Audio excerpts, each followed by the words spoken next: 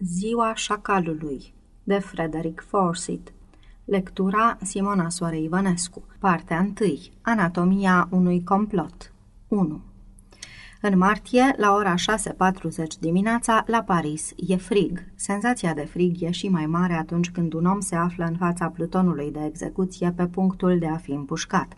La acea oră, în ziua de 11 martie 1963, în curtea principală a închisorii Fort d'Ivry, un colonel din forțele aeriene franceze stătea în fața unui stâlp înfipt în pietrișul înghețat. În timp ce mâinile îi erau legate de stâlp, privea cu o neîncredere pe care nu reușea să o alunge plutonul aflat la 20 de metri în fața lui.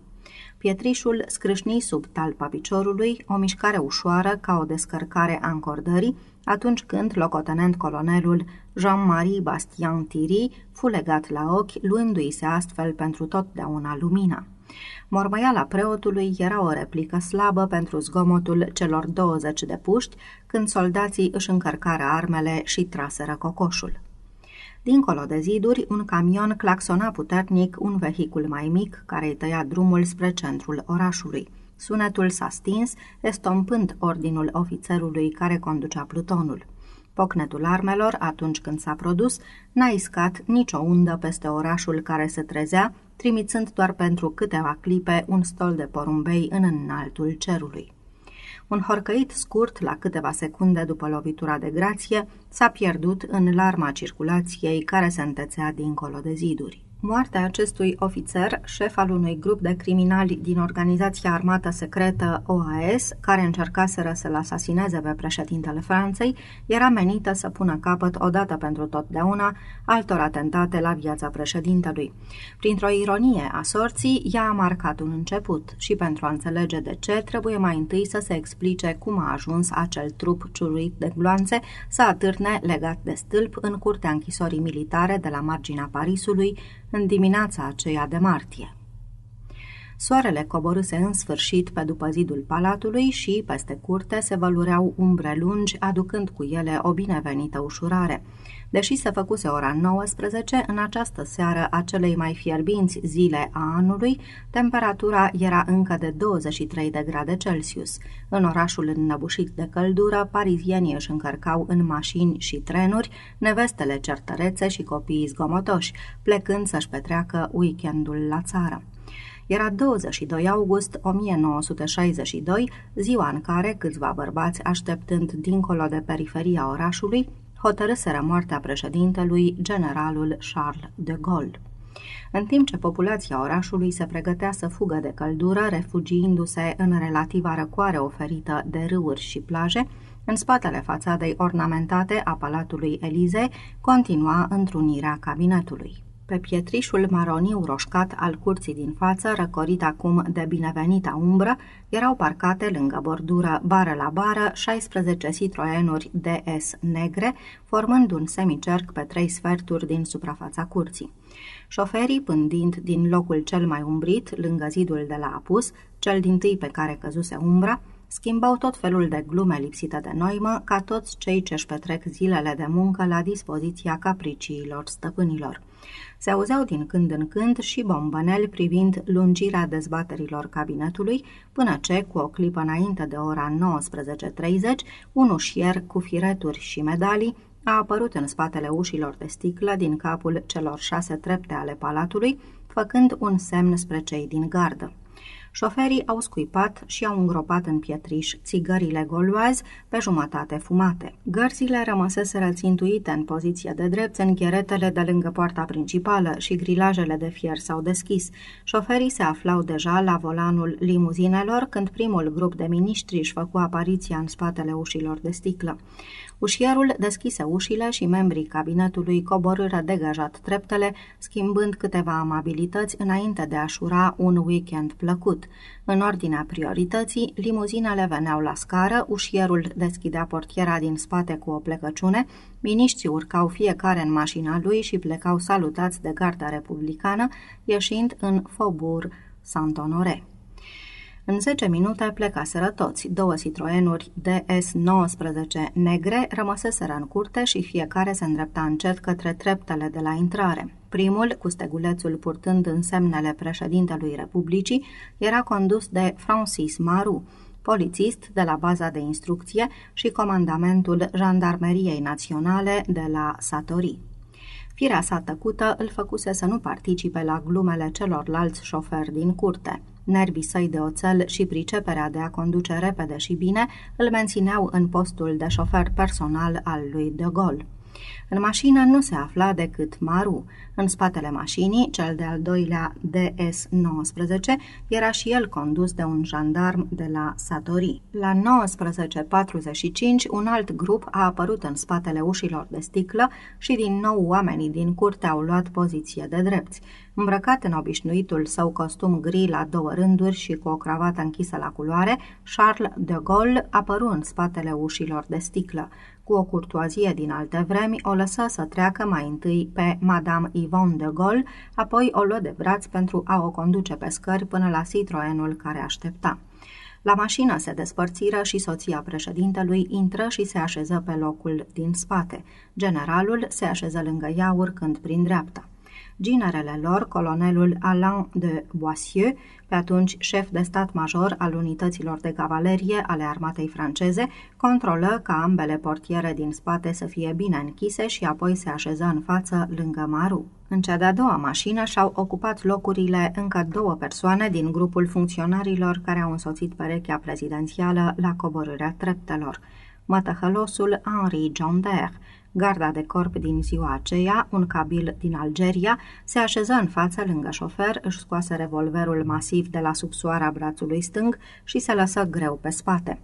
Din clipa aceea, din goana mașinii, ochii lui aveau să urmărească fără răgaz nu limuzina din față, ci ce se întâmplă pe trotuare și pe la colțurile străzilor. După ce mai schimbă câteva cuvinte cu unul dintre oamenii din garda președintelui, care urma să rămână pe loc, cel de-al doilea bărbat intră de unul singur în mașină pe bancheta din spate. Era comisarul Jean Ducre, șeful corpului de securitate al președintelui. De lângă zidul de vest, doi motocicliști cu căști albe au pornit motoarele și au ieșit încet din umbră, îndreptându-se spre poarta principală. Ajunși la trei metri de ea, au oprit și au privit în urmă. Din dreptul scărilor, Maru porni cu primul Citroen spre ieșire și veni în spatele motocicliștilor. Cea de-a doua mașină îl urmă. Era ora 19.50. Din nou grilajele de fier s-au dat la o parte și micul cortegiu, trecând pe lângă gărzile împietrite în poziție de drept, intră pe Faubourg Saint-Honoré. Ajuns la capătul acestei străzi, convoiul o luă pe Avenue de Marigny. De sub castanii de pe margini, un tânăr cu o cască albă de protecție cocoțat pe un scuter privea trecerea cortegiului, după care coborâ de pe bordură și se furișă pe urmele lui. Traficul era normal pentru un sfârșit de săptămână în august și plecarea președintelui nu fusese anunțată în prealabil. Numai zgomotul făcut de sirenele motocicletelor i-a anunțat pe agenții de circulație aflați în post de apropierea convoiului, iar aceștia începură să gesticuleze și să fluiere energic pentru a opri la timp traficul. Convoiul prinse viteză pe bulevardul umbrit de arbori și traversă însorita Place Clemenceau, îndreptându-se chiar prin mijlocul acesteia spre Pont Alexandru al III-lea. Mergând chiar în spatele mașinilor oficiale, tânărul care pilota scuterul nu avea probleme cu urmărirea convoiului. După ce trecură de pod, Maru îi urmă pe motocicliști pe Avenue General Gallieni și de acolo pe spațiosul Boulevard des Invalides. Ajuns aici, tânărul de pe scuter aflase răspunsul. La întretăierea dintre Boulevard des Invalides și Rue de Varenne, el micșoră viteza și abandonă urmărirea, îndreptându-se spre o cafenea aflată la un colț de stradă. Ajuns înăuntru, scoase din buzunar un mic jeton metalic, se duse în fundul cafenelei unde se afla telefonul și formă un număr. Locotenent colonelul Jean-Marie Bastien Thierry aștepta într-o cafenea din suburbia Meudon. În vârstă de 35 de ani, era însurat, avea trei copii și lucra la Ministerul Aviației. În spatele fațadei convenționale a vieții sale profesionale și de familie, el adunase o ură adâncă împotriva lui Charles de Gaulle, despre care credea că, cedând Algeria naționaliștilor algerieni, trădase Franța și pe cei care, în 1958, îl chemaseră înapoi la putere. Bastien Thierry nu pierduse nimic prin cedarea Algeriei și ura lui nu era motivată de considerente personale. Se considera patriot, un om convins că își va servi patria mult iubită, ucigându-l pe acela care, credea el, o trădase.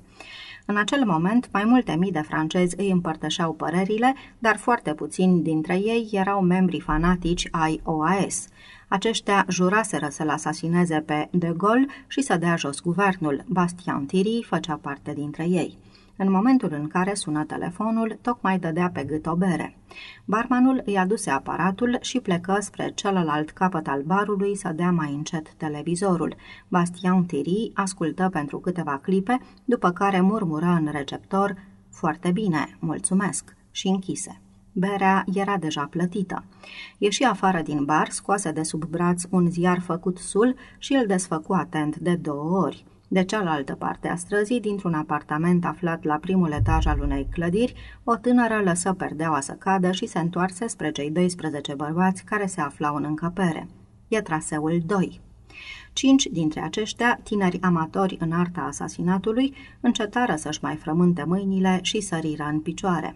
Ceilalți șapte erau mai în vârstă și mai puțin nervoși, cel mai vechi dintre ei în tentativa de asasinat și al doilea în ierarhie, după Bastien Thierry, era locotenentul Alain Bugrenet de la Tocne, un extremist de dreapta dintr-o familie de moșieri. În vârstă de 35 de ani, era însurat și avea doi copii.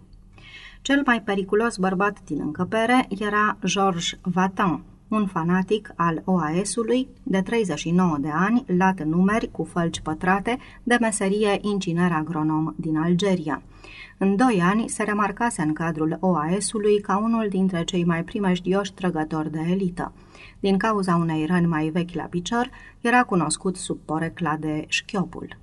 Când fata le-a dat vestea, cei 12 bărbați au coborât scările prin spatele clădirii și au ieșit într-o stradă lăturalnică, unde erau parcate șase vehicule, toate furate sau închiriate. Ceasul arăta ora 19.55. Bastian Thierry petrecuse zile întregi pregătind locul asasinatului, măsurase unghiurile de tragere, viteza și distanța vehiculelor aflate în mișcare și calculase muniția necesară pentru a le opri.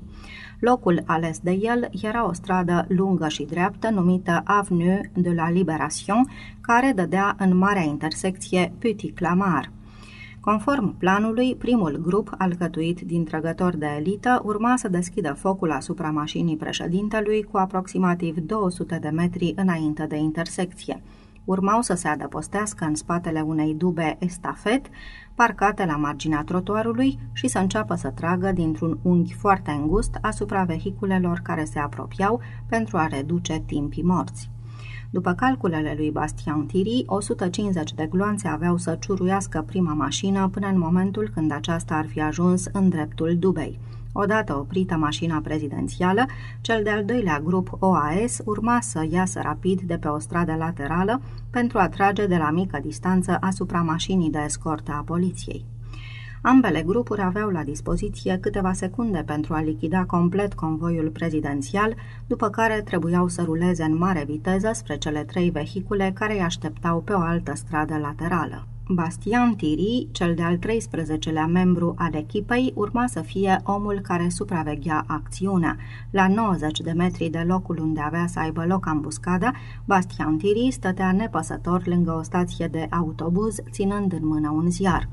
O anumită mișcare făcută din ziar era semnalul pentru Serge Bernier, conducătorul primului grup de comando care stătea în picioare lângă dubă. Acesta urma să transmită mai departe ordinul lunetiștilor culcați în iarbă în poziție de tragere la picioarele lui. Bugrune, de la Tocne, conducea mașina care avea sarcina să intercepteze duba poliției, avându-l alături pe Vatan, șchiopul înarmat cu o pușcă mitralieră. Când cei din iarbă și-au armat puștile, convoiul generalului de Gaulle reușise să scape de traficul intens din centrul Parisului, ajungând pe arterele mai degajate ale suburbiilor. Aici mergeau cu viteză de aproape 100 de km pe oră. Când drumul deveni complet liber, Francis Maru aruncă o privire spre ceas și, simțind nerăbdarea bătrânului general aflat în spatele lui, apăsă și mai mult pe accelerație. Cei doi motocicliști rămaseră în urmă pentru a-și ocupa locul în coada convoiului. Lui De Gaulle îi displăcea plasarea ostentativă a motocicletelor în față și se dispensa bucuros de ele de câte ori se ivea prilejul. În această formație, convoiul intră pe Avenue de la Division Leclerc, în intersecția Petit Clamart, era ora 20 și 17. La un kilometru și jumătate mai sus, pe aceeași arteră, Bastian Thierry era victima propriei greșeli. Avea să afle de la poliție câteva luni mai târziu, pe când aștepta executarea condamnării la moarte. Punând la punct orarul asasinatului, Tiri consultase un calendar din care reieșea că pe 22 august soarele apunea la 20.35, ceea ce părea suficient de târziu chiar și în cazul în care De Gaulle ar fi întârziat față de programul normal, așa cum de fapt s-a și întâmplat dar calendarul consultat de colonelul de aviație data din 1961. Pe 22 august 1962 se însera la ora 20 și 10. Această diferență de 25 de minute avea să schimbe istoria Franței. La 20 și 18, Bastian Thierry zări convoiul care se îndrepta cu repeziciune spre el pe Avenue de la Libération, rulând cu 110 km pe oră și începu să fluture ziarul. Aflat pe partea cealaltă a drumului cu 100 de metri mai jos, Bernier scruta supărat amurgul cu ochii țintă la silueta abia perceptibilă din stația de autobuz. N-a făcut oare colonelul semn cu ziarul, se întreba el, fără a se adresa cuiva anume. Nu rosti bine vorbele că observă botul ca de rechin al mașinii președintelui trecând ca un bolid pe lângă stație. Foc, strigă el oamenilor culcați la picioarele sale. Convoiul ajunsese deja în dreptul lor când aceștia au deschis focul, trăgând într-o țintă care se mișca cu peste 100 de km pe oră. Faptul că 12 gloanțe au reușit totuși să străpungă mașina s-a datorat îndemânării cu care au tras ucigașii. Majoritatea gloanțelor au lovit Citroenul din spate. Două cauciucuri au fost complet ciuruite și, deși aveau tuburi de etanșare proprie, Pierderea bruscă a presiunii a făcut ca mașina aflată în plină viteză să se dezechilibreze și să derapeze pe roțile din față. Acesta a fost momentul când Francis Maru a salvat viața generalului de Gaulle. În timp ce asul țintașilor, ex-legionarul Varga ciuruia cauciucurile, Ceilalți își goleau muniția în luneta mașinii care se îndepărta rapid. Câteva gloanțe au trecut prin caroserie, iar unul dintre ele a străpuns geamul, trecând la câțiva centimetri de nasul președintelui. Colonelul de Boissieu, care se afla pe locul din față, s-a întors și le-a strigat socrilor săi, lăsați-vă în jos. Doamna de Gaulle își lăsă în jos capul spre genunchii soțului ei. Generalul izbucni cu o voce înghețată cum, din nou, și se întoarse pentru a privi pe geamul din spate. Maru ținea volanul care tremura în toate direcțiile și apăsă ușor pe accelerator, încercând să controleze deraparea mașinii. După ce, pentru un moment pierdut din putere, Citroenul țâșni din nou înainte spre intersecția cu Avenue du Bois, strada laterală unde așteptau oamenii celui de-al doilea comando OAS. Mașina cu garda personală neatinsă de gloanțe urma aproape mașina condusă de Maru. Lui Bugrune de la Tocne, care aștepta cu motorul pornit pe Avenue de Bois, Viteza mașinilor care se apropiau de el nu-i lăsa decât două variante de acțiune, fie să treacă imediat la interceptare și astfel să se sinucidă prin coliziune, fie să amâne interceptarea cu jumătate de secundă. Alese cea de-a doua variantă, când demară ieșind de pe strada laterală în dreptul convoiului prezidențial, lui Bugrune de la Tocne, îi deveni clar că nu se află paralel cu mașina lui de Gaulle, ci a celor însărcinați cu paza lui, Henri Juder și comisarul Ducre. Ieșind până la jumătate pe fereastra din dreapta a mașinii, Vatan își goli încărcătorul mitralierei în DS-ul aflat în fața lui, în care zărea prin parbrizul spart profilul semeț al generalului de Gaulle. De ce nu ripostează idioția ea?" întrebă de gol cu durere în glas.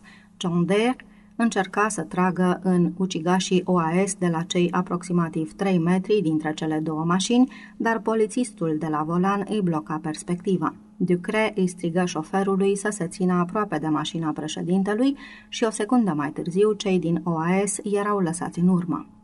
Cei doi motocicliști, dintre care unul aproape fusese aruncat din șa când Tocne ieșise de pe strada laterală, s-au redresat și au strâns rândurile. Întregul convoi a parcurs în goană sensul giratoriu, a trecut prin intersecție și a continuat drumul spre Vila Cuble.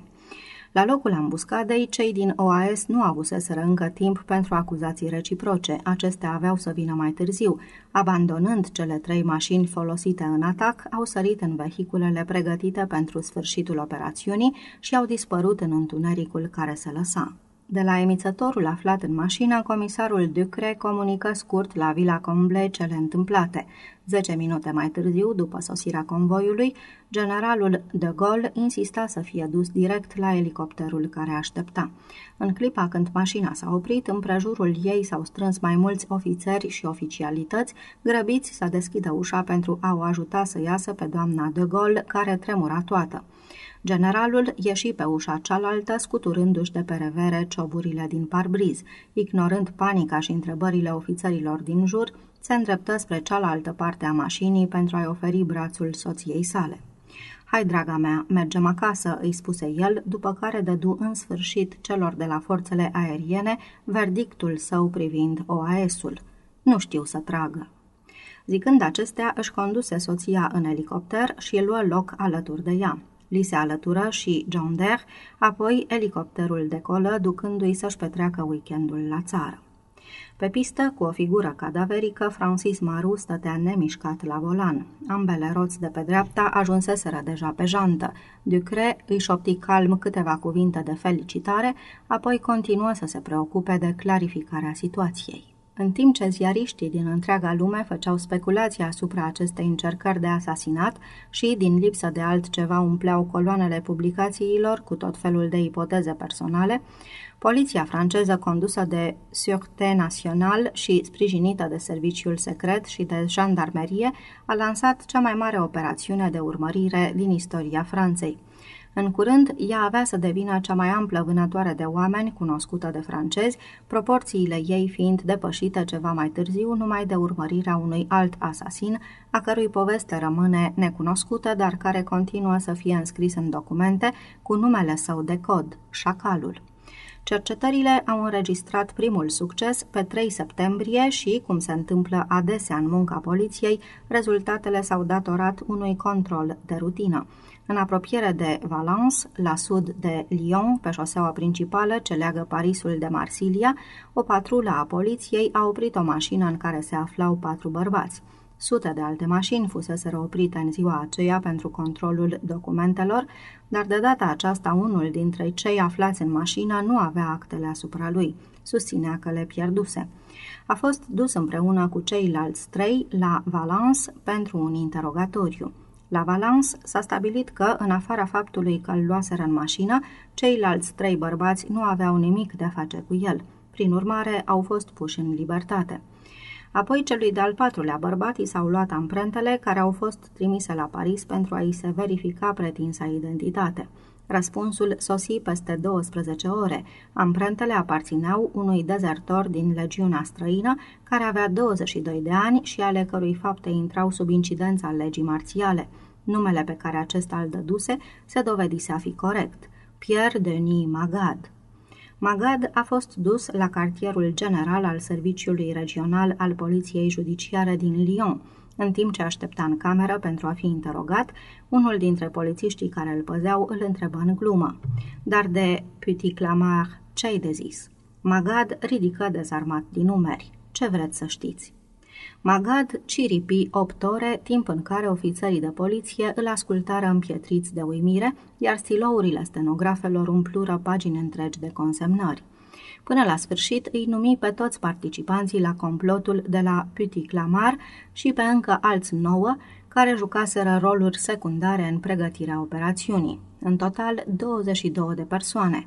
Vânătoarea începuse și de data aceasta poliția știa pe cine caută. În cele din urmă, un singur om reuși să scape, nici până astăzi nu a fost prins. Georges Vatan a dispărut fără urmă și se presupune că trăiește în Spania împreună cu majoritatea celorlalți șefi ai OAS-ului, printre civilii veniți din Algeria și stabiliți acolo. Interogatoriul și pregătirea tuturor capetelor de acuzare împotriva lui Bastien Thierry, Bougrene de la Tocne și a celorlalți conducători ai complotului a durat până în luna decembrie, iar grupul a fost trimis în judecată în ianuarie 1963. În timpul desfășurării procesului, OAS-ul își strânse din nou rândurile pentru a încerca un nou atac împotriva generalului de Gaulle, iar serviciul secret francez a pornit un contraatac pe viață și pe moarte sub masca încântătoarelor norme ale vieții pariziene, în spatele unui paravan de cultură și civilizație, s-a purtat astfel unul dintre cele mai crâncene și mai sadice războaie subterane ale istoriei moderne. Denumirea completă a serviciului secret francez este Service de Documentation Extérieure et de Contraespionage, cunoscut sub forma prescurtată de SDECE. Responsabilitățile lui sunt atât spionajul în afara granițelor Franței, cât și contraspionajul în interiorul lor, deși în unele cazuri fiecare serviciu poate pătrunde pe teritoriul celuilalt. Serviciul 1 se ocupă strict de activitățile legate de spionaj și informații, fiind divizat în birouri identificate prin inițiala R de la renseignement. Subdiviziunile sunt R1 analiza informațiilor, R2 Europa de Est, R3 Europa Occidentală, R4 Africa, R5 Orientul Mijlociu, R6 Extremul Orient, R7 Emisfera Vestică Americană, Serviciul 2 ocupându-se de contraspionaj. Serviciile 3 și 4 includ secțiunea privind lumea comunistă, iar serviciile 6 și 7 se ocupă cu finanțele și respectiv cu administrația. Titulatura serviciului 5 se rezumă la un singur cuvânt, acțiune. Acest sector a fost inima războiului purtat împotriva OAS-ului de la cartierul general, aflat într-un complex de clădiri oarecare din zona bulevardului Mortier, în apropiere de Port de Lila, o suburbie murdară din nord-estul Parisului, au pornit la luptă cei 100 de duri ai serviciului de acțiune. În marea lor majoritate corsicani, aceștia constituiau replica cea mai fidelă pe care viața o putea da tipului ficțional de individ dur. Erau antrenați pentru a atinge o condiție fizică de vârf și apoi erau duși în tabăra de la Satori, unde, într-o secție specială total izolată de restul, învățau tot ce se știe despre arta distrugerii. Deveneau experți în mânuirea armelor albe și în lupta fără arme, în karate și judo. Urmau cursuri de radiocomunicație, de demolare și sabotaj, de interogare cu și fără folosirea torturii, de răpire, incendiere și asasinare. Unii cunoșteau doar franceza, alții vorbeau cursiv mai multe limbi și se simțeau acasă în orice capitală a lumii. Aveau libertatea de a ucide în timpul misiunilor și adesea se foloseau de ea. Când activitățile OAS-ului au devenit tot mai violente și mai brutale, directorul SDC-ului, generalul Eugène Guibault, a dat în sfârșit drumul din zgarda acestor indivizi, lăsându-i să se ocupe de OAS după cum credeau de cuviință. Câțiva dintre ei s-au înrolat în OAS și au reușit să se infiltreze până la cele mai înalte nivele. De acolo aveau posibilitatea să furnizeze informații cu ajutorul cărora alții puteau acționa.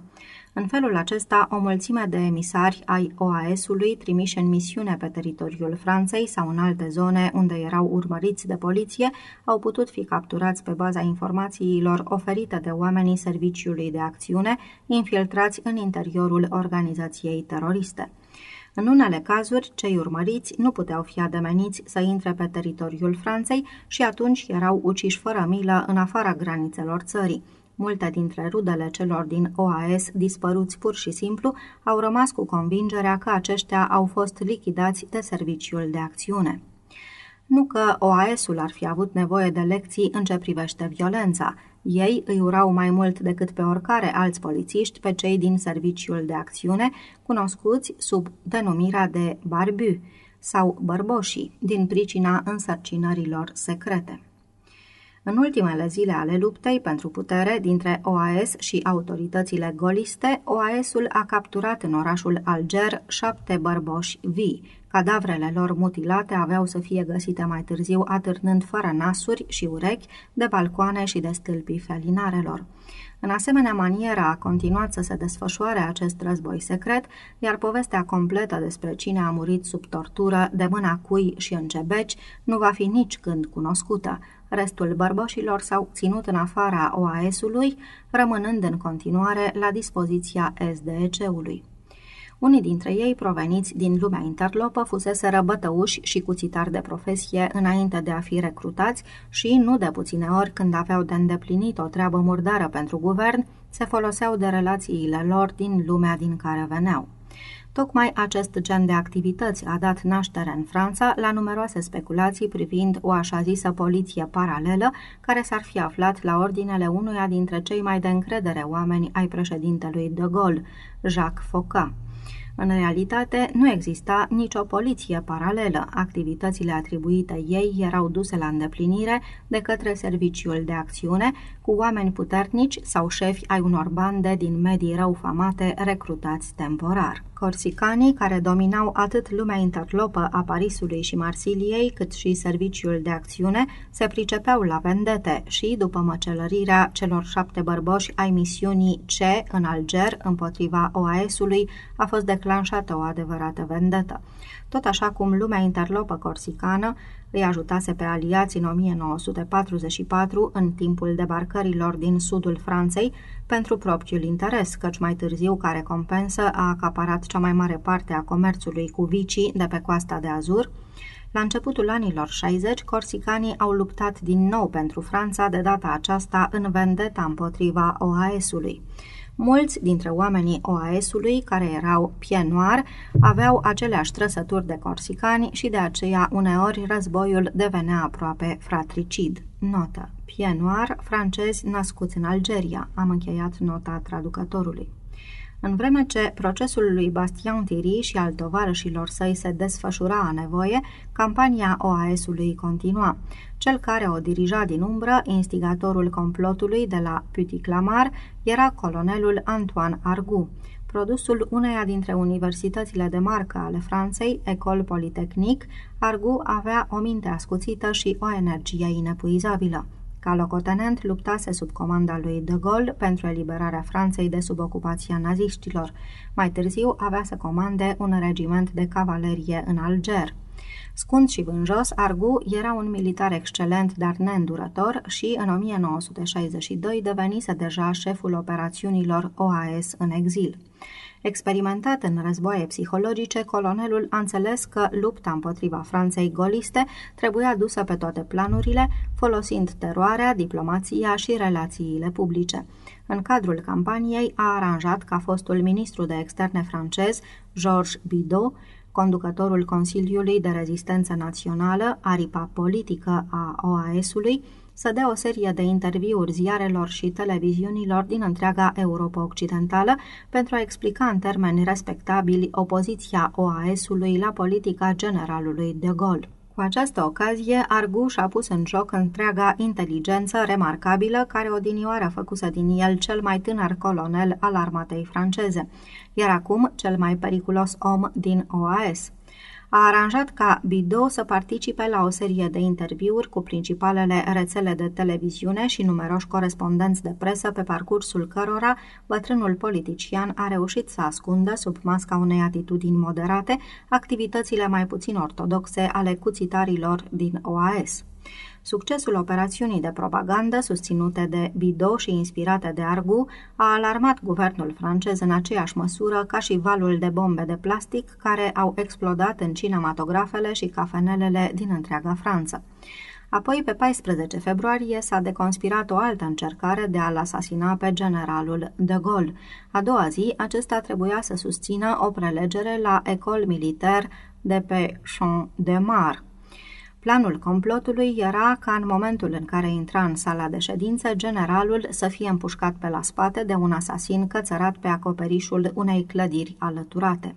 Cei trei care mai târziu aveau să fie judecați pentru acest complot au fost Jean Bichon, un capitan de artilerie pe nume Robert Poinat, și o profesoară de limba engleză de la Academia Literară, Paul Rousselet de Lifiac. Cel însărcinat cu misiunea de a trage urma să fie Georges Vatan, dar șchiopul a reușit din nou să scape. În apartamentul lui Poinar s-a descoperit o armă cu lunetă și cei trei au fost arestați. Mai târziu, pe parcursul procesului lor, a reieșit că, încercând să găsească o modalitate de a-l introduce pe Vatan și arma lui în Academie, ei îl consultaseră pe subofițerul Marius To, care s-a dus direct la poliție. Generalul de Gaulle a sosit la timp pe data de 15 pentru a lua parte la ceremonia militară, dar spre marea sa nemulțumire a făcut concesia de a veni într-o mașină blindată. Complotul ca atare fusese extrem de prost organizat, dar a avut darul de a-l irita pe De Gaulle. A doua zi, convocându-l pe ministrul de interne Frey, a bătut cu pumnul în masă și i-a spus ministrului răspunzător de securitatea națională. Toată povestea asta cu asasinatele a mers prea departe s-a luat hotărârea de a pedepsi exemplar pe câțiva dintre capii participanți la conspirația OAS-ului pentru a-i descuraja pe ceilalți. Frey nu se îndoia în privința verdictului în procesul lui Bastian Tiri pe rol la Curtea Militară Supremă. Din boxa acuzaților, lui Bastian Tiri îi era greu să explice de ce crede el că ar trebui să moară generalul Charles de Gaulle, dar pentru o adevărată intimidare era nevoie de ceva mai mult. Pe 22 februarie, o copie a unui memorandum trimis de directorul Serviciului 2 din cadrul SDEC, Contraspionaj Securitate Internă, Ministrului de Interne, ateriza pe biroul șefului Serviciului de Acțiune. Iată un extras am reușit să localizăm pe unul dintre principalii conducători ai mișcării subversive și anume Antoine Argu, fost colonel în armata franceză. Acesta a fugit în Germania, unde, potrivit informațiilor deținute de serviciul nostru de spionaj de acolo, intenționează să rămână câteva zile. În această situație ar exista posibilitatea să ajungem la Argu și, eventual, să-l prindem având în vedere faptul că cererea făcută de serviciul nostru special de contraspionaj organelor de securitate competente din Germania a fost refuzată și că aceste organe se așteaptă acum ca agenții noștri să pornească pe urmele lui Argu și ale altor lideri OAS, Operațiunea în ce privește persoana lui Argu trebuie efectuată cu maximum de rapiditate și discreție. Operațiunea a fost pasată Serviciului de Acțiune. În după amiaza zilei de 25 februarie, Argu s-a întors la München, sosind de la Roma, unde participase la o întâlnire cu alți lideri ai OAS-ului. În loc să se ducă direct pe Untertölstrasse, a luat un taxi spre hotelul Edenwolf, unde rezervase o cameră, aparent cu scopul de a se întâlni cu cineva.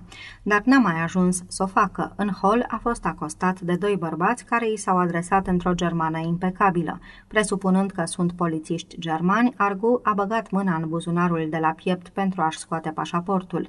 În momentul imediat următor și-a simțit brațele strânse ca într-o menghină, picioarele desprinzându-i se de pe sol și s-a trezit băgat cu repeziciune într-o dubă care aștepta afară. Începu să se răstească și îi se răspunse cu o serie de înjurături franțuzești. Un pumn ciolănos i-a sfărâmat nasul, un altul l-a izbit în stomac, un deget i-a apăsat centrul nervos aflat sub ureche și colonelul s-a cufundat în întuneric. După exact 24 de ore, la Paris, la Brigada de Criminalistică a Poliției Judiciare din Quai des Orfèvres, numărul 36, sună telefonul. O voce răgușită i-a spus sergentului de serviciu că vorbește din partea OAS-ului și că Antoine Argu, legat frumușel, se află într-o dubă parcată în spatele clădirii CID. Peste câteva minute ușa dubei se deschise brusc și Argu se pomeni afară în mijlocul polițiștilor rămași cu gura căscată. Ochii lui, care în ultimele 24 de ore fusese relegați, nu mai puteau focaliza nimic. Avea nevoie de sprijin pentru a se ține pe picioare. Fața îi era acoperită de sângele uscat care îi se prelinsese din nas, iar gura îl durea din cauza călușului pe care poliția tocmai îl scosese. Când cineva îl întrebă, sunteți colonelul Antoine Argu?" el bolborosi, da. Nu se știe cum, serviciul de acțiune îl trecuse frontiera în cursul nopții precedente. Telefonul anonim prin care poliția fusese înștiințată de existența coletului care o aștepta în propria parcare nu era altceva decât modul original de a glumi al acestui serviciu. Argu n-a fost eliberat decât în iunie 1968. Un singur lucru n-au luat în calcul oamenii serviciului de acțiune – prin înlăturarea lui Argu, în ciuda enormei demoralizări produse în rândurile OAS-ului, ei au netezit calea adjunctului său din umbră, locotenent colonelul Marc Rodin, un personaj puțin cunoscut, dar la fel de abil, pentru a-și asuma comanda operațiunilor în vederea asasinării lui de Gaulle. În multe privințe a fost o afacere proastă. Pe data de 4 martie, Curtea Militară Supremă a pronunțat sentința împotriva lui Jean-Marie Bastien Thierry. Împreună cu încă doi inculpați, acesta a fost condamnat la moarte. Același destin l-au avut și alte trei persoane aflate încă în libertate, printre care și Vatan Șchiopul. Pe 8 martie, timp de trei ore, generalul de Gaulle a ascultat fără să scoată o vorbă apelurile la clemență făcute de avocații celor condamnați. În două cazuri, el a dispus comutarea pedepsei cu moartea în închisoare pe viață, dar pentru Bastian Thierry, sentința a rămas neschimbată. În seara aceleiași zile, avocatul său i-a comunicat colonelului de aviație decizia. Este fixată pentru ziua de 11, i-a spus avocatul clientului său și pentru că acesta continua să zâmbească neîncrezător, lăsă să-i scape, veți fi împușcat. Bastian Thierry continua să zâmbească, clătinând din cap. Nu înțelegeți, îi spuse el avocatului, niciun pluton de francezi nu va ridica armele împotriva mea. Se înșela însă. Execuția a fost anunțată la știrile de la ora 8 dimineața ale postului Radio Europa 1 în franceză. Ea a fost recepționată în cea mai mare parte a Europei Occidentale de cei interesați să prindă acest post. Într-o cameră mică de hotel din Austria, știrea avea să declanșeze o serie de reflexii și acțiuni care aveau să-l ducă pe generalul de Gaulle mai mult ca oricând în apropierea morții. Camera era ocupată de colonelul Marc Rodin, noul șef al operațiunilor OAS. 2. Marc Rodin stinsese tranzistorul și se ridică de la masă lăsându-și micul dejun aproape neatins. Se duse la fereastră și aprinse încă o țigară, deși fumase până atunci într-una, și privi afară peisajul învăluit în zăpada pe care primăvara întârziată nu reușise încă să o topească. Ticăloșii, murmură el încet și cu obidă, continuând tot sotovoce, un șir de nume și epitete exprimând sentimentele sale față de președintele Franței, de guvernul lui și de serviciile secrete. Rodan se deosebea aproape în toate privințele de predecesorul său, înalt și slab, cu fața pământie și subtă de ură lăuntrică, își masca de obicei emoțiile în ciuda sorcintei lui latine – el nu avusese parte de școala politehnică, cea care ar fi putut să-i deschidă drumul spre o carieră strălucită. Fiu de cismar, în anii fără griji ai adolescenței sale, fugise în Anglia cu un vas pescăresc în perioada în care Germania invadase Franța. Apoi se înrolase ca voluntar sub standardul Crucii de Lorena. Ca să ajungă sergent și mai departe subofițer, drumul parcurs de el fusese deosebit de greu, trecând prin bătăliile sângeroase din nordul Africii, sub comanda lui König, iar mai târziu sub cea a lui Leclerc, prin gardurile vii ale Normandiei. O misiune îndeplinită în timpul bătăliei pentru Paris îi adusese galoanele de ofițer pe care, cu studiile și educația primite, nu le-ar fi putut obține niciodată.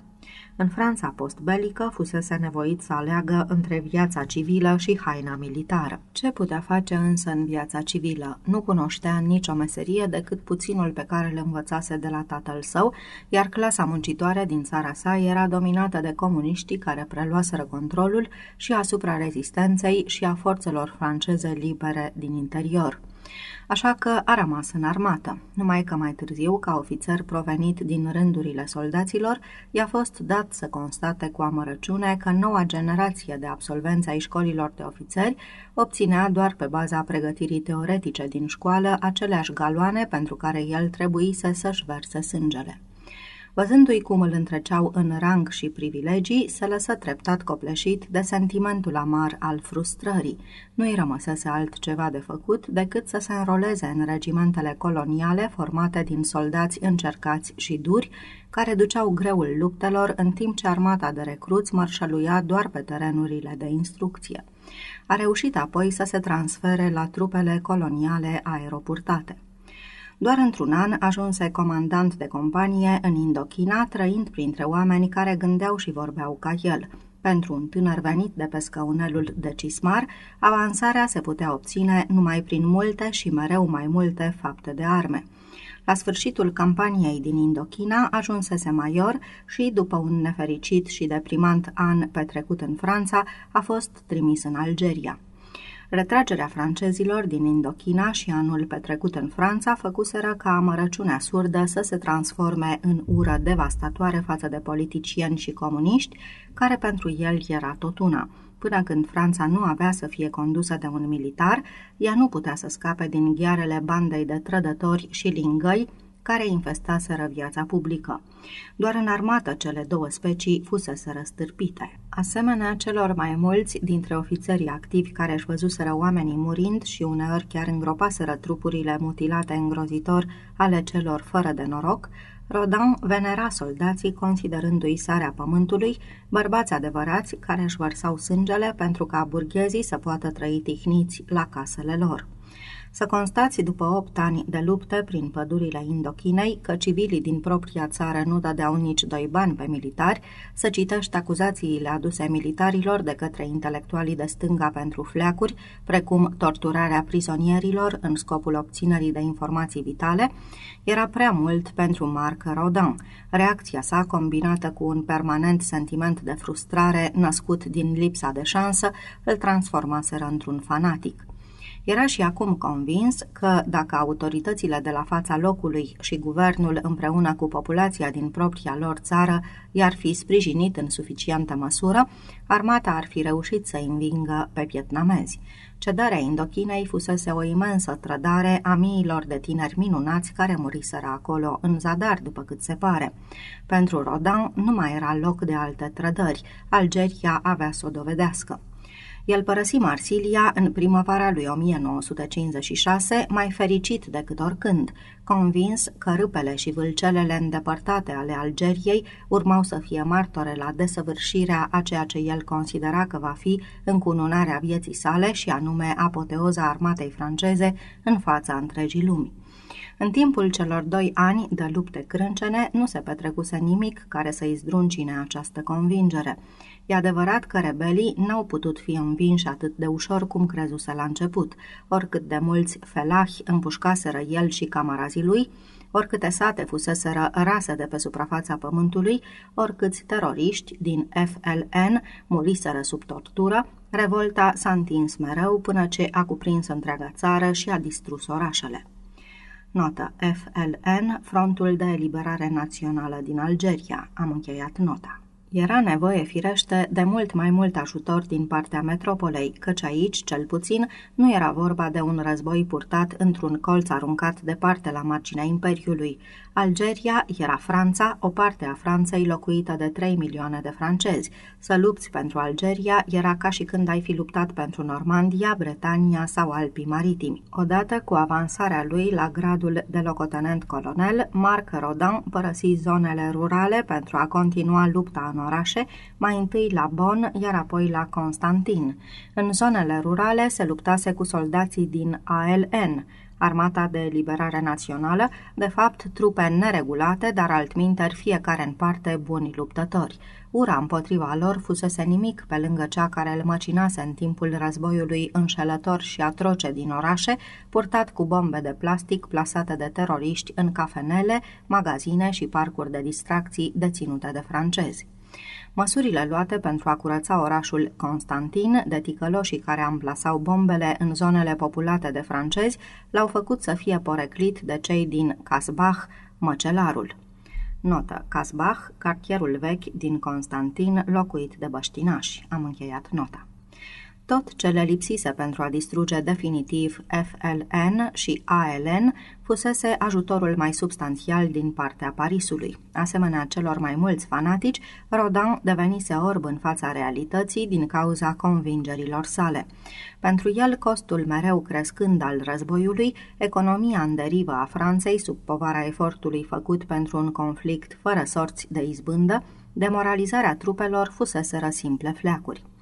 În iunie 1958, generalul de Gaulle a revenit la putere ca prim-ministru al Franței, debarasându-se rapid și eficient de cea de-a patra republică, prea șubrădă și coruptă, a fondat-o pe cea de-a cincea. Atunci când a pronunțat cuvintele Algerie francez, Algeria franceză, aflate pe buzele tuturor generalilor care îl readuseseră la Matignon, iar mai apoi în 1959 la Elize, Rodin s-a închis în cameră și a plâns. Când de Gaulle a vizitat Algeria, lui Rodin i s-a părut că e un zeu coborând din Olimp. Era sigur că noua politică era pe drumul cel bun. Comuniștii urmau să fie măturați din toate posturile. Jean-Paul Sartre împușcat cu siguranță pentru trădare, sindicatele aduse la tăcere, iar sprijinul total al Franței pentru conaționalii din Algeria, cât și pentru armata care îi proteja, nu va întârzia să apară. Rodan era sigur de acest lucru, așa cum era sigur că soarele apare la răsărit. Când de Gaulle a început să introducă măsurile de reorientare a Franței conform concepției lui, Rodan a crezut că la mijloc se află vreo greșeală. Trebuia să îi se acorde bătrânului câtva timp, dar când au început să-i ajungă la ureche primele zvonuri despre discuțiile preliminare cu Ben Bella și FLN, lui Rodan nu i-a venit să creadă. Deși simpatizase cu revolta coloniștilor condusă de marele Joe Ortiz, în 1960, a considerat că lipsa de progres în acțiunea de anihilare a partizanilor algerieni era doar o mișcare tactică din partea lui de Gaulle. Era sigur că Le Vieux, bătrânul, știa bine ce face. Nu pronunțase el acele cuvinte de aur Algerie française? Când s-a dovedit însă, fără putință de tăgadă, că în concepția lui de Gaulle, Franța resuscitată nu includea și Algeria franceză, lumea lui Rodin s-a năruit ca lovită de trăsnet. Nu mai rămăsese nimic din credință și speranță, convingere și încredere. Rămăsese doar ura – ura față de sistem, de politicieni, de intelectuali, de algerieni, de sindicate, de ziariști și de străini, dar mai presus de toate ura față de omul de Gaulle. Cu excepția câtorva fricoși care au refuzat să-l urmeze, întreg batalionul de sub comanda lui Rodin s-a alăturat puciului militar din aprilie 1961 dar acesta eșuase. Dintr-o singură mișcare, dezarmant de simplă și de inteligentă, de Gaulle înnăbușise puciul în fașă. Niciunul dintre ofițeri nu dăduse atenție faptului că trupele fusese dotate cu mii de aparate radio cu tranzistori cu câteva săptămâni înainte de anunțul oficial al începerii tratativelor cu FLN. Aparatele fuseseră privite ca simple mișloace nevinovate pentru ridicarea moralului trupelor și mulți ofițeri și subofițeri aprobaseră ideea. Muzica ușoară venită din Franța pe calea undelor avea menirea să-i facă pe soldați să uite de arșiță, de muște și de plictiseală. Vocea lui de Gaulle n-a mai fost însă la fel de nevinovată. Când în cele din urmă s-a pus la încercare loialitatea armatei, zecile de mii de soldați răspândiți pe la bazele lor de pe tot cuprinsul Algeriei aveau radiourile deschise ca să asculte știrile. După știri au auzit aceeași voce pe care și Rodin o ascultase în iunie 1940 și aproape același mesaj – Vă aflați în fața unei dovezi de credință. Eu sunt Franța, instrumentul destinului vostru. Urmați-mă, supuneți-vă ordinelor mele. Unii comandanți de batalion s-au trezit că rămăseseră doar cu o mână de ofițeri, în timp ce majoritatea gradaților îi părăsiseră deja. Rebeliunea fusese spulberată, ca și iluziile, prin radio.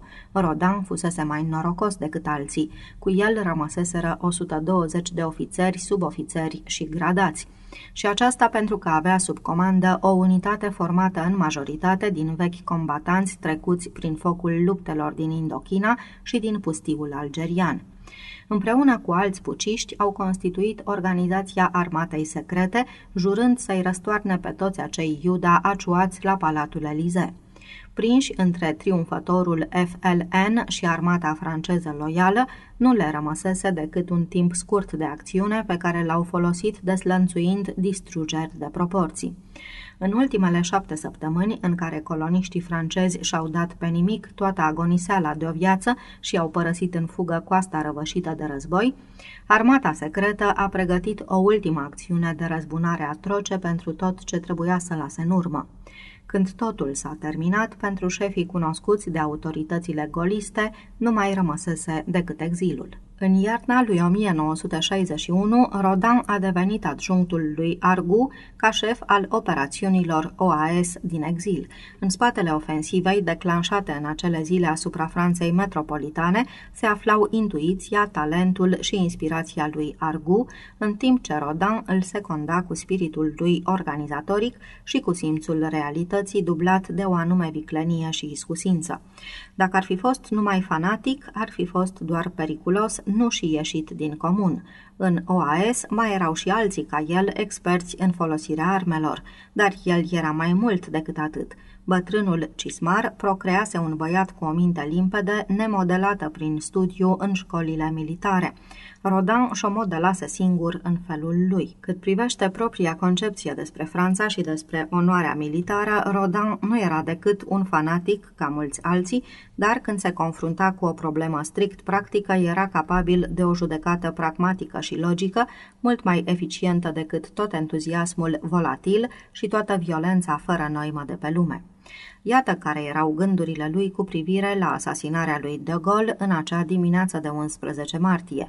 Nu fusese atât de naiv să creadă că va fi o treabă ușoară, din potrivă. Eșecul tentativelor de la Petit Clamar și Ecole Militaire o făcea și mai dificilă.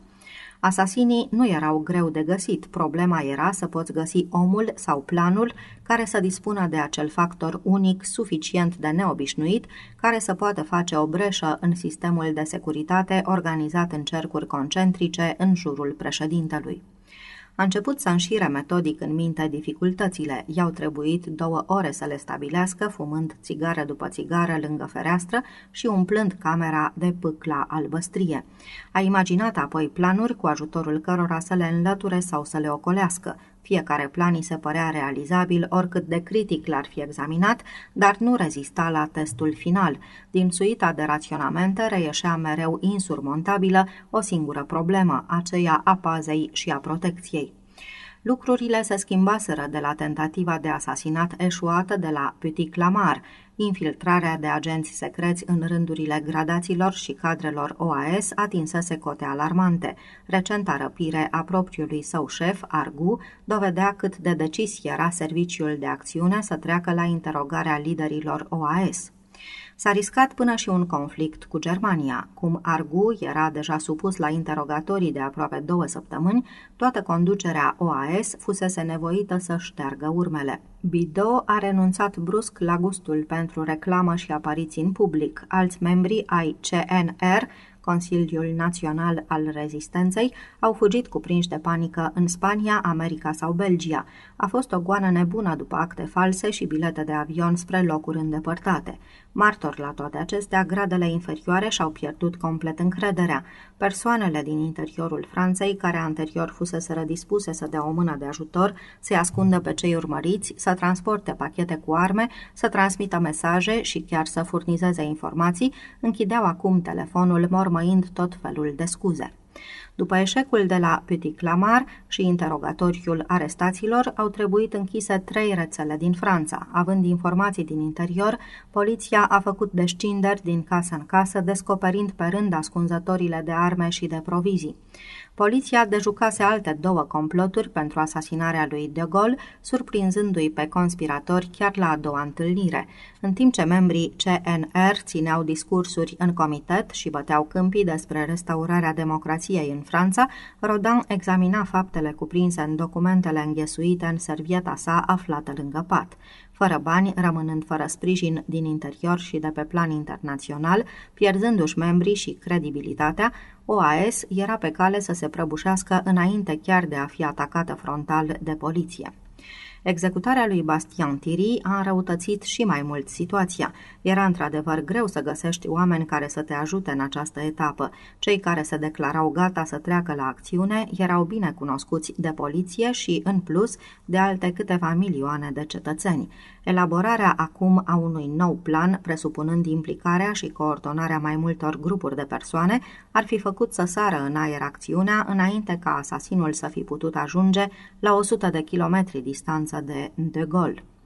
La capătul propriului raționament, Rodin și-a spus în barbă, trebuie găsit cineva total necunoscut.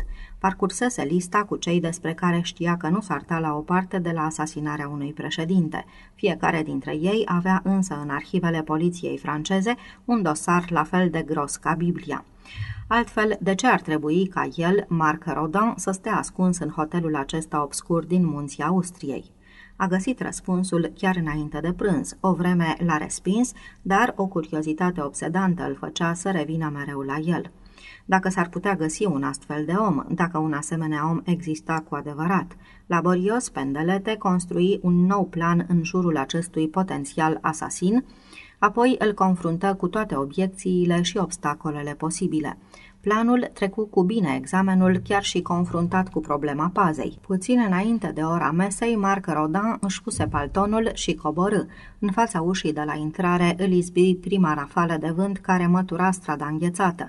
Ezită o clipă zgribulit, dar aerul tare îi liniștea durerea de cap provocată de țigări și de aerul cald din cameră o coti la stânga spre oficiul poștal din Adlerstrasse și trimise câteva telegrame scurte colegilor răspândiți sub nume false prin sudul Germaniei, Austria, Italia și Spania, informându-i că nu va fi de găsit timp de câteva săptămâni, întrucât pleca într-o misiune.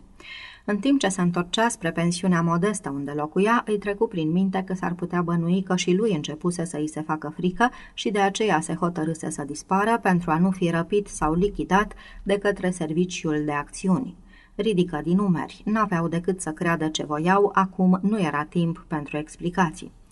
Mâncă la prânz la pensiune, meniul zilei fiind ciolan cu găluște, cu toate că anii petrecuți în junglă și în pustiul algerian îl dezvățaseră de mâncăruri alese, i-a fost destul de greu să înghită. Pe la trei după amiază era deja cu bagajele făcute și nota achitată.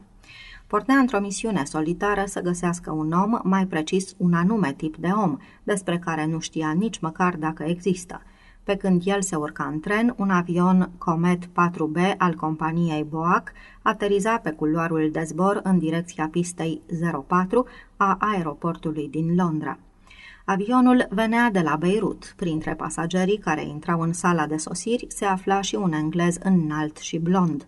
Era bronzat la față de soarele Orientului Mijlociu. Se simțea relaxat și în formă după două luni petrecute în Liban, timp în care gustase din incontestabilele plăceri ale locului și din ceea ce era pentru el cea mai mare plăcere, supravegherea transferului unei sume frumoase de bani de la o bancă din Beirut în Elveția. Departe în urma lui, în solul nisipos al Egiptului, înmormântate de mult de polițiștii furioși și contrariați, zăceau cadavrele a doi ingineri germani specialiști în rachete, fiecare cu câte o gaură perfectă în șira spinării.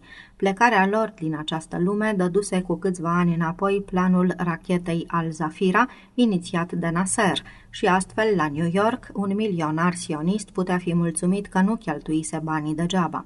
După ce trecu fără probleme prin vamă, englezul plecă într-o mașină spre apartamentul său din Mayfair.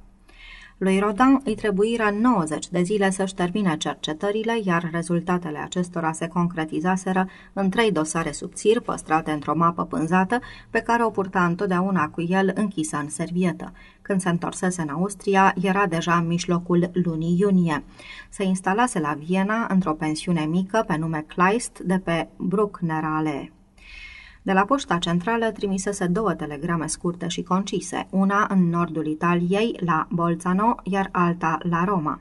Erau adresate principalilor săi adjuncți, pe care îi invita la o întâlnire urgentă la Viena. Cei doi veniră în 24 de ore, René Moncler cu o mașină închiriată de la Bolzano, iar André Casson cu o mașină de la Roma. Fiecare călătorea sub un nume fals, căci atât în Italia cât și în Austria ei figurau la loc de frunte pe listele persoanelor căutate, liste pe care le dețineau ofițerii rezidenți ai SDECE, care plăteau cu bani buni agenți și informatori la punctele de frontieră și pe aeroporturi.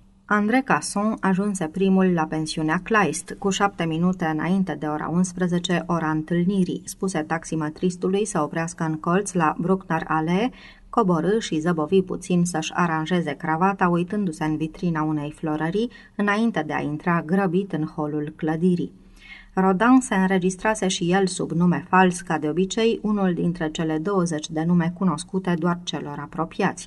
Fiecare din cei doi pe care îi chemase primise telegrama cu o zi înainte, semnată Schulz, numele de cod al lui Rodin pentru o perioadă de 20 de zile.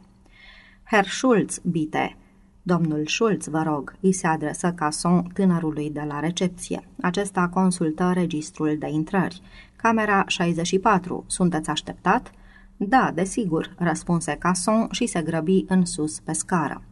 Intră pe coridorul de la primul etaj și o luă de-a lungul lui căutând camera 64. O găsi pe partea dreaptă, pe la mijlocul coridorului. Ridică mâna să bată în ușă, dar în aceeași clipă mâna îi fu imobilizată de la spate. Se întoarse și dădu cu ochii de o față ciolănoasă și nerasă. Ochii aflați sub părul des ce-i ținea loc de sprâncene îl priveau curios.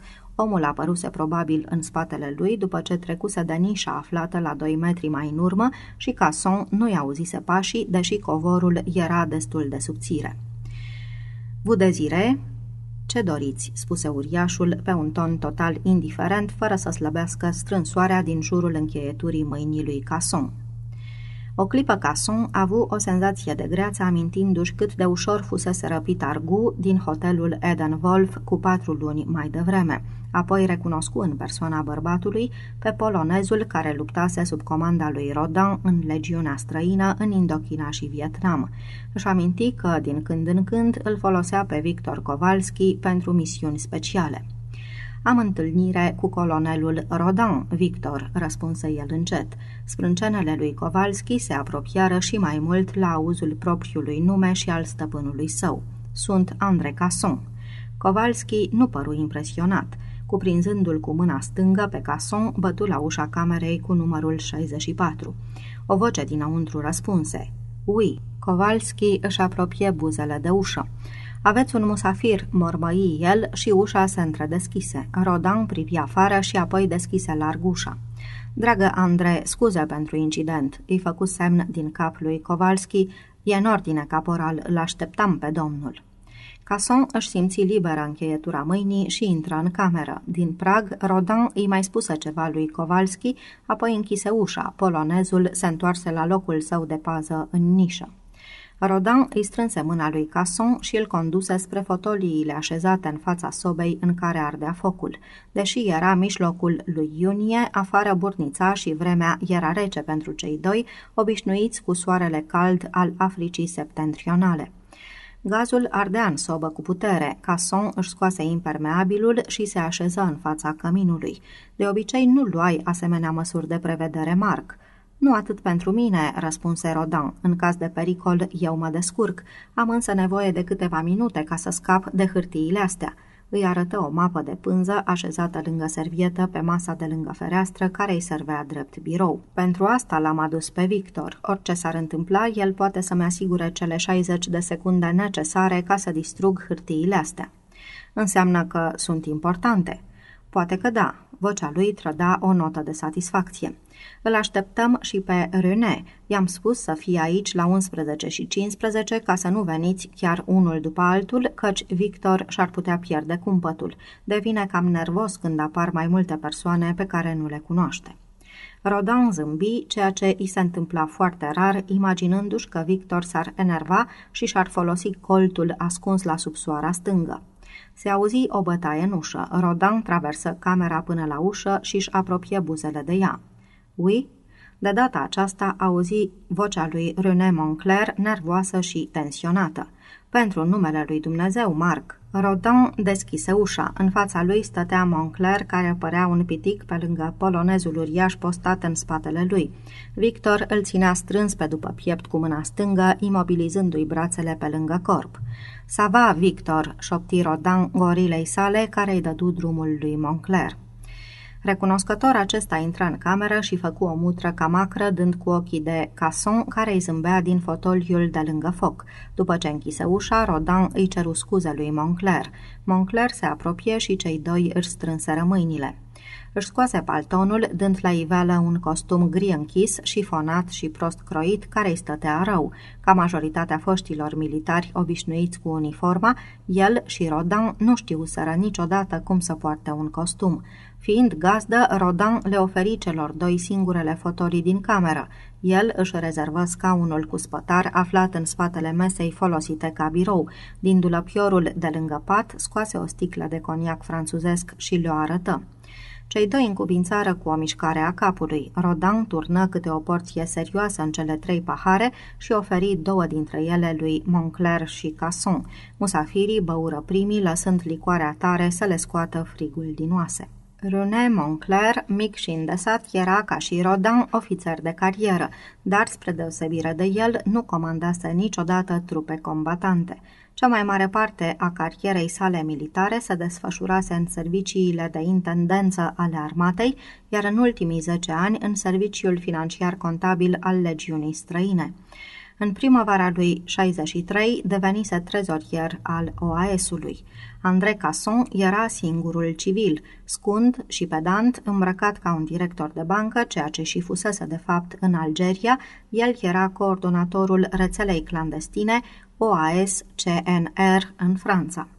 Amândoi făceau parte, ca și Rodin, din aripa dură a OAS-ului, chiar dacă din motive diferite.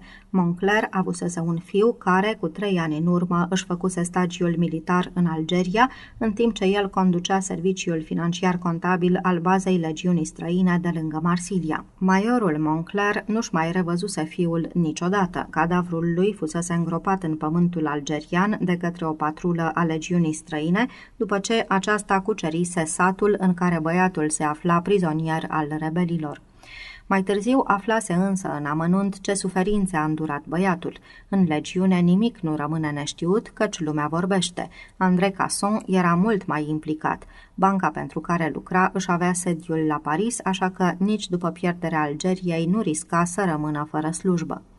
Când coloniștii se ridicaseră însă la revoltă în 1960, fusese alături de ei, devenind unul dintre conducători în orașul său natal, Constantin.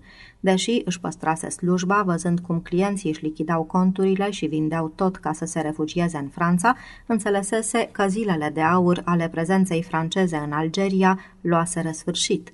Curând după rebeliunea din armată, revoltat de politica golistă și de nenorocirea ce se abătuse asupra micilor fermieri și comercianți din regiune, care fugeau ruinați spre o țară pe care mulți dintre ei nu o văzuseră niciodată, ajutase o echipă de șoc a OAS-ului să jefuiască din propria bancă 30 de milioane de franci vechi fusese surprins și denunțat pentru complicitate de către un tânăr casier și cu asta cariera lui la bancă luase sfârșit. Își trimisese soția și fiul la Socri la Perpignan.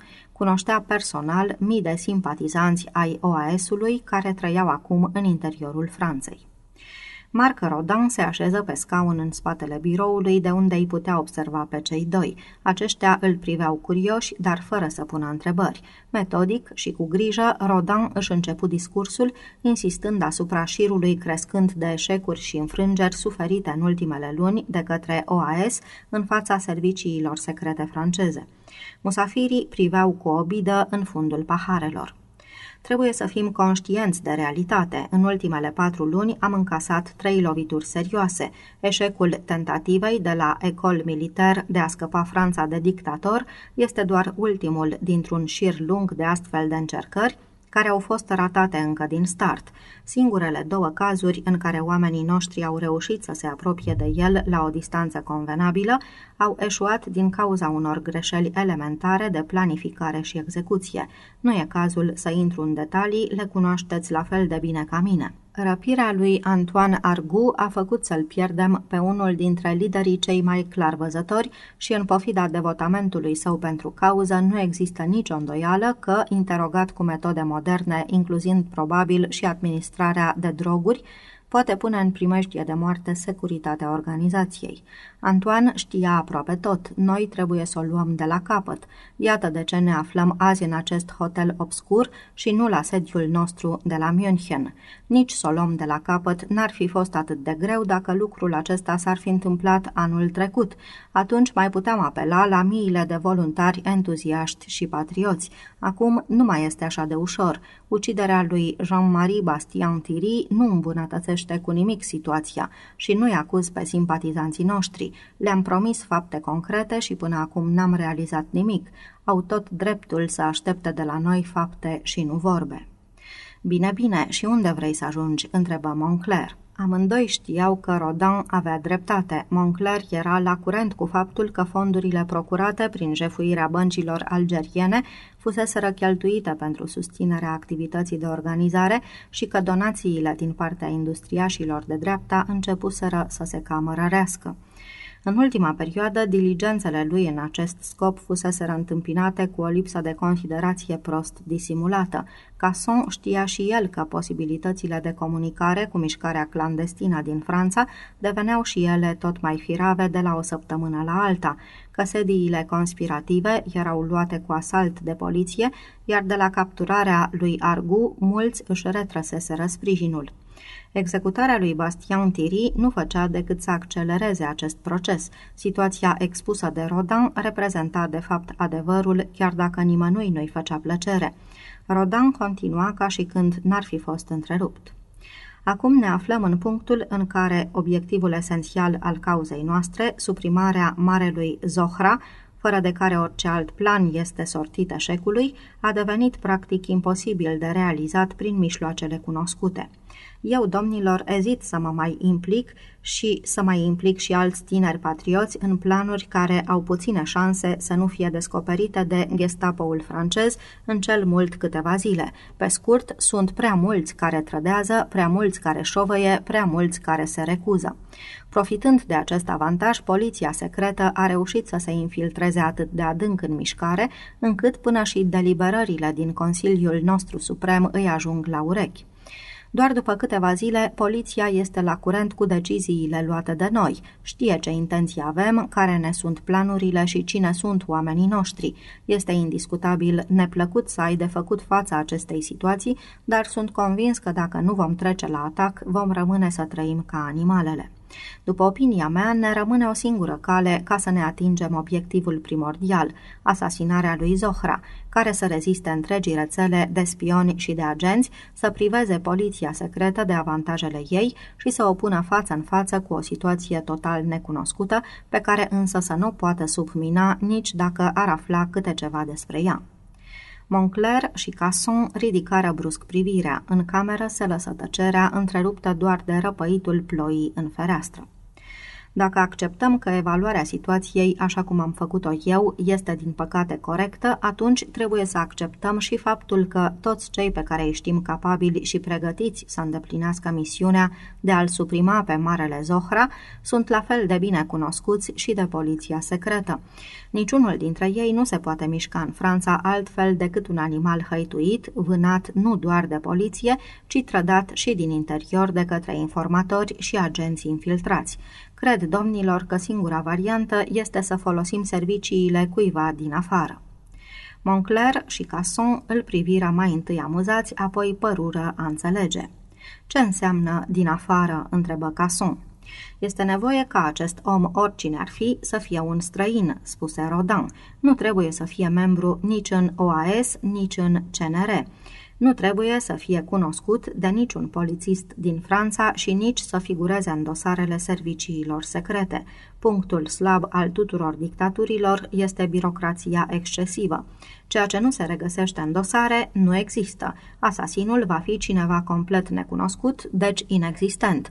Va călători cu pașaport fals, își va face treaba și apoi va dispărea, întorcându-se în țara sa, iar poporul se va ridica să curețe Franța de rămășițele adunăturii de trădători trădători ai lui de Gaulle. Pentru el nici nu va fi de importanță vitală să poată părăsi țara, fiindcă noi, odată ajungi la putere, îl vom elibera. Important este să poată intra în țară nereperat și nesuspectat, dar la această dată niciunul dintre ai noștri nu o poate face. Ambii lui interlocutori tăceau pierduți în gânduri, planul lui Rodan începând să prindă contur în mintea lor. Moncler lăsă să-i scape un fluierat ușor. Un asasin de profesie, un mercenar, Exact, răspunse Rodan. Ar fi total nepotrivit să credem că un străin ar face o asemenea treabă de dragul nostru, din patriotism sau doar din plăcere. Pentru ca operațiunea să se realizeze cu profesionalism și sânge rece, trebuie să angajăm un adevărat specialist. Un asemenea om lucrează numai pe bani, pe mulți bani, adăugă el, aruncând iute o privire spre Moncler. Dar de unde știm noi că putem găsi un astfel de om?" întrebă Casson. Rodin ridică mâna cerând liniște. Să le luăm pe rând, domnilor. Evident că sunt o mulțime de detalii de pus la punct. Ceea ce vreau să știu înainte de toate este dacă sunteți de acord în principiu cu această idee. Moncler și Casson se uitară unul la altul, apoi amândoi întoarseră privirea spre Rodin și dă dură încet din cap. Bien. Rodin se lăsă pe spate atât cât îi permitea scaunul. Deci am trecut de primul punct, acordul de principiu. Al doilea punct privește securitatea acțiunii și acesta este esențial. După părerea mea, sunt tot mai puțini aceia care nu pot fi considerați vinovați de scurgerea informațiilor. Asta nu înseamnă că eu îi consider pe colegii noștri din OAS sau CNR trădători ai cauzei, în niciun caz, dar există o veche axiomă după care un secret, cu cât este știut de mai mulți, cu atât încetează de a mai fi un secret. Esențial pentru cauza noastră este tocmai caracterul ei absolut secret. În concluzie, cu cât vor fi mai puțini cei care știu, cu atât mai bine. Au fost infiltrate persoane chiar și în rândurile OAS-ului care au ajuns apoi în funcții de răspundere și care raportează toate planurile noastre poliției secrete. Va veni și vremea lor odată, dar pentru moment sunt periculoși. Politicienii din CNR sunt fie prea greu de mulțumit, fie lipsiți de curaj ca să înțeleagă amploarea acțiunii la care se presupune că s-au angajat.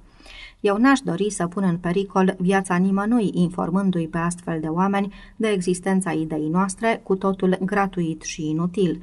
V-am chemat aici pe voi doi, René și André, pentru că sunt absolut convins de loialitatea voastră față de cauză și de capacitatea voastră de a păstra un secret. De asemenea, pentru planul pe care l-am în minte, am nevoie de sprijinul tău, René, ca trezorier, pentru a-mi pune la dispoziție banii pe care în mod inevitabil îi va cere oricare asasin de profesie. De la tine, Andre, doresc să-i asigure acestui om legătura în Franța cu câteva persoane de care s-ar putea să aibă nevoie. Nu văd însă nicio rațiune pentru care acest plan ar trebui să fie cunoscut și de alții în afară de noi. De aceea vă propun ca noi trei să formăm comitetul care să-și asume răspunderea pentru acest plan, pentru pregătirea, executarea și subvenționarea lui. Se lăsă din nou tăcerea. După un timp, Moncler spuse – să înțelegem că excludem total Consiliul OAS și pe cei din CNR, nu o să le convină. În primul rând că nu o să știe nimic, răspunse Rodin, calm. Dacă ar fi să le împărtășim ideea, ar trebui să organizăm o ședință plenară. Acest lucru ar fi suficient ca să atragă atenția și să pună în mișcare agenții pentru a se afla scopul întâlnirii. S-ar putea chiar ca de la unul din cele două consilii să se scurgă informații. Dacă ar fi să contactăm fiecare membru în parte ca să-i cerem acordul de principiu, ne-ar trebui câteva săptămâni. Apoi vor vrea să știe amănunte pe măsură ce înaintează pregătirile. Știți foarte bine ce oameni dați dracului sunt politicienii și activiștii ăștia. Vor să știe totul doar așa, de dragul de a ști. Nu fac nimic concret, dar oricare dintre ei poate pune în pericol operațiunea printr-o vorbă scăpată la beție sau din neglijență. Apoi, chiar dacă am obține acordul celor două consilii OAS și CNR, nu câștigăm nimic, doar că secretul va fi cunoscut de încă aproape 30 de persoane. Pe de altă parte, dacă vom merge înainte și ne vom asuma responsabilitatea, dar planul va da greș, vom rămâne la faza în care ne aflăm acum. Vor fi fi reproșuri fără îndoială, dar atât și nimic mai mult. Dacă planul izbutește, atunci nimeni nu va mai avea nimic de spus. Mișloacele precise prin care se va ajunge la suprimarea dictatorului vor deveni subiect academic. Pe scurt, sunteți de acord ca împreună cu mine să fim singurii inițiatori, organizatori și executanți ai planului pe care vi l-am propus? Moncler și Casson se priviră din nou, se întoarseră spre Rodin și dă dura afirmativ din cap. Era prima oară când se întâlneau cu el după răpirea lui Argu întâmplată cu trei luni înainte. Cât timp Argu fusese șeful, Rodin se ținuse în umbră. Acum ieșise în față ca lider de drept. Șeful rețelei clandestine și cel al trezoreriei erau impresionați. Rodin îi privi, apoi răsuflă ușurat și le zâmbi. Bine, zise el, acum să trecem la detalii. Ideea folosirii unui mercenar mi-a venit în momentul când am auzit la radio că bietul Bastian Tiri a fost executat. De atunci am început să caut omul de care avem nevoie. Evident că astfel de oameni sunt greu de găsit. Ei nu-și fac reclamă. Caut într-una de pe la mijlocul lui martie și rezultatele le-am adunat aici. Lua mapa de pânză de pe masă și le arătă. Moncler și Casson schimbară priviri între ei, ridicând din sprâncene, dar fără să spună nimic. Rodin continuă. Cred că ar fi bine să studiați mai întâi dosarele pe care le-am pregătit, apoi să discutăm prima propunere. Personal, le-am aranjat în ordinea preferințelor, în caz că primul nu poate sau nu vrea să se angajeze în această misiune. Am doar câte un exemplar din fiecare dosar, așa că va trebui să le schimbați între voi. Deschise mapa pânzată și scoase trei dosare mai subțiri. Îi dădu unul lui Moncler și unul lui Casson. Pe al treilea îl păstră el fără să-l citească. Știa în amănunt conținutul celor trei dosare. Era destul de puțin de citit. Referirea lui Rodin la un dosar subțire era dezarmant de exactă. Casson termină primul de citit, ridică privirea spre Rodin și se strâmbă. Asta-i tot?" Oamenii de acest fel nu prea dau detalii despre ei, spuse Rodin. Citește-l și pe acesta. Îi dădu dosarul pe care îl avea în mână. Câteva clipe mai târziu termina de citit și Moncler și îi returnă dosarul lui Rodin, care, la rândul lui, îl dădu pe cel primit de la Casson. Cei doi se cufundară în lectură. De data aceasta, Moncler termină primul de citit, privi spre Rodin și ridică din numeri. Păi nu prea e cine știe ce și sunt sigur că avem 50 de inși ca ăștia, pistolari, se găsesc din belșug. Casson îl întrerupse. Așteaptă puțin să-l citești și pe ăsta, dădu ultima pagină și citi ultimele trei paragrafe. După ce termina, închise dosarul și se uită la Rodin. Șeful OAS-ului nu lăsă să îi se ghicească preferința. Luă dosarul de la Casson și îl dădu lui Moncler. Lui Casson îl dădu pe cel de-al treilea. După patru minute, totul fusese citit. Rodin le luă dosarele și le puse pe birou, apoi își luă scaunul, îl întoarse și îl duse mai aproape de sobă, așezându-se călare pe el, sprijinindu-și mâinile pe spătar. Din această poziție îi privea pe cei doi oarecum de sus.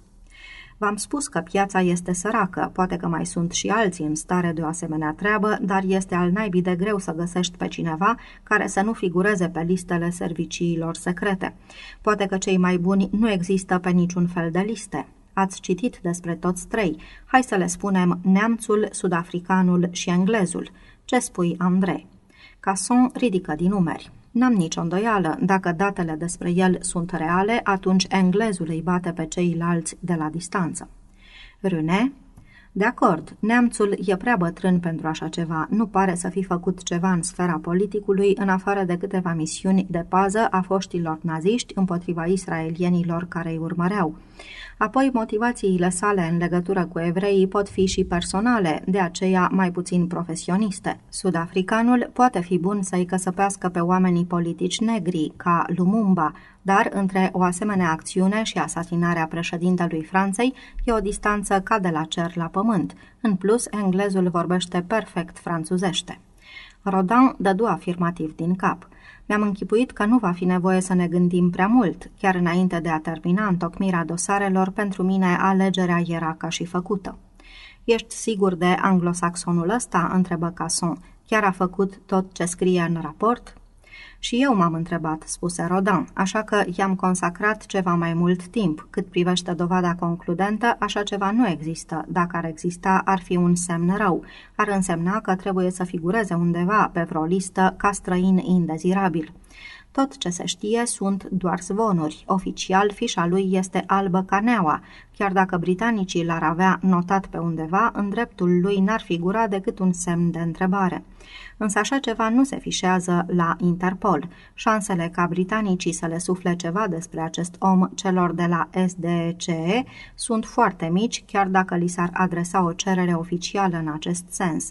Știți doar cât se urăsc unii pe alții. N-au suflat o vorbă nici chiar atunci când George Bidault a fost la Londra în ianuarie trecut. Pentru o astfel de misiune, englezul deține toate avantajele cu excepția unuia. Care anume? întrebă repede Moncler. Nimic mai simplu. Nu va fi ieftin deloc. Unul ca el o să ceară o groază de bani.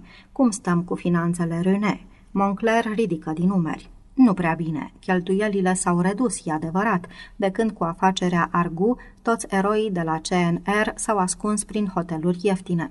Se pare că și-au cam pierdut gustul pentru hoteluri de 5 stele și interviuri televizate. Pe de altă parte însă, veniturile sunt cam pe spongi. Așa cum spui, trebuie să punem ceva la cale, căci altfel vom fi terminați din lipsă de fonduri. Nu se poate gestiona o asemenea întreprindere doar cu dovezi de dragoste și pupături. Rodan aprobă cu un rânjet. Așa cred și eu. Trebuie să facem rost de bani de undeva. Pe de altă parte însă nu e cazul să ne apucăm de așa ceva până când nu știm suma de care avem nevoie. Ceea ce înseamnă, interveni Casson, că pasul următor este să luăm legătura cu englezul și să-l întrebăm dacă vrea să facă treaba și pentru ce sumă. Exact, deci ne-am înțeles? Rodan îi privi pe cei doi pe rând, amândoi de dur afirmativ din cap. Rodan se uită la ceas. E ora 1. Am un agent la Londra pe care trebuie să-l sun ca să-i spun să-l contacteze pe individ și să-i propună să vină aici. Dacă poate veni la Viena cu avionul de astă seară, atunci ne-am putea întâlni cu el după cină. Vom ști exact după ce agentul o să-mi telefoneze. Mi-am permis să vă rezerv două camere aici lângă a mea. Cred că suntem mai în siguranță unii lângă alții, sub paza lui Victor, decât separat fără apărare, pentru orice eventualitate. Nu te-ai îndoit nicio clipă, nu-i așa?" întrebă Casson, iritat puțin de maniera în care îi se anticipaseră deciziile. Rodan ridică din numeri. Ca să adun aceste date a fost nevoie de mult efort și timp. Cu cât pierdem vremea mai puțin, cu atât mai bine. Dacă vrem să pornim acțiunea, trebuie să ne mișcăm repede. Se ridică în picioare și ceilalți doi îl urmară. Rodan îl chemă pe Victor și îi spuse să se ducă la recepție și să ia cheile de la camerele 65 și 66. Așteptând cheile, le spuse lui Moncler și lui Casson. O să dau telefon de la poștă, am să-l iau pe Victor cu mine. Cât timp sunt plecat, o să stați amândoi într-o cameră cu ușa încuiată. Semnalul meu va fi trei bătăi în ușă, pauză, apoi alte două. Semnalul le era familiar. El reproducea ritmul cuvintelor algerii francez pe care automobiliștii îl claxonaseră în anii trecuți ca să-și exprime dezaprobarea față de politica golistă. Să nu uit, continuă Rodan, are careva din voi pistol?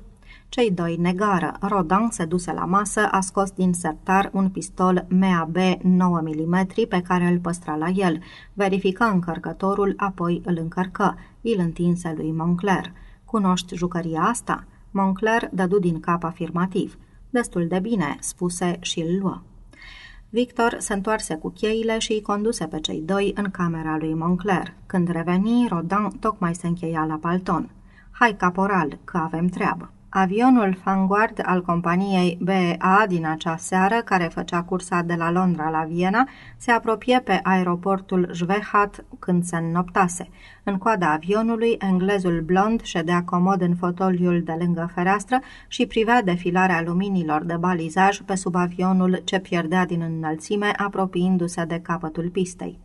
Îi plăcea întotdeauna să vadă luminile apropiindu-se din ce în ce mai mult, până când avionul părea gata să se așeze pe iarba de dedesubt. În ultimul moment, iarba vag luminată, panourile numerotate și chiar luminile dispăreau, ca să facă loc dalelor de beton cu care în sfârșit luau contact roțile. Îi plăcea precizia manevrei de aterizare, căci, în general, iubea precizia. Așezat alături de el, francezul de la oficiul de turism al Franței din Piccadilly îl privea nervos. De când primise telefonul acela la prânz, fusese tot timpul într-o stare de agitație. Cu aproape un an în urmă, când se afla la Paris în concediu, își oferise serviciile OAS-ului, dar de atunci i se spusese doar atât, să stea liniștit la biroul său de la Londra, în caz că ar fi primit o scrisoare sau un telefon pe numele lui adevărat, dar începând cu Dragă Pierre, urma să se supună imediat și cu strictețe ordinelor. Dar de atunci nu primise nimic până astăzi, 15 iunie. Operatoarea i-a spus că îl caută cineva personal de la Viena și adăugase în Otriș, în Austria, pentru a se deosebi de orașul cu același nume din Franța. Mirându-se, a luat receptorul și a auzit o voce adresându-i se cu Dragul meu Pierre. I-au trebuit câteva secunde ca să-și dea seama că este numele său de cod. Invocând o durere de cap după masa de prânz, s-a dus la o adresă de pe South Atley Street și a transmis mesajul englezului care i-a deschis ușa. Acesta nu s-a arătat deloc surprins că îi se cerea să plece la Viena în trei ore și a împachetat calm lucrurile necesare pentru o noapte și amândoi au luat un taxi până la aeroportul Heathrow. Englezul a scos calm un teanc de bancnote suficiente ca să cumpere două bilete de avion dus întors, după ce francezul i-a spus că nu s-a gândit să-și plătească biletul în numerar și își luase doar pașaportul și carnetul de cecuri.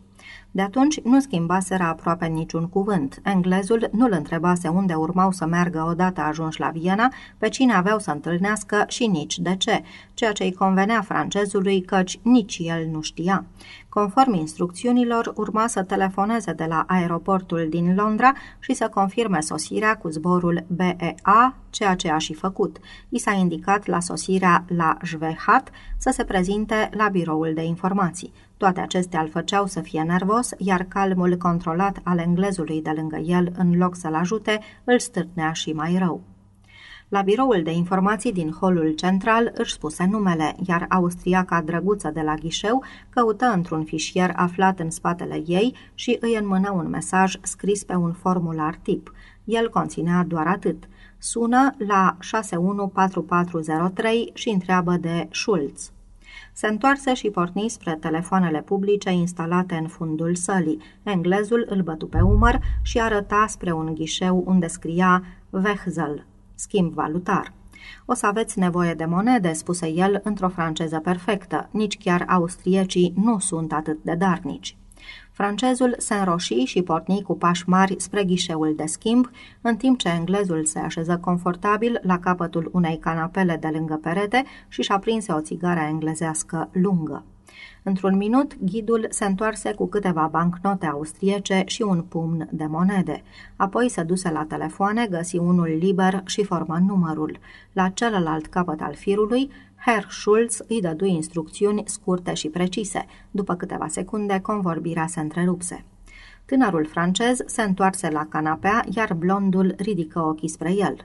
Oniva?" întrebă el. Mergem?" Oniva." Întorcându-se să plece, mototoli bilețelul cu numărul de telefon și l-aruncă pe jos. Englezul îl ridică, îl netezi și îl ținu deasupra flăcării brichetei. Bilețelul arse într-o clipită și dispăru strivit sub gheata elegantă din piele de căprioară. Părăsirea în tăcere clădirea aeroportului și chemară un taxi. Centrul orașului era inundat de lumini și sufocat de mașini, așa că taxiul ajunse la pensiunea Kleist abia după 40 de minute. Aici ne despărțim. Mi s-a spus să vă aduc până aici, iar eu să plec cu taxiul mai departe. Veți urca direct la camera 64. Sunteți așteptat.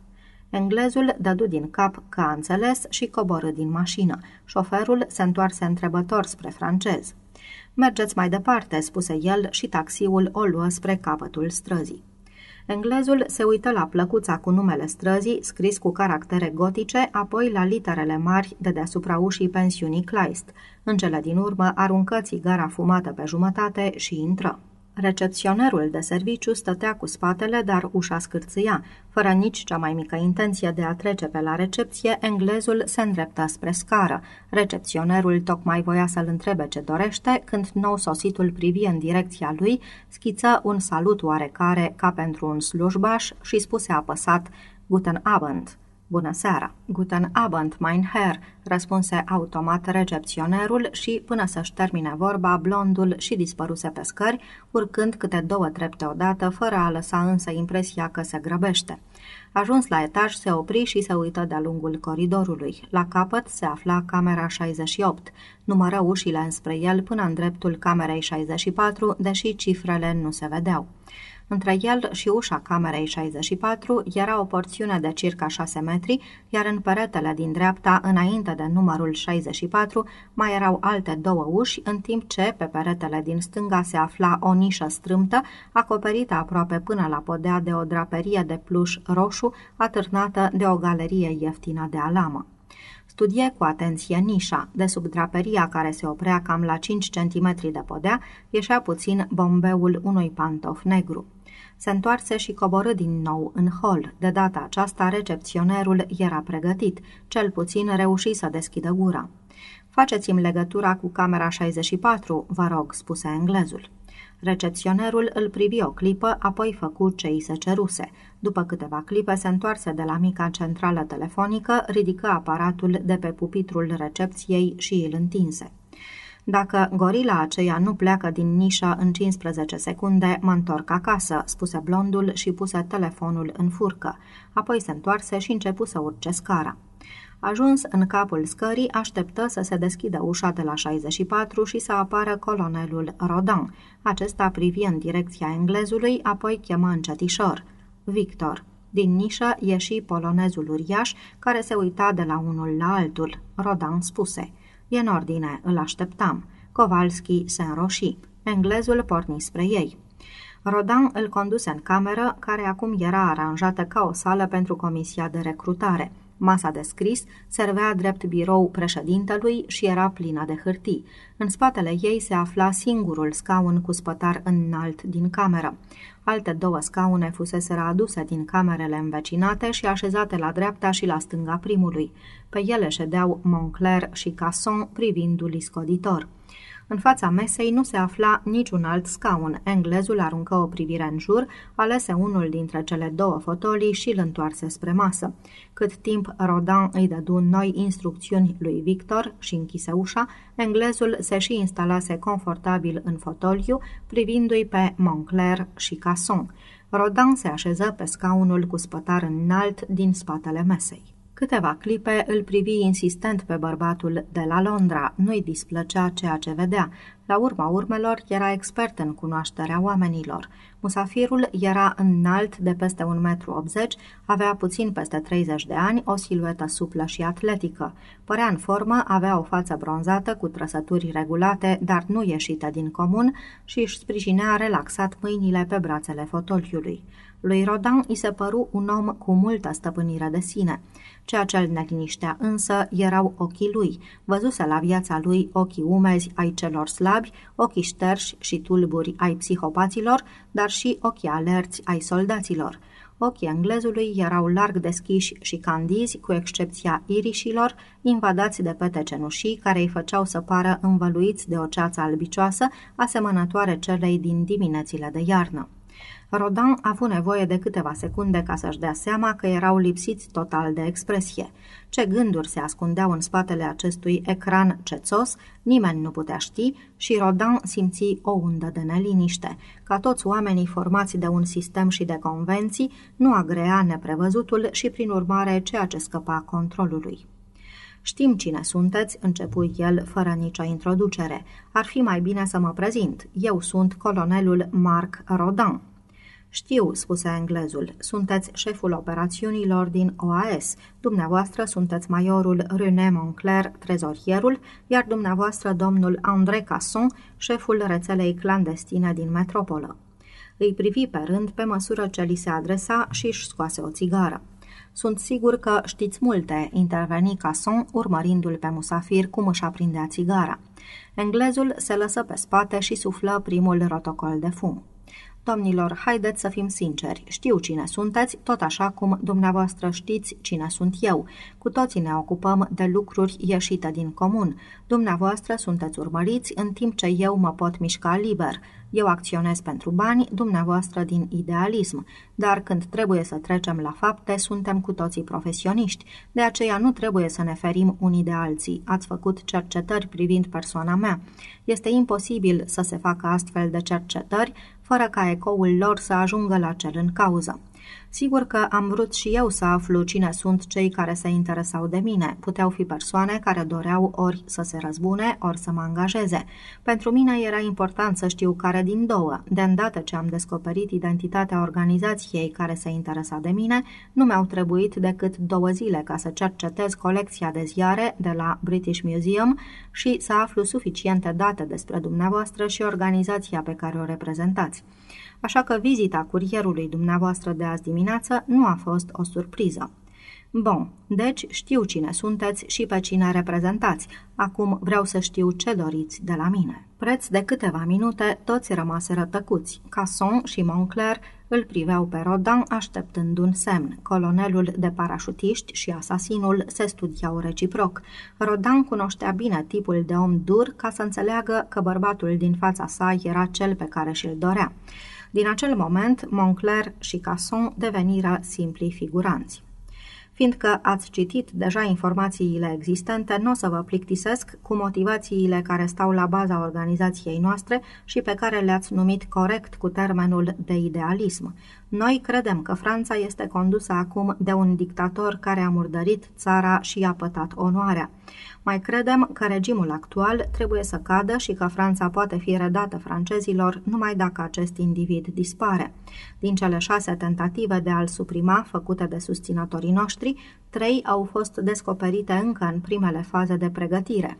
Una a fost trădată în preziua consumării ei, iar două au avut loc, dar gloanțele nu și-au atins ținta. Ne gândim la această oră, doar ne gândim, să angajăm pentru această misiune serviciile unui profesionist. Totuși, nu dorim să cheltuim banii degeaba. Am dorit să știm în primul rând dacă așa ceva este posibil. Rodin își jucase cartea cu iscusință. Ultima întrebare, la care știa deja răspunsul, făcu să apară o ușoară reacție în ochii aceia cenușii. Nu există om pe lume care să fie imun la glonțul unui asasin, spuse englezul. De Gaulle se expune riscant de foarte multe ori. Sigur că poate fi ucis. Problema este însă că șansele de a te face nevăzut nu sunt prea mari. Varianta cea mai sigură este aceea de a folosi un fanatic gata să se sinucidă încercând să le elimine pe dictatorul care se expune public. Bag de seamă, adăugă el puțin malițios, că în pofida idealismului dumneavoastră nu ați putut produce până acum un astfel de om. Cele două tentative, de la Pont de Seine și Petit Clamar, au eșuat pentru că nimeni nu a fost dispus să-și riște viața până la capăt. Există și acum francezi patrioți care sunt gata să începu Casson înfierbântat, dar Rodin îl reduse la tăcere cu un gest. Englezul nici măcar nu se uită la el. Dar un profesionist, îi sugeră Rodin. Un profesionist nu acționează din înflăcărare și de aceea își păstrează calmul și face mai puține greșeli elementare. Nefiind idealist, el nu va ezita în ultimul minut, gândindu-se că explozia sau alt gen de atac ar putea face și alte victime. Totodată, ca profesionist, își calculează riscurile până la ultimul detaliu. Așadar, șansele lui de succes sunt mult mai mari decât ale altora, dar el nu va intra în acțiune până ce nu își va fi întocmit un plan serios care să-i permită nu doar să-și îndeplinească misiunea, ci să-și scape nevătămat. Credeți că s-ar putea elabora un astfel de plan care să permită unui profesionist să-l ucidă pe Marele Zohra și apoi să se retragă nevătămat? Englezul fumă câteva minute fără să spună nimic, privind pe fereastră. În principiu, da, răspunse el. În principiu, este întotdeauna posibil dacă există timp suficient și o pregătire corespunzătoare, dar în cazul de față va fi extrem de greu, mult mai greu decât în cazul altor ținte. De ce mai mult decât în altele?" întrebă Moncler. pentru că de Gaulle este prevenit nu despre o tentativă anume, ci despre un posibil atentat în general, toți oamenii mari au gărzi de corp și agenți de pază, dar după o perioadă de timp în care n-au existat atentate serioase la viața lor, controlele devin superficiale, de rutină, iar vigilența scade. Un singur glonț care își atinge ținta este întotdeauna total neașteptat și provoacă panică. La adăpostul acestuia, asasinul scapă. În cazul nostru, nici vorbă de scăderea vigilenței ori de controle mecanice de rutină, iar dacă glonțul nimerește ținta, vor fi destui care nu vor intra în panică și vor porni pe urmele asasinului. Da, asasinatul ar fi posibil, dar în acest moment ar fi cea mai grea misiune din lume. Vedeți, deci, domnilor, că încercările dumneavoastră nu numai că au eșuat, dar au și distrus șansele altora. În cazul în care ne decidem să angajăm un asasin de profesie pentru a face treaba, începu Rodin. Trebuie să angajați numai un profesionist, interveni calm englezul.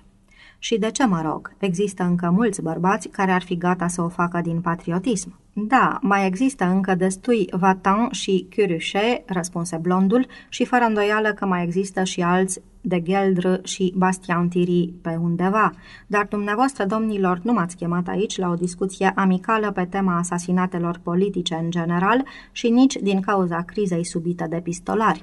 M-ați chemat fiindcă ați ajuns prea târziu la concluzia că organizația dumneavoastră este atât de infiltrată de agenții ai serviciilor secrete franceze, încât foarte puține dintre hotărârile dumneavoastră rămân necunoscute, iar figurile lor sunt bine întipărite în mintea oricărui polițist francez.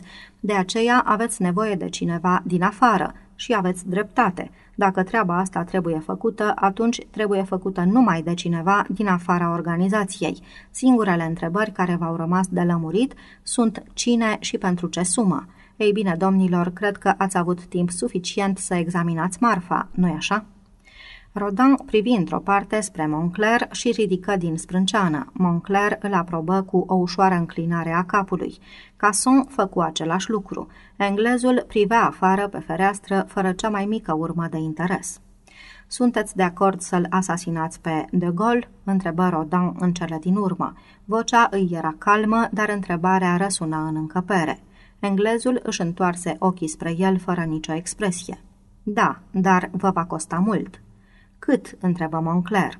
Trebuie să înțelegeți că este vorba de o misiune pe care o îndeplinești doar o dată în viață. Cel care o duce la îndeplinire nu mai poate lucra niciodată. Șansele de a nu fi prins, cât și de a nu fi descoperit, sunt minime. Așadar, trebuie să câștige suficient din această unică misiune ca să poată apoi trăi liniștit tot restul vieții și să-și asigure protecția corespunzătoare împotriva răzbunării goliștilor. Când Franța va fi a noastră, spuse Casson, nu veți duce lipsă de nimic. Vreau bani pe șin, spuse englezul, jumătate în avans și jumătate la sfârșit. Cât? întrebă Rodin. O jumătate de milion. Rodin se uită la Moncler, care a avut un rictus. Sunt foarte mulți bani, o jumătate de milion de franci noi, dolari, spuse englezul. Jumătate de milion de dolari, țipă Moncler, ridicându-se de pe scaun. Sunteți nebun? Nu, răspunse calm englezul, dar sunt cel mai bun și de aceea și cel mai scump. Am putea găsi cu siguranță și oferte mai avantajoase, replică sarcastic Casson. Bineînțeles, spuse blondul fără emoție în glas. O să găsiți unii mai ieftini și veți constata că, după ce v-au luat avansul de 50%, vor dispărea sau vor găsi mai târziu tot felul de scuze pentru insuccesul operațiunii. Angajându-l pe cel mai bun, trebuie să-l și plătiți ca atare. Prețul este o jumătate de milion de dolari. Având în vedere că vă așteptați să puneți mâna pe întreaga Franță, consider că vă evaluați țara la mult prea puțin. Rodin, care tăcuse în tot acest timp, prinse ideea din zbor. Tușe. Problema este, domnul meu, că nu avem o jumătate de milion de dolari lichizi. Îmi dau seama, răspunse englezul. Dacă vreți să realizați ce vă propuneți, atunci trebuie să faceți rost de banii ăștia de undeva. Știți, eu n-am nevoie neapărat de acest angajament. Am destui bani ca să trăiesc bine câțiva ani buni, dar mă atrage ideea de a avea bani suficienți cât să mă retrag din activitate. De aceea sunt dispus să-mi asum riscuri extrem de mari cu un asemenea preț. Amicii dumneavoastră vor un preț și mai mare, vor chiar Franța. Totuși, ideea de risc le repugnă. Regret, dacă nu puteți face rost de suma în cauză, atunci trebuie să recurgeți iar la propriile dumneavoastră comploturi și să le vedeți anihilate unul câte unul de către autorități. Se ridică din fotoliu stingându-și țigara. Rodan se ridică și el. Așezați-vă, vă rog, o să facem rost de bani. Se așezară amândoi. Bine, spuse englezul, dar mai sunt și alte condiții. Care? Motivul care vă determină să recurgeți la cineva din afară este scurgerea permanentă de informații către autoritățile franceze. Câți membri ai organizației dumneavoastră știu de intenția de a angaja o persoană din afară, indiferent dacă sunt eu sau altul? Doar noi trei din această cameră. Eu am ajuns la această soluție a doua zi după executarea lui Bastien Thierry. De atunci, toate cercetările le-am făcut singur. Nu mai știe nimeni. Atunci așa și trebuie să rămână, spuse englezul. Toate datele referitoare la întâlniri, fișele și dosarele trebuie distruse. Nu trebuie să mai rămână nimic decât memoria dumneavoastră. Având în vedere cele întâmplate lui Argu în februarie, îmi rezerv dreptul să anulez totul dacă unul dintre dumneavoastră va fi capturat. De aceea trebuie să vă ascundeți undeva în siguranță și să fiți bine păziți până ce misiunea se va încheia. De acord? De acord. Altceva? Pregătirea operațiunii o voi face eu singur. Nu voi divulga detaliile nimănui, nici chiar dumneavoastră. Pe scurt, voi dispărea. Nu veți mai auzi de mine. Aveți adresa și numărul meu de telefon de la Londra, dar eu voi părăsi domiciliul de îndată ce voi fi gata de acțiune. Mă veți contacta numai la această adresă în caz de urgență. În rest, niciun fel de contacte. O să vă las numele băncii mele din Elveția. Când o să mi se confirme că primii 250.000 de dolari au ajuns în cont sau când voi fi complet pregătit, după cum va fi cazul, voi intra în acțiune. Nu accept să fiu zorit dacă nu consider eu necesar și nici să se amestece cineva în treburile mele. De acord? De acord. Oamenii noștri din rețeaua clandestină din Franța ar putea să vă ofere însă un sprijin considerabil în obținerea de informații. Unii dintre ei sunt plasați în cercuri înalte. Englezul se gândi puțin. Bine, când sunteți gata, trimiteți-mi prin poștă un număr de telefon, preferabil din Paris, ca să pot suna direct din orice colț al Franței. Nu voi spune unde mă aflu, ci voi suna la acel număr doar pentru a primi ultimele informații despre măsurile de securitate luate în jurul președintelui. Cel care răspunde la telefon nu trebuie să știe ce fac eu în Franța. Spuneți-i doar atât, că lucrez pentru dumneavoastră și că am nevoie de ajutorul lui. Cu cât știe mai puțin, cu atât mai bine. Să rămână doar un punct de legătură pentru informații. Chiar și sursele lui trebuie să fie limitate numai la cele în măsură să procure informații serioase din interior, nu fleacuri pe care le pot citi în orice ziar. De acord? Foarte bine, doriți să acționați complet singur, fără niciun ajutor. Fie, cum doriți, o să aveți nevoie de acte false. Avem doi falsificatori excelenți la dispoziția dumneavoastră. Mi le voi procura singur, mulțumesc. Interveni și Casson. Am o rețea completă în interiorul Franței, similară cu cea a rezistenței din timpul ocupației germane. Pot pune întreaga ei structură la dispoziția dumneavoastră pentru sprijin. Nu, mulțumesc. Prefer să-mi păstrez complet anonimatul. Este arma mea cea mai bună. Dar presupunând că se întâmplă ceva și trebuie să fugiți, nu se va întâmpla nimic, numai dacă nu va interveni ceva din partea dumneavoastră.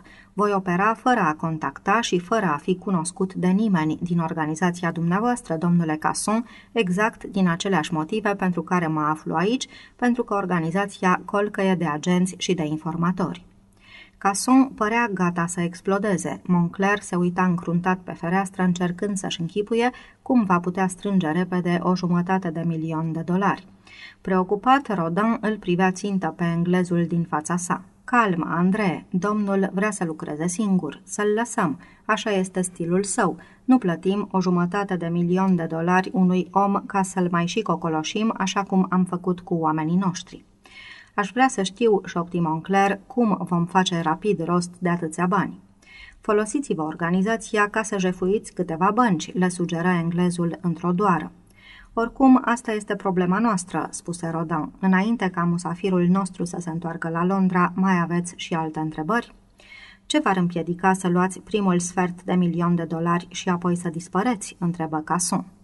V-am spus, domnilor, că vreau să mă retrag și nu am chef să mă trezesc cu o jumătate de armată de foști parașutiști trăgând după mine.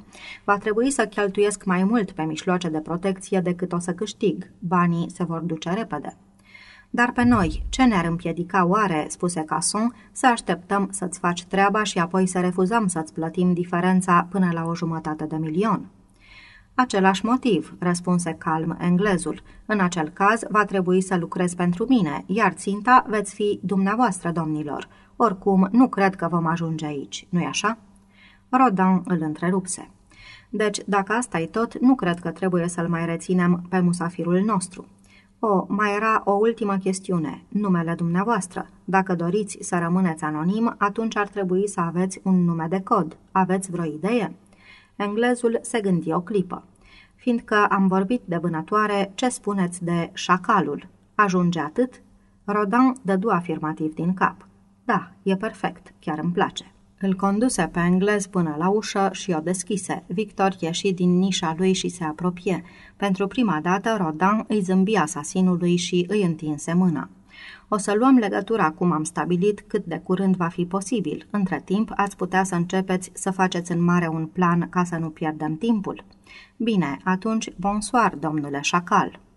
Polonezul îl urmări cu privirea pe străinul care pleca tot atât de liniștit precum venise. Englezul petrecu noaptea la hotelul aeroportului și a doua zi de dimineață luă primul avion spre Londra.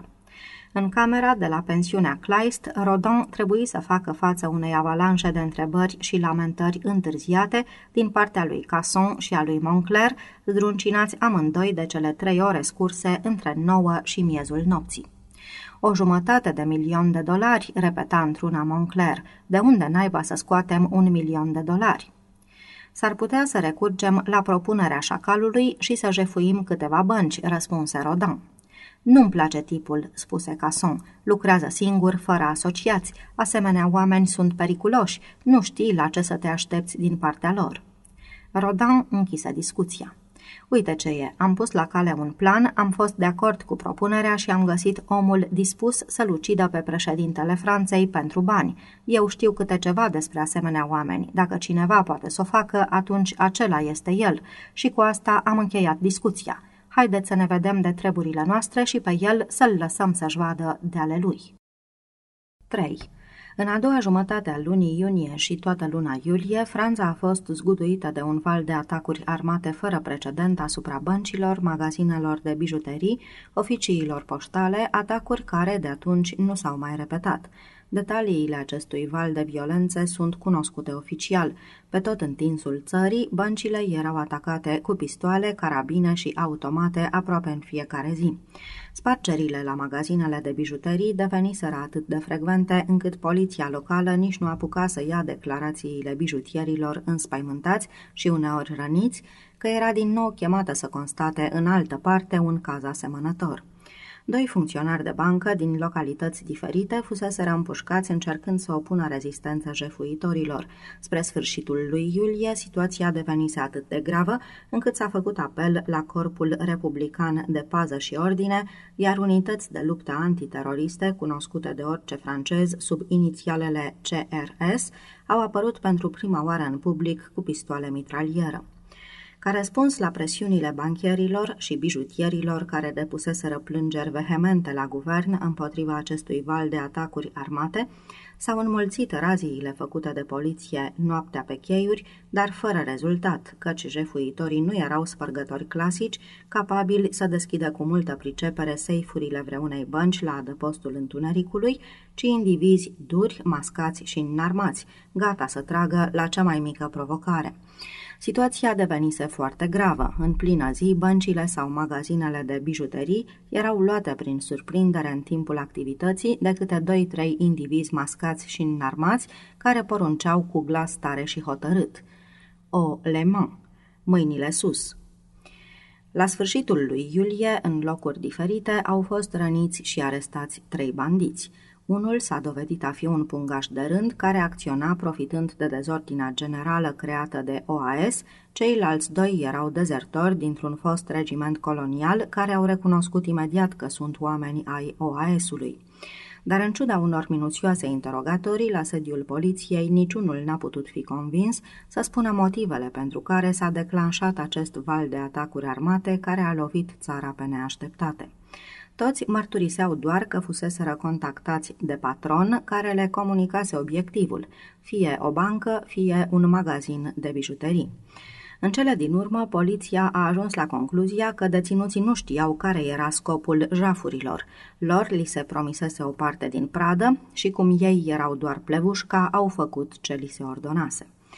Autorităților franceze nu le-a trebuit mult ca să-și dea seama că în spatele exploziei de violență se află OAS-ul și că, pentru un motiv oarecare, organizația avea nevoie urgentă de bani. Dar, abia în prima jumătate a lui august și pe cu totul altă cale, aveau să descopere motivul real.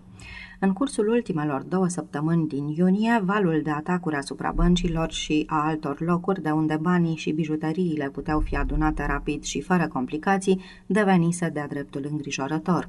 Deci problema a fost încredințată comisarului Maurice Bouvier, mult respectatul șef al brigăzii criminale din cadrul poliției judiciare. În biroul lui surprinzător de mic, dar plin de hârtii și dosare răspândite peste tot, aflat în sediul poliției judiciare de pe Quai des Orfèvres, la numărul 36, pe malul Senei, S-a întocmit un grafic pe care erau însemnate sumele de bani lichizi furate sau, în cazul bijuteriilor, suma aproximativă ce putea rezulta din vânzarea lor. Cam în a doua jumătate a lui iulie, suma totală trecuse bine de 2 milioane de franci noi sau 400 de mii de dolari, chiar scăzând din aceasta o sumă rezonabilă corespunzătoare cheltuielilor făcute pentru organizarea jafurilor armate, plus sumele plătite hoților și dezertorilor care le executaseră, după opinia comisarului tot mai rămânea o sumă importantă căreia nu îi se putea ghici destinația.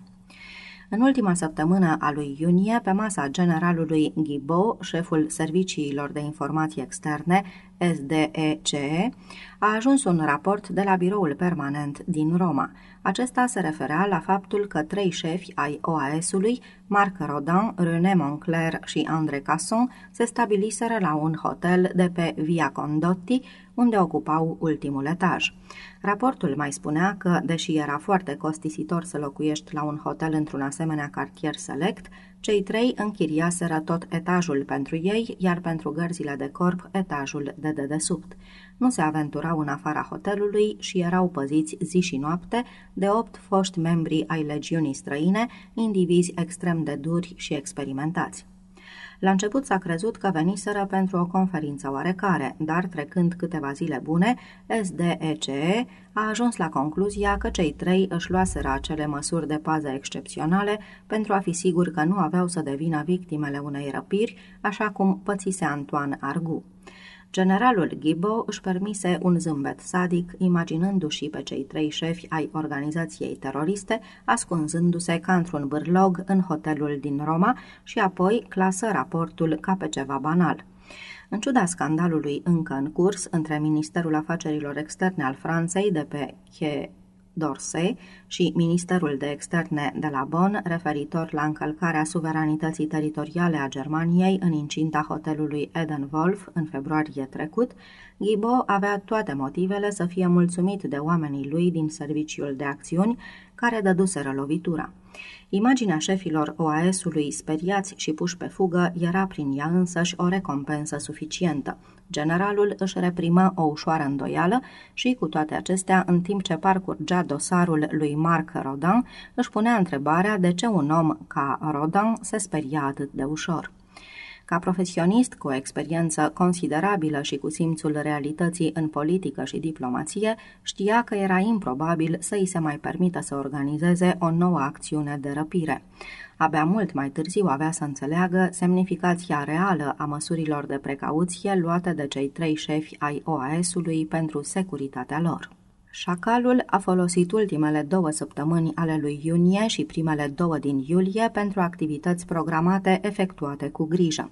În prima zi, după întoarcerea sa, își planifică, printre altele, să-și procure și să citească tot ce se scrisese despre Charles de Gaulle.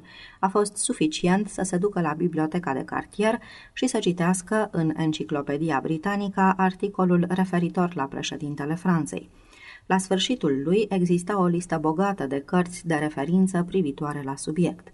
Apoi a scris la mai multe librării cunoscute, folosindu-se de un nume fals și o adresă în Pred Street, Paddington, și a primit cărțile prin poștă. Le-a parcurs cu atenție până noaptea târziu, construind mental până în cele mai mici detalii imaginea beneficiarului Palatului Elize din copilărie și până la acea dată. Multe dintre informații erau practic inutile, dar pe aici pe acolo apărea câte un indiciu sau o trăsătură de caracter pe care o nota într-un carnețel. Edificator pentru a înțelege caracterul președintelui Franței s-a dovedit volumul de memorii al generalului Le Fil de l'Epée, Tăișul sabiei, în care Charles de Gaulle își exprima foarte clar atitudinea față de viața sa, de patria sa și de propriul destin. Șacalul nu era nici prost, nici greoi la minte, citea cu aviditate și planifica totul meticulos. În plus, avea și facultatea de a memora o imensă cantitate de informații pentru cazul în care ar fi trebuit să se folosească de ea ulterior. Lectura cărților scrise de Charles de Gaulle, cât și a celor scrise despre el de oameni care l-au cunoscut foarte bine, l-au ajutat să-și construiască imaginea completă a unui președinte francez mândru și sfidător. Nu reușise să găsească însă răspuns la întrebarea care îl muncea din momentul în care acceptase în camera lui Rodin de la Viena, la 15 iunie, misiunea de a comite asasinatul. Pe la sfârșitul primei săptămâni din iulie, încă nu putea răspunde la întrebarea cum, unde și când urma să aibă loc lovitura. Recurgând la o ultimă soluție, s-a dus în sala de lectură de la British Museum și, după ce semnă cu nume fals cererea de permis pentru lectură, începu să consulte numerele mai vechi ale marelui cotidian francez Le Figaro. Când anume a găsit răspunsul, nu se știe, dar n-am greșit presupunând că s-a întâmplat cam la trei zile după data de 7 iulie. În cursul celor trei zile, porni de la un sâmbure de idee declanșată de un articol scris de un redactor în 1962, verificând apoi toate informațiile privitoare la fiecare an al președinției lui de Gaulle din 1945 încoace, asasinul reuși să-și răspundă singur la propria întrebare.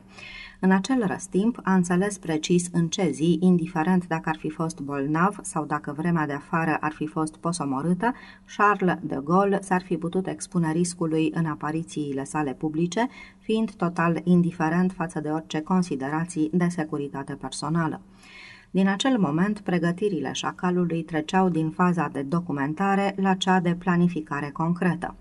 A fost nevoie să se gândească ore întregi, stând culcat pe spate cu privirea țintită în tavan și fumând neîntrerupt din țigările lungi cu filtru, până când a reușit să pună la punct ultimul detaliu. Luase în considerație și respinsese pe rând cel puțin o duzină de variante înainte de a se decide ce plan să adopte, urmând să stabilească și cum, după ce hotărâse când și unde. Șacalul era perfect conștient de faptul că, în 1963, generalul de Gaulle nu era doar președintele Franței, ci și personalitatea cea mai bine păzită din Occident. Așa cum s-a dovedit mai târziu, era mult mai greu să-l asasinezi pe de Gaulle decât pe John F. Kennedy, președintele Statelor Unite. Deși asasinul englez nu cunoștea acest lucru, experții francezi din trupele de pază și protecție, cărora prin amabilitatea americanilor li se oferise posibilitatea să studieze măsurile de pază pentru securitatea vieții președintelui Kennedy, s-au întors dezamăgiți de măsurile luate de serviciile secrete americane. Dezavoarea de către francezi a metodelor americane și-a găsit justificarea mai târziu, în noiembrie 1963, la Dallas, când John Kennedy a fost ucis de un amator, pe jumătate nebun și nesupravegheat, în timp ce Charles de Gaulle a trăit mai departe, ajungând să se retragă în pace și să moară la el acasă. Șacalul știa foarte bine că membrii unităților de pază cu care urma să se confrunte erau printre cei mai buni din lume și că aparatul de protecție din jurul lui de Gaulle se afla în alertă permanentă, pregătit să facă față oricărui atac la viața protejatului lor. Mai știa și că organizația pentru care lucra era infiltrată de informatori. Putea conta însă serios pe avantajul că era complet necunoscut și pe refuzul coleric al victimei de a coopera cu forțele de pază. În ziua respectivă, mândria și încăpățânarea președintelui Franței, cât și atitudinea sa de totală sfidare a pericolelor, îl vor face să se expună neprotejat, fie și numai pentru câteva secunde, indiferent de riscuri. Avionul SAS, venind de la Kastrup, Copenhaga, făcu un ultim viraj ca să ajungă pe linie la locul lui din fața aerogării din Londra, apoi mai înaintă câțiva metri după care se opri.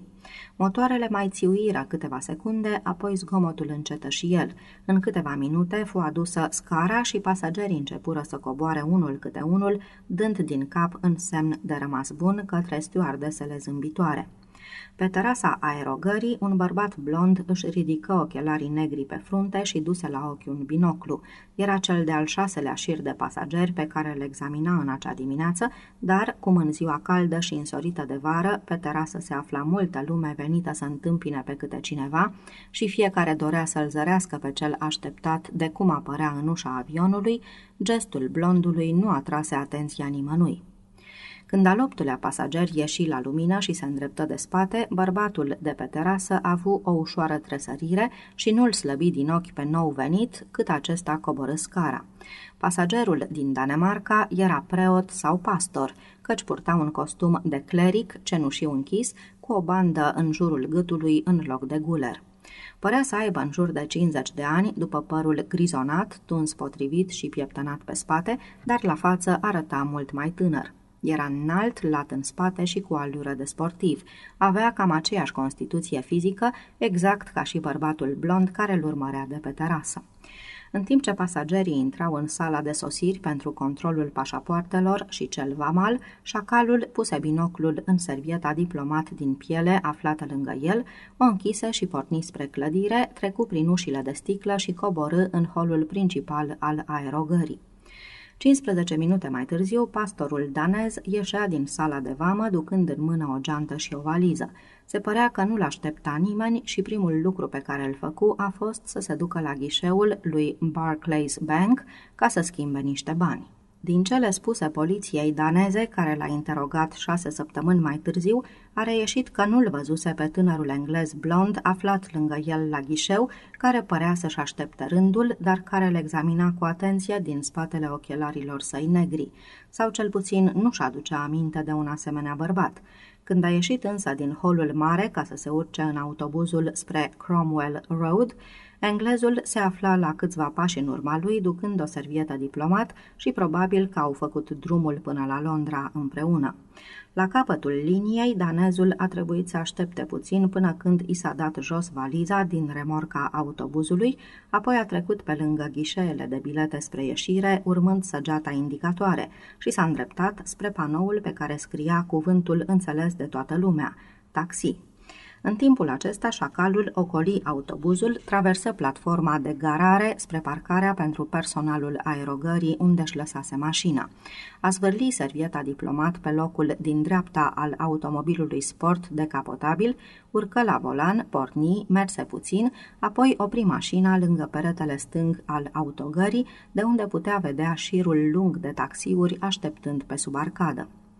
Danezul se urcă în cel de-al treilea taxi, care o luă pe Cromwell în direcția Knightsbridge.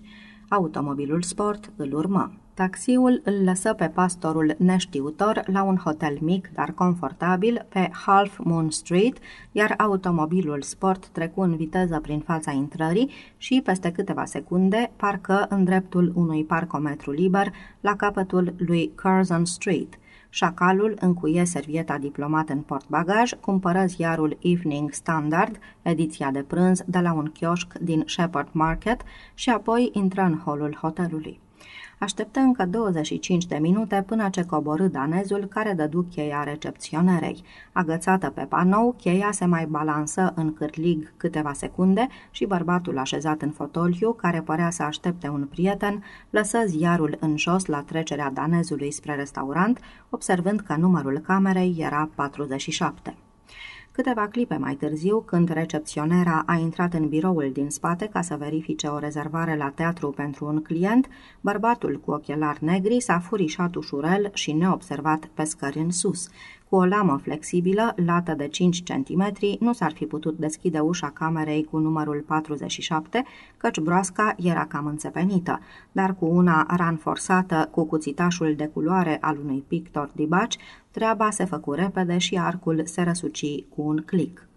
Cum nu coborâse decât să ia masa, pastorul își lăsase pașaportul pe noptieră. Șacalul reveni pe coridor după 30 de secunde, lăsând neatinsă mapa cu carnetele de cecuri de călătorie, în speranța că, neavând dovada unui furt, autoritățile vor încerca să-l convingă pe danez că și-a pierdut pașaportul undeva în altă parte. Și așa s-a și întâmplat. Cu mult înainte ca danezul să-și fi terminat cafeaua, englezul părăsise hotelul fără să fie văzut și abia mult mai târziu, în cursul după amiezii, după ce îl căutase bine prin cameră, pastorul l-a anunțat pe directorul hotelului de dispariția pașaportului. Directorul a scotocit și el camera și, după ce a subliniat și el că restul lucrurilor, inclusiv mapa cu cecurile de călătorie, erau neatinse, a recurs la o adevărată pledoarie pentru a-l convinge pe clientul descumpănit că nu era cazul să cheme poliția la hotel. Fără îndoială, își pierduse pașaportul undeva pe drum. Danezul, fiind un om blajin și nu prea sigur de sine într-o țară străină, a fost de acord cu demonstrația, fără însă a fi prea convins. Așa că, a doua zi, a anunțat pierderea la consulatul general danez, care i-a eliberat un document de călătorie cu care să se poată întoarce la Copenhaga după cele două săptămâni de ședere la Londra și cu asta chestiunea s-a încheiat. Funcționarul de la consulatul general, care a eliberat documentul de călătorie, a înregistrat pierderea pașaportului pe numele pastorului Per Jensen de la Sankt Kildskirke din Copenhaga, era 14 iulie.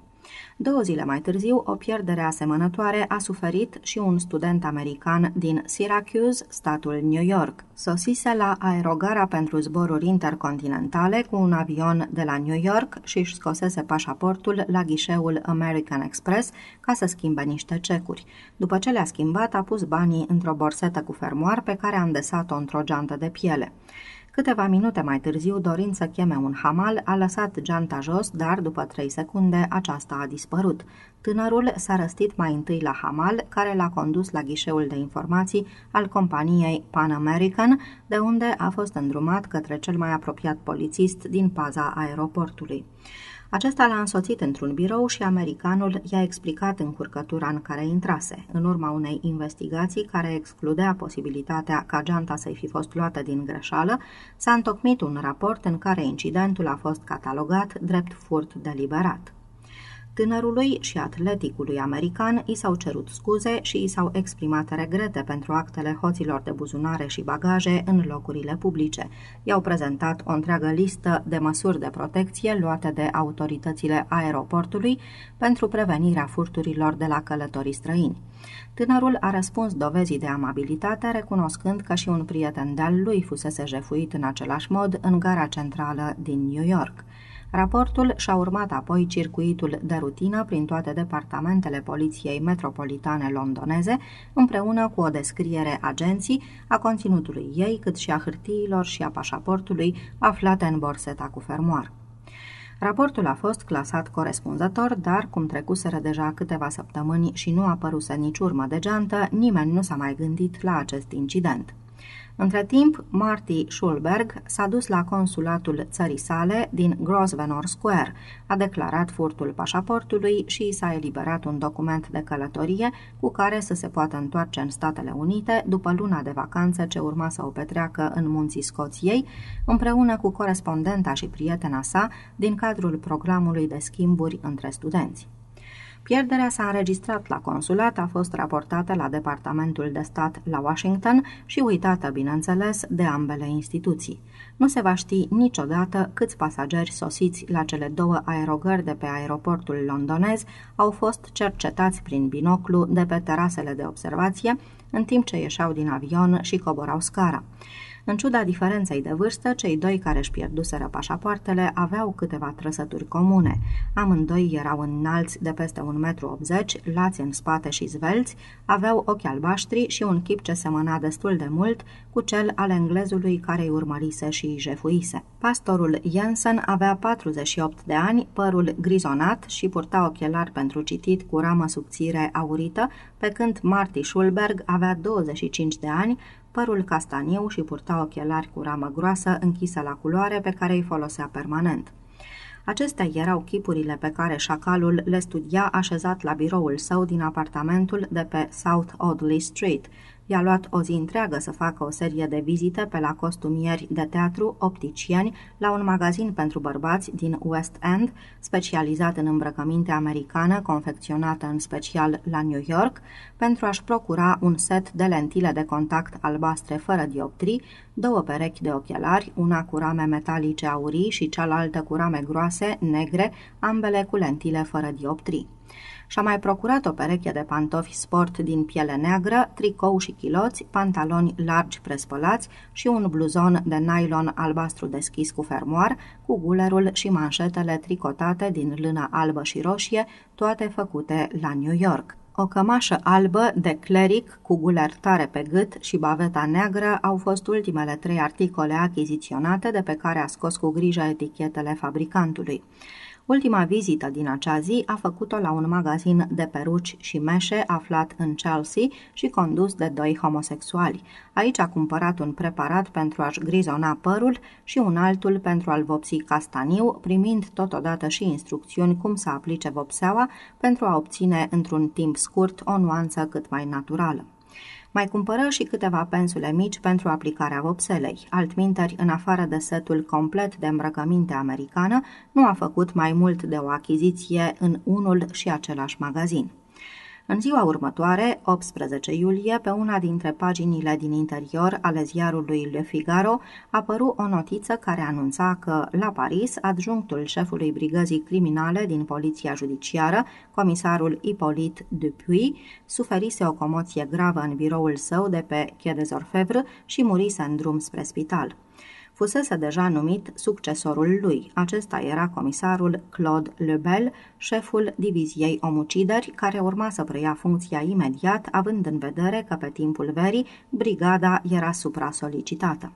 Șacalul, care citea zilnic toate ziarele franțuzești sosite la Londra, citi notița în cauză, fiindcă îi sărise în ochi cuvântul criminală, dar nu i-a dat nicio importanță. Înainte de a-și începe veghea zilnică, la aeroportul din Londra, hotărâse ca pe tot parcursul pregătirii viitorului asasinat să acționeze sub o identitate falsă.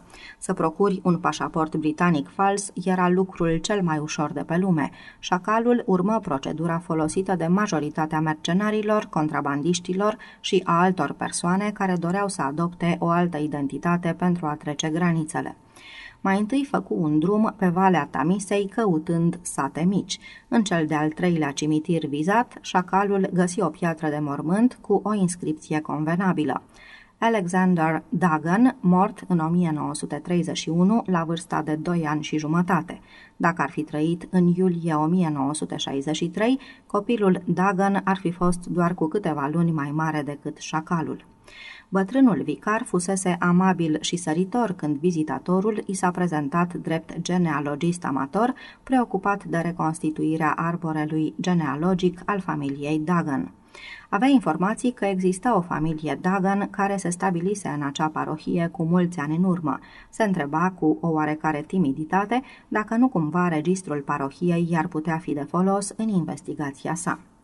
Vicarul era însă amabilitatea personificată, un compliment făcut pe drumul spre biserică la adresa micii clădiri normande, cât și contribuția la cutia daniilor pentru restaurare, n-au făcut decât să îmbunătățească și mai mult atmosfera.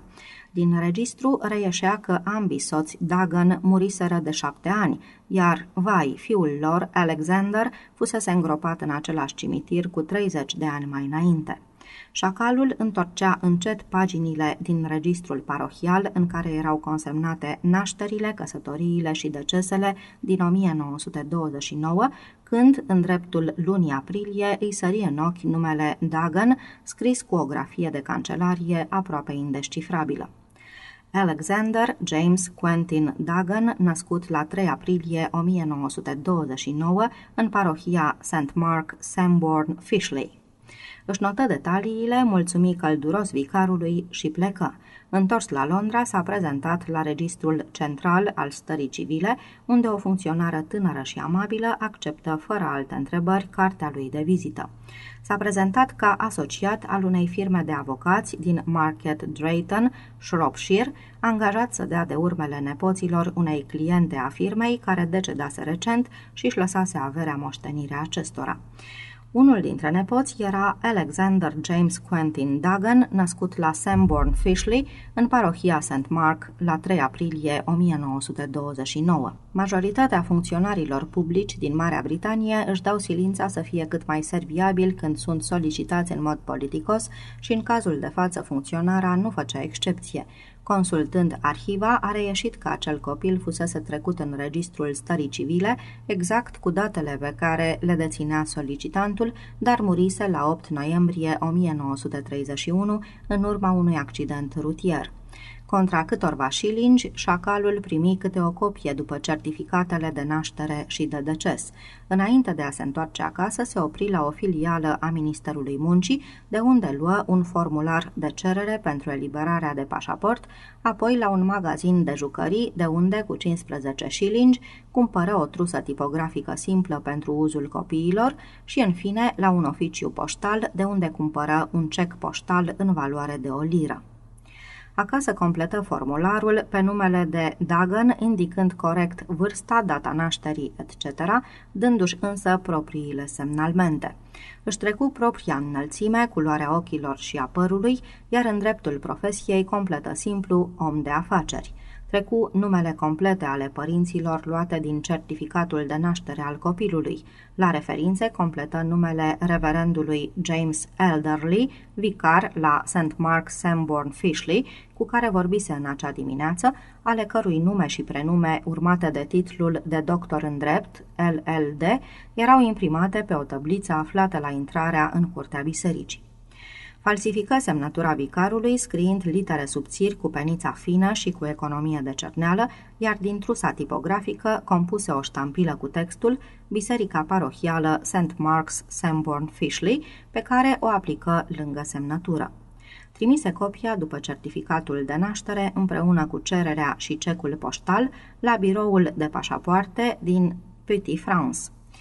Certificatul de deces îl rupse. Pașaportul nou-nouți sosi prin poștă la adresa de circumstanță cam după patru zile, la ora când el citea ediția de dimineață a ziarului Le Figaro, pe care îl cumpărase după prânz. Spre sfârșitul după amiezii își încuie casa și plecă la aeroport, unde luă avionul de Copenhaga, după ce plătise biletul în numerar ca să evite folosirea carnetului de cecuri. Pe fundul valizei, într-un compartiment secret puțin mai gros decât o revistă obișnuită, dar greu de detectat chiar dacă s-ar fi făcut vreun control serios, se aflau 2000 de lire sterline pe care le scosese în cursul dimineții din seiful personal cu înscrisuri de valoare pe care îl deținea în camera blindată a unei firme de avocați din Holborn. Șederea la Copenhaga a fost scurtă, gen vizită de afaceri. Înainte de a părăsi aeroportul Kastrup, își rezervă loc pentru a doua zi la cursa Sabena spre Bruxelles. În capitala Danemarcei se făcuse prea târziu pentru cumpărături, așa că își luă o cameră la Hotel d'Angleterre pe strada Kongs Torv. Cina regește la Seven Nations, flirtă puțin cu două daneze blonde în parc la Tivoli și, pe la unu noaptea, era deja în pat. A doua zi cumpără un costum ușor, gri deschis, din acelea purtate de clerici, de la cel mai bun magazin de confecții pentru bărbați din Copenhaga, o pereche de pantofi negri sobri, o pereche de șosete, un set de lenjerie de corp și trei cămăși albe cu guler detașabil. De fiecare dată cumpăra numai acele articole care aveau pe etichetă nume de fabricanți danezi. Cât privește cele trei cămăși albe, n-avea nevoie de ele. Le cumpărase doar ca să le scoată etichetele pe care avea apoi să le coasă pe cămașa preoțească, împreună cu gulerul pe gât și baveta neagră luată de la Londra, unde s-a dat drept student la teologie în prag de hirotonisire. Ultima achiziție a fost o carte în daneză despre cele mai cunoscute biserici și catedrale din Franța. Luă un prânz rece la un restaurant în grădinile Tivoli, pe malul lacului, și porni cu avionul de 15 și 15 spre Bruxelles. 4. De ce un om ca Paul Gossens, plin de talente fără îndoială, ajunsese să-și rateze viața în plină maturitate creatoare, rămăsese un mister atât pentru puținii lui prieteni și numeroșii lui clienți, cât și pentru poliția belgiană. Timp de 30 de ani, ca angajat de încredere la Fabric Național din Liege, își câștigase faima unui om de o precizie impecabilă într-un sector al mecanicii, unde această precizie era absolut indispensabilă. Nimeni nu punea la îndoială onestitatea lui. În acei 30 de ani devenise expertul de frunte al companiei în materie de arme de toate categoriile, produse de excelenta uzină, de la pistoletul delicat pentru doamne și până la mitraliera cea mai grea. Conduita lui în timpul războiului fusese impecabilă, deși după ocupație continuase să lucreze la uzina de armament aflată sub conducerea germană care susținea efortul de război nazist, verificarea ulterioară a activității sale stabilise fără niciun dubiu că el lucrase în secret pentru rezistență, fiind o verigă din lanțul care asigura adăpost și căi de evadare aviatorilor aliați doborâți. La uzina condusese un grup de sabotaj care reușise să facă o bună parte din armamentul produs la Liege, fie să nu funcționeze cu precizie, fie să explodeze la a cincea salvă, omorându-i pe servanții nemți. Fiind extrem de modest, avocații apărării au fost nevoiți să scoată de la el cu cleștele mărturisirea acestor fapte, pe care apoi să le poată prezenta cu succes în favoarea lui. A durat mult timp ca să se poată obține o sentință blândă. Jurații fuseseră impresionați de reținerea cu care mărturisise că nu a vrut să-și dezvăluie activitatea din timpul războiului, deoarece onorurile și decorațiile de după eliberare l-ar fi făcut să se simtă prost. Prin anii 50 avea funcția de șef de sector, când, în cursul unei afaceri cu arme, fusese deturnată o mare sumă de bani primită de la un client și bănuiala căzuse asupra lui. Șefii lui însă susținuse răsus și tare la proces că bănuielile privindu-l pe onestul domn Gossens erau ridicole. Directorul lui îi luase apărarea chiar și la proces, dar judecătorul considerase că o astfel de trădare a încrederii era cu atât mai reprobabilă și îi dăduse 10 ani de închisoare. În urma recursului, pedeapsa fusese redusă la jumătate. Pentru bună purtare fusese eliberat după trei ani și jumătate. Soția divorțase de el între timp și îi luase copiii. Viața lui de odinioară, în Vilișoara înconjurată de flori, într-una dintre cele mai frumoase suburbii ale orașului Liege, se terminase pentru totdeauna, ca și cariera lui la uzina de altfel. Își luă un mic apartament la Bruxelles, apoi o casă în afara orașului, pe măsură ce îi crescuseră veniturile de pe urma afacerilor prospere cu armele de contrabandă, pe care le furniza pentru jumătate din lumea interlopă Europă a Europei Occidentale.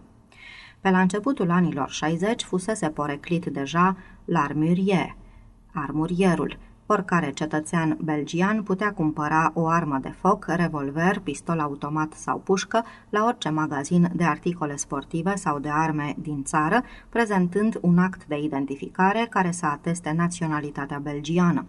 Gossens nu-l folosea niciodată pe al său pentru că fiecare vânzare de armă și muniție era trecută în registrul comerciantului împreună cu numele și numărul actului de identitate al cumpărătorului. Gossens se folosea de actele altor persoane, fie furate, fie falsificate. Stabilise relații strânse cu unul dintre cei mai vestiți hoți de buzunare din oraș, care, atunci când nu-l încezea în închisoare pe banii statului, putea extrage portofelul din orice buzunar fără niciun fel de probleme. El îl cumpăra direct de la hoț cu bani pe șin. Se mai folosea și de serviciile unui maestru falsificator, care, după ce se fripsese urât pe la sfârșitul anilor 40 din cauza unei unei emisii considerabile de franci francezi, pe a căror bancnotă omisese litera U din Banque de France, din neatenție, era tânăr pe atunci, se reprofilase pe falsificarea de pașapoarte cu mult mai mult succes. În fine, când avea nevoie de o armă pentru vreun client, cumpărătorul care se prezenta la magazin cu actul de identitate fals nu era niciodată el, ci câte un borfaș mărunt, proaspăt ieșit din închisoare și fără ocupație, sau vreun actoraș în refacere între două asalturi pentru cucerirea scenei. Din echipa lui, doar hoțul și falsificatorul îi cunoșteau identitatea, la fel ca și unii clienți, în speță șefii lumii interlope belgiene, care nu numai că nu-i tulburau afacerile, dar îi ofereau chiar și o oarecare protecție, refuzând să spună cine le furnizase armele atunci când erau prinși, tocmai pentru că le era atât de util tuturor. Asta nu împiedica însă poliția belgiană să știe câte ceva despre activitatea lui Gossens, dar n-avea cum să-l prindă cu corpul delict asupra lui, nici să obțină depoziții care să reziste în justiție pentru a fi condamnat. Poliția știa de atelierul lui mic, dar excelent utilat și totodată foarte suspect, amenajat într-un garaj, dar descinderile repetate nu dăduseră la iveală decât tot felul de scule și alte nimicuri folosite la executarea medalioanelor din metal turnat și a reproducerilor după statuile din Bruxelles.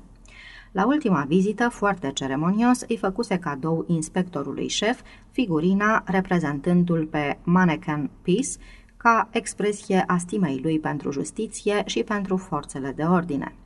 În dimineața zilei de 21 iulie 1963 nu-și făcea niciun fel de scrupule așteptând sosirea englezului care îi fusese recomandat telefonic de unul dintre clienții săi, un fost mercenar în Katanga din 1960 până în 62, care de atunci își pusese pe picioare un serviciu de protecție a prostituatelor din capitala belgiană.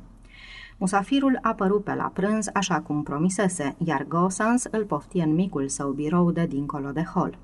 Vreți să vă scoateți ochelarii, vă rog?" îl întrebă pe musafir după ce acesta se așeză și cum englezul ezita adăugă. Știți, cred că este mai bine să avem încredere unul în altul pe cât putem, atâta timp cât vom fi parteneri de afaceri. Doriți ceva de băut?" Bărbatul, al cărui pașaport îl prezenta drept Alexander Dagan, își scoase ochelarii și privi mirat spre micul armurier care turna berea în pahare. Domnul Gossans se așeză la birou, bău din pahar și întrebă calm. Cu ce vă pot fi de folos, domnul meu?" Sper că lui v-a informat telefonic despre venirea mea în cursul acestei dimineți." Desigur, dădu din cap domnul Gossans, altfel n-ați fi aici." V-a spus cumva în ce problemă vin? Nu, mi-a spus doar că v-a cunoscut în Katanga, că garantează pentru discreția dumneavoastră că aveți nevoie de o armă și că ați fi dispus să plătiți cash în lire sterline. Englezul în cuvință dând încet din cap. Ei, acum că știu cu ce vă ocupați, nu văd de ce nu ați ști și dumneavoastră cu ce mă ocup eu. Așadar, arma de care am nevoie trebuie să fie ceva special, cu unele accesorii mai puțin obișnuite. Eu uh, uh, sunt uh, specialist în eliminarea persoanelor care au dușmani puternici și bogați. Nu este întotdeauna ușor, căci și ele își permit să aibă gărzi de corp formate din profesioniști. O asemenea misiune are nevoie de o planificare minuțioasă și de o armă pe măsură. Ei bine, aceasta este misiunea mea. Îmi mai trebuie doar arma. Domnul Gosens mai bău o înghițitură de bere și clătina din cap înțelegător. Excelent, excelent, sunteți profesionist ca și mine, cred că realizez ce vreți de la mine. La ce fel de armă vă gândiți? Tipul de armă nu este atât de important, este vorba mai mult de unele restricții impuse de misiunea mea și de a găsi arma potrivită care să funcționeze satisfăcător în condițiile restrictive date. Ochii domnului Gosens luciră de plăcere. Una foc cu foc, murmură el încântat, o armă făcută pe măsură pentru o persoană unică și o misiune unică în condiții unice irepetabile. Sunt omul dumneavoastră, simt deja cât este de incitantă ideea, domnul meu. Mă bucur că ați venit la mine." Englezul lăsă să-i scape un zâmbet văzând entuziasmul de profesionist al belgianului. Și eu, monsieur." Ei bine, spuneți-mi care sunt aceste restricții." Prima privește dimensiunile. Nu e vorba de lungimea, ci de volumul părților componente. Camera cartușului și închizătorul nu trebuie să fie mai mari de atât. Ridică mâna și duse vârful degetului mijlociu până în vârful degetului mare, formând astfel un inel cu diametrul de 5 cm. Asta înseamnă că nu poate fi un mecanism cu repetiție, căci camera cartușului ar trebui să fie mai mare și nici nu poate avea un mecanism cu arc mai voluminos din aceleași motive, spuse englezul. După mine, trebuie să fie o armă cu percutor.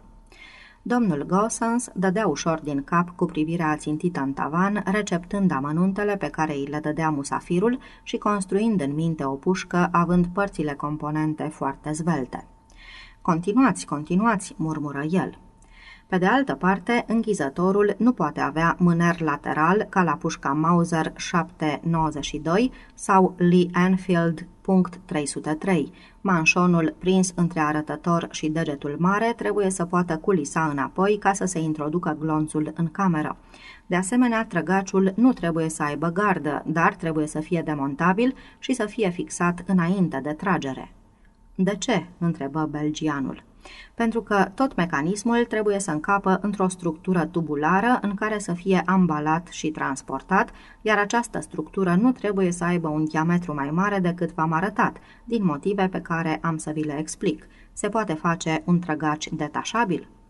Desigur, orice este posibil. Bineînțeles că se poate proiecta o pușcă foc cu foc care să se frângă la un capăt pentru a fi încărcată ca pușca de vânătoare. Asta ar elimina complet închizătorul, dar ar presupune o balama și nu se rezolvă problema. Ar trebui să proiectez și să construiesc pușca de la zero, prelucrând dintr-o singură bucată de metal închizătorul și camera cartușului. Nu e o treabă ușor de făcut într-un atelier mic, dar este posibil. Cam cât ar dura?" întrebă englezul. Belgianul ridică din numeri și deschise larg brațele. Cred că vreo câteva luni. Din păcate nu dispun de atâta timp. În această situație e nevoie să folosim o pușcă existentă pe piață și să o modificăm. Continuați, vă rog. Așadar, pușca trebuie să fie ușoară, nu trebuie să fie de calibru mare, glonțul va face restul, trebuie să aibă țeava scurtă, nu mai mult de 30 de centimetri. De la ce distanță va trebui să trageți? Încă nu e sigur, dar probabil nu de la mai mult de 130 de metri. Intenționați să trageți în cap sau în piept? Probabil că va trebui să trag în cap. Aș putea să trag și în piept, dar în cap este mai sigur. Desigur, lovitura va fi mortală dacă nimeriți ținta, spuse belgianul. Oricum, dacă trageți în piept, aveți șanse mai mari să nimeriți, mai ales în cazul în care folosiți o pușcă cu țeavă scurtă de la o distanță de 130 de metri cu posibile obstacole intermediare. Presupun, adăugă el, după nehotărârea dumneavoastră privind ținta, că s-ar putea să apară în cale și obstacole nedorite. Da, s-ar putea. Veți încerca să mai trageți odată, ținând cont că vă trebuie câteva secunde ca să scoateți cartușul folosit și să introduceți unul, să împingeți închizătorul și să luați din nou linia de ochire? Mai mult ca sigur că nu, aș putea trage a doua oară numai dacă folosesc amortizorul și dacă prima lovitură a fost complet ratată, dar fără să fie observată de cei din preajmă și chiar de a-și reuși din prima să-l lovesc în tâmplă, tot am nevoie de amortizor ca să-mi asigur retragerea. Trebuie să treacă vreo câteva minute bune înainte să-și dea seama cineva, măcar cu aproximație, din ce direcție a venit glonțul. Belgianul continuă să dea din cap, dar de data aceasta privind ținta la carnetul de pe birou. În cazul acesta, ar fi mai bine să folosiți gloanțe explozive. O să vă pregătesc câteva. Înțelegeți ce vreau să spun? Englezul dădu din cap afirmativ. Cu glicerină sau cu mercur? Cu mercur, cred. E mult mai bine și mai curat. Mai aveți și alte pretenții privind pușca? Aș mai avea, pentru ca pușca să fie cât mai subțire, tot patul de lemn trebuie scos. În locul lui va avea un cadru ca pușca Sten, iar părțile componente, cele două vergele de sus și de jos, ca și suportul pentru umăr, să se poată demonta în trei bucăți separate. În fine, trebuie să mai aibă amortizor și lunetă telescopică. Toate trebuie să fie detașabile pentru ambalare și transport. Belgianul se gândi ceva mai mult, bându-și paharul de bere până la fund. Englezul deveni nerăbdător. Ce spuneți, o puteți face?" Domnul Gossens păru să-și revină din visare, zâmbi, parcă cerându-și scuze. Vă rog să mă scuzați, este vorba de o comandă foarte complicată. Desigur însă că o pot executa. Nu mi s-a întâmplat niciodată să nu pot face ce mi se cere. În fapt, ceea ce mi-ați descris până acum seamănă cu o partidă de vânătoare pe parcursul căreia echipamentul trebuie să treacă prin diverse puncte de control într-o manieră care să nu trezească nicio bănuială. O partidă de vânătoare presupune o pușcă de vânătoare pe care o veți avea. Nu va fi de calibru mai mic de 22, căci aceea este pentru iepuri, dar nici mare ca una Remington de 300, care nu s-ar conforma niciodată dimensiunilor pe care le-ați solicitat. Cred că știu deja tipul de armă necesar. Este ușor de găsit la Bruxelles, la magazinele cu articole de sport. Este o armă scumpă, de mare precizie foarte exactă, minunat lucrată și totuși ușoară și subțire. Se întrebuințează mult pentru capre sălbatice și alte cervide mici, dar folosită cu gloanțe explozive este tocmai bună pentru vânatul mare. Spuneți-mi, domnul uh, acela se va mișca repede, încet sau va sta pe loc? Va sta pe loc atunci nicio problemă. Executarea cadrului de sprijin din trei vergele de oțel separate și trăgaciul care să se înșurubeze reprezintă doar o chestiune de mecanică. Filetarea capătului țevii pentru amortizor și scurtarea ei cu 16 cm am să le fac chiar eu. Se cam pierde din precizie tăind 16 cm din țeavă. Păcat, păcat, sunteți trăgător de elită?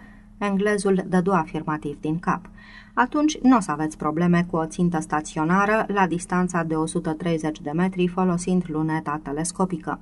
Cât despre amortizor, am să-l fac eu însumi. Nu e complicat, dar este greu să-l găsești de gata, în special pe cel lung, pentru puștile care nu se folosesc de obicei la vânătoare. Ei bine, domnul meu, mai devreme mi-ați vorbit de o structură tubulară în care să ambalați și să transportați arma demontată în bucăți. La ce v-ați gândit? Englezul se ridică în picioare și se apropie de birou, dominându-l pe mărântul belgian cu statura sa.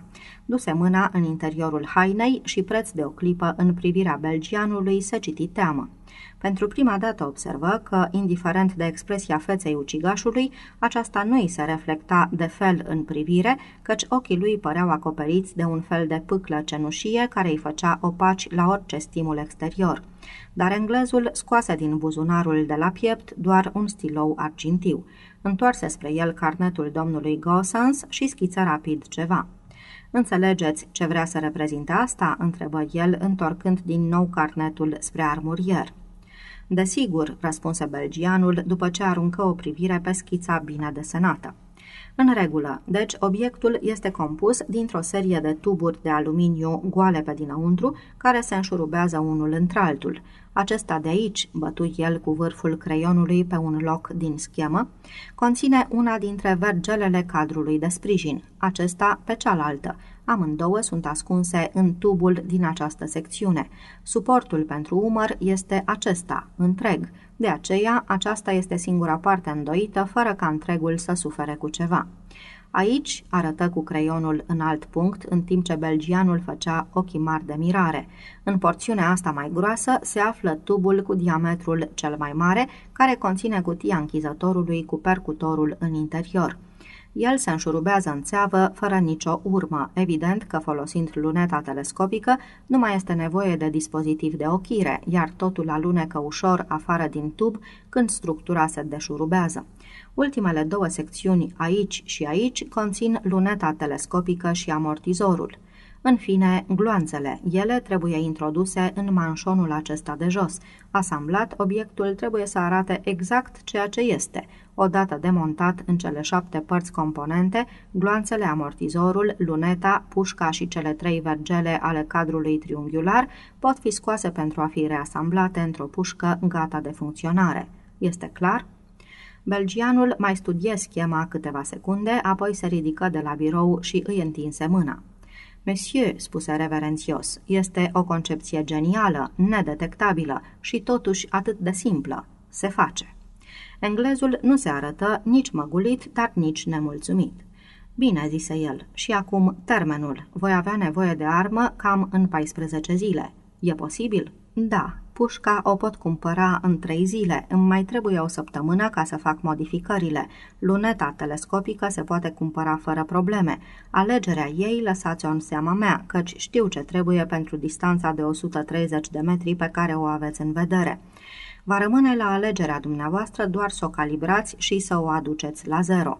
Mai rămâne executarea amortizorului, modificarea gloanțelor și construcția ambalajului. Da, se poate face în termenul acordat dacă mă dau peste cap. Totuși, ar fi bine să reveniți aici cu o zi, două mai înainte, pentru cazul că am mai avea de pus la punct unele detalii. Puteți reveni peste 12 zile? Da, oricând peste o săptămână de acum încolo, dar termenul limită rămâne 14 zile. Trebuie să fiu înapoi la Londra cam pe 4 august. Veți avea arma gata până în cele mai mici detalii, conform cerinței dumneavoastră, pe 4 august dimineața, dacă veți fi aici pe 1 august pentru discuțiile finale și recepție, monsieur.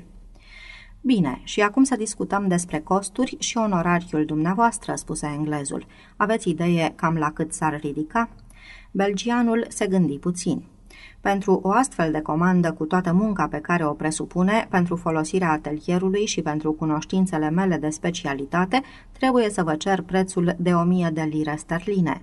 Recunosc că îl depășește pe acela al unei puști obișnuite, dar în acest caz este vorba despre o operă de artă. Cred că sunt singurul din Europa capabil să o facă și nu oricum, ci perfect. Ca și dumneavoastră, monsieur, sunt cel mai bun din branșa mea și cei mai buni costă. La asta se va adăuga costul puștii, al gloanțelor, lunetei, materialelor, să zicem echivalentul a încă 200 de lire sterline. S-a făcut, răspunse englezul, fără comentarii. Duse mâna din nou la buzunarul din interiorul hainei și scoase un teanc de bancnote de 5 lire. Erau legate în pachete de câte 20, numără 5 pachete. V-aș propune, continuă el cu voce egală, ca să vă conving de buna mea credință, să vă plătesc pe loc un avans de 500 de lire. Voi aduce restul de 700 când mă voi întoarce peste 11 zile. E bine așa? Monsieur, spuse belgianul, îndesând bancnotele în buzunar, este o plăcere să faci afaceri cu un profesionist care este și gentleman. Mai este ceva, continuă musafirul ca și când n-ar fi fost întrerupt. Să nu încercați să-l mai contactați pe lui și nici să nu-l întrebați pe el sau pe alții cine sunt și care este adevărata mea identitate. Și nici să nu căutați să aflați pentru cine lucrez și împotriva cui. În caz că veți face așa ceva, fiți sigur că voi afla și atunci veți muri. Dacă mă întorc și constat că s-a încercat să se anunțe poliția sau să mi se întindă o cursă, veți fi un om mort. Ați înțeles? Domnul Gossens se simțea mâhnit, stătea în picioare și se uita în sus la englez, în timp ce prin vene parcă îi treceau fiori. Înfruntase el pe mulți dintre șefii lumii interlope din Belgia care veneau să-i ceară arme speciale cu totul ieșite din comun sau pur și simplu vreun colt mai aparte. Aceia erau niște tipi duri, musafirul venit de peste canalul Mânecii care intenționa să asasineze un personaj important și bine protejat, avea însă un aer distant și implacabil. Nu era doar un șef de bandă oarecare, ci o persoană importantă, poate chiar un om politic. Dori să protesteze sau să se dezvinovățească pe un ton amical, dar se gândi mai bine. Monsieur, spuse el calm, nu vreau să știu nimic mai mult despre dumneavoastră. Arma pe care o veți primi nu va avea serie. Știți, decât să aflu și alte lucruri despre dumneavoastră, pentru mine este mai important să nu se găsească nicio urmă de-a mea în tot ce veți întreprinde. Bonjour, monsieur. Șacalul ieși afară în lumina soarelui și, două străzi mai încolo, găsi un taxi care să-l ducă înapoi în centrul orașului, la hotelul Amigo. Bănuia că, pentru a cumpăra armele, Gosens trebuia să aibă pe undeva un falsificator angajat, dar prefera să-și găsească și să folosească unul propriu. Din nou îl ajută lui cunoștința sa din Katanga.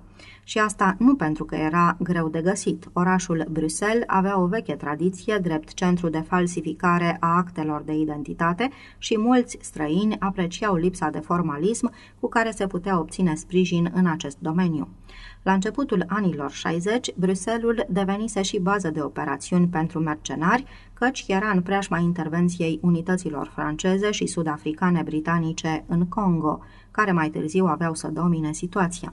După ce Katanga căzuse, cei peste 300 de consilieri militari ai bătrânului Comb rămăseseră șomeri și își pierdeau vremea prin barurile din cartierul rău famat, mulți dintre ei având asupra lor câteva rânduri de acte de identitate.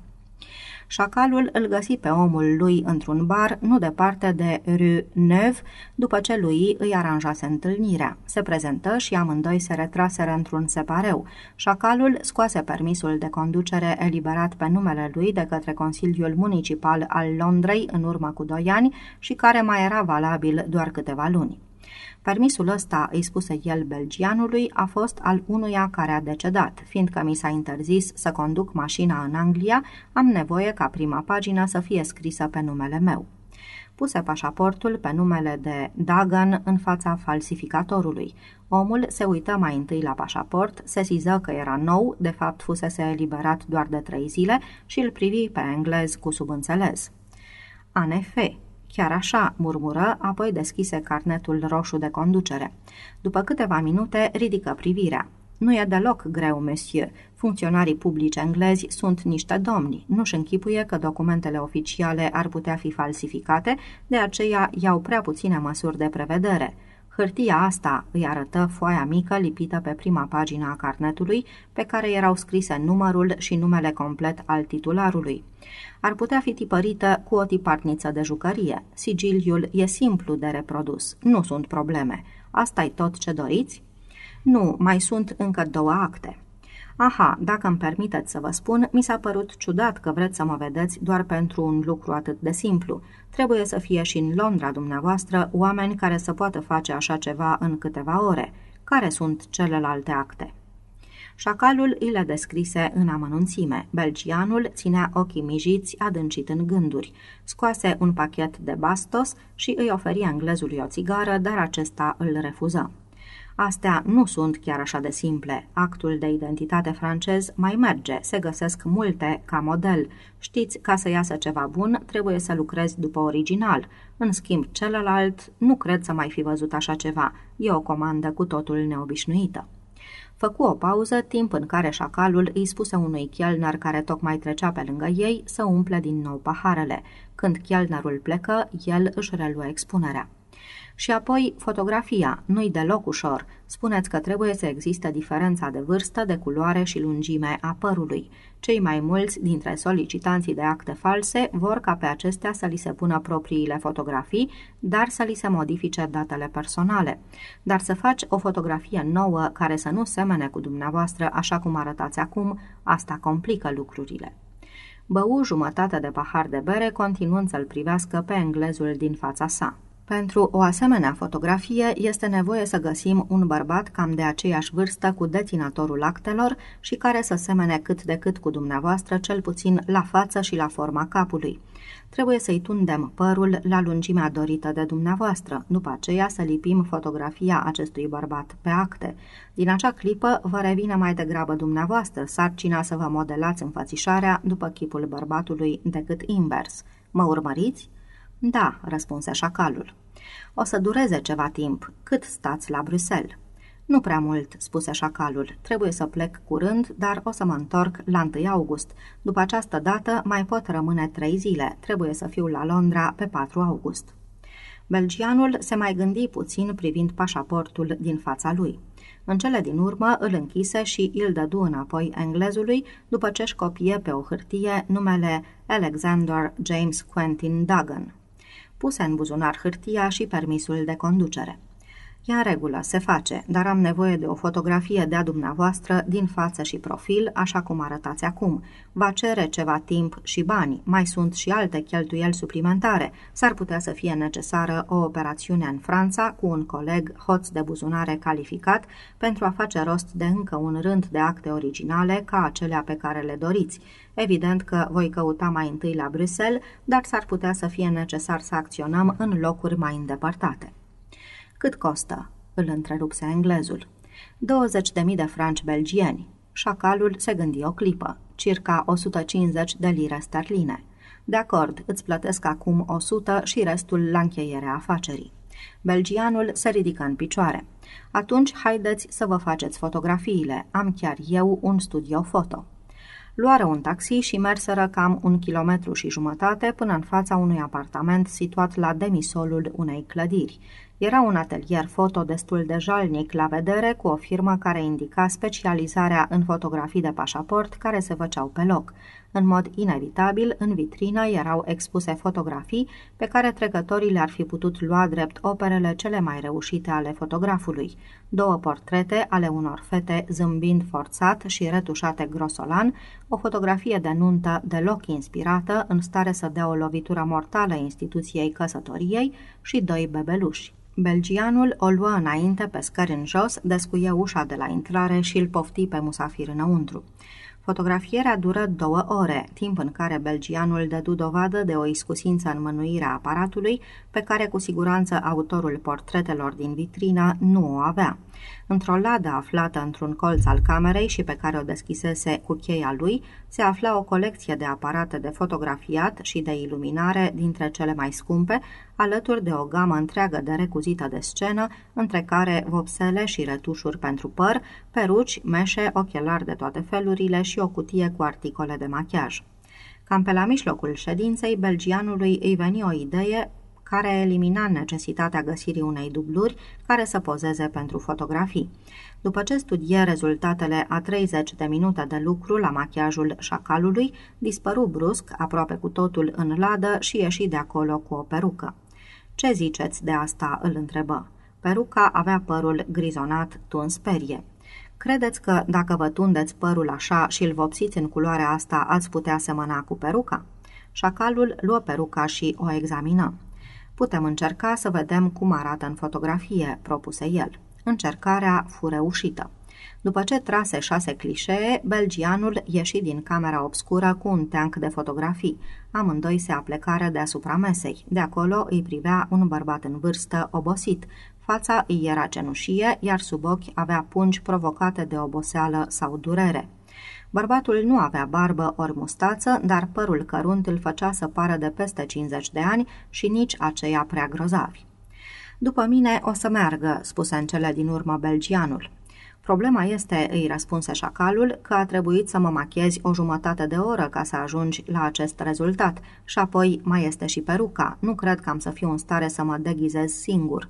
Aici au mai fost și proiectoarele, dar eu mă voi afla la lumina zilei când va trebui să arăt actele pe care le-am comandat. Acest lucru nu are importanță, ripostă falsificatorul. Nu contează prea mult că nu semănați leit cu fotografia, ci faptul că fotografia nu vă seamănă. Așa se fac legăturile în mintea celui care vă examinează actele. Mai întâi se uită la față, la fața reală, apoi cere actele. După aceea se uită la fotografie. El are deja în memorie imaginea omului de lângă el. Acest lucru îi influențează judecata. Caută în fotografie puncte de similitudine și nu contrariul. În al doilea rând, fotografia asta are 25 pe 25 de centimetri. Fotografia de pe actul de identitate va fi de 3 pe 4. În al treilea rând, trebuie evitată o prea mare asemănare. Dacă actul a fost eliberat cu câțiva ani înainte, este imposibil ca omul să nu se fi schimbat cât de cât între timp. Aici, în fotografie, purtați o cămașă cu dungi, cu guler pus și deschisă la gât. Încercați să evitați să purtați această cămașă sau orice cămașă deschisă la gât. Purtați cravată sau fular sau un pulover pe gât. Și, în fine, nimic din ceea ce am făcut eu nu poate să nu fie imitat cu ușurință. Lucrul cel mai important este, desigur, părul. Înainte de a prezenta actul cu fotografia asta, trebuie să vă tundeți periuță și să vă vopsiți cărunt ca acum, dar în niciun caz mai puțin cărunt. Pentru a accentua impresia de bătrânețe și decrepitudine, lăsați-vă o barbă de 2-3 zile apoi bărbieriți-vă cu briciul, dar inegal și tăindu-vă pe aici pe colo. La oameni în vârstă se mai întâmplă, esențial este cum arătați la față. Pentru a stârni compasiune, fața trebuie să arate cenușie și obosită, mai degrabă gălbejită și bolnăvicioasă. Puteți face rost de câteva bucăți de cordită. Șacalul ascultase expozeul falsificatorului cu admirație, deși nu lăsa să îi se vadă pe fața acest lucru. Pentru a doua oară în aceeași zi, avusese ocazia să întâlnească un profesionist care își cunoștea foarte bine meseria. Își puse în minte să nu uite să-i mulțumească lui lui, cum se cuvine, după ce își termină treaba. S-ar putea aranja, spuse el circumspect. Două sau trei bucățele de cordită, mestecate și înghițite, produc într-o jumătate de ceas o stare de greață neplăcută cei drept, dar nu periculoasă. De asemenea, pielea capătă o culoare pământie, iar fața transpiră. Noi ne foloseam de șmecheria asta în armată ca să ne dăm bolnavi și să evităm corvezile și marșurile lungi. Mulțumesc de informație. Ei, ce spui? Crezi că poți face actele la timp? Din punct de vedere tehnic, fără niciun dubiu, singura problemă pe care o am este să fac rost de un original pentru cel de-al doilea act francez. Și, în acest scop, trebuie să mă mișc repede, dar dacă vă întoarceți în primele zile ale lui August, le voi avea gata. Ați uh, spus ceva de un aconto pentru primele cheltuieli? Șacalul duse mâna la buzunarul de la piept și scoase un singur pachet cu 20 de bancnote de 5 lire și îi le dădu belgianului. Cum te voi găsi? V-aș propune la fel ca astă seară. Este prea riscant. Omul meu de legătură s-ar putea să nu fie acasă sau să fie plecat din oraș și atunci n-aș mai ști cum să te găsesc. Belgianul se gândi puțin. Atunci am să vă aștept în primele trei zile ale lui August în fiecare seară între 6 și 7 la barul în care ne-am întâlnit azi. Dacă nu veniți, am să presupun că afacerea a căzut. Englezul își scosese peruca și își ștergea fața cu un șervet de machiant. Își legă cravata și își puse haina în liniște. Când a fost gata, se întoarse spre belgian. Sunt unele lucruri care vreau să fie clare," spuse el încet.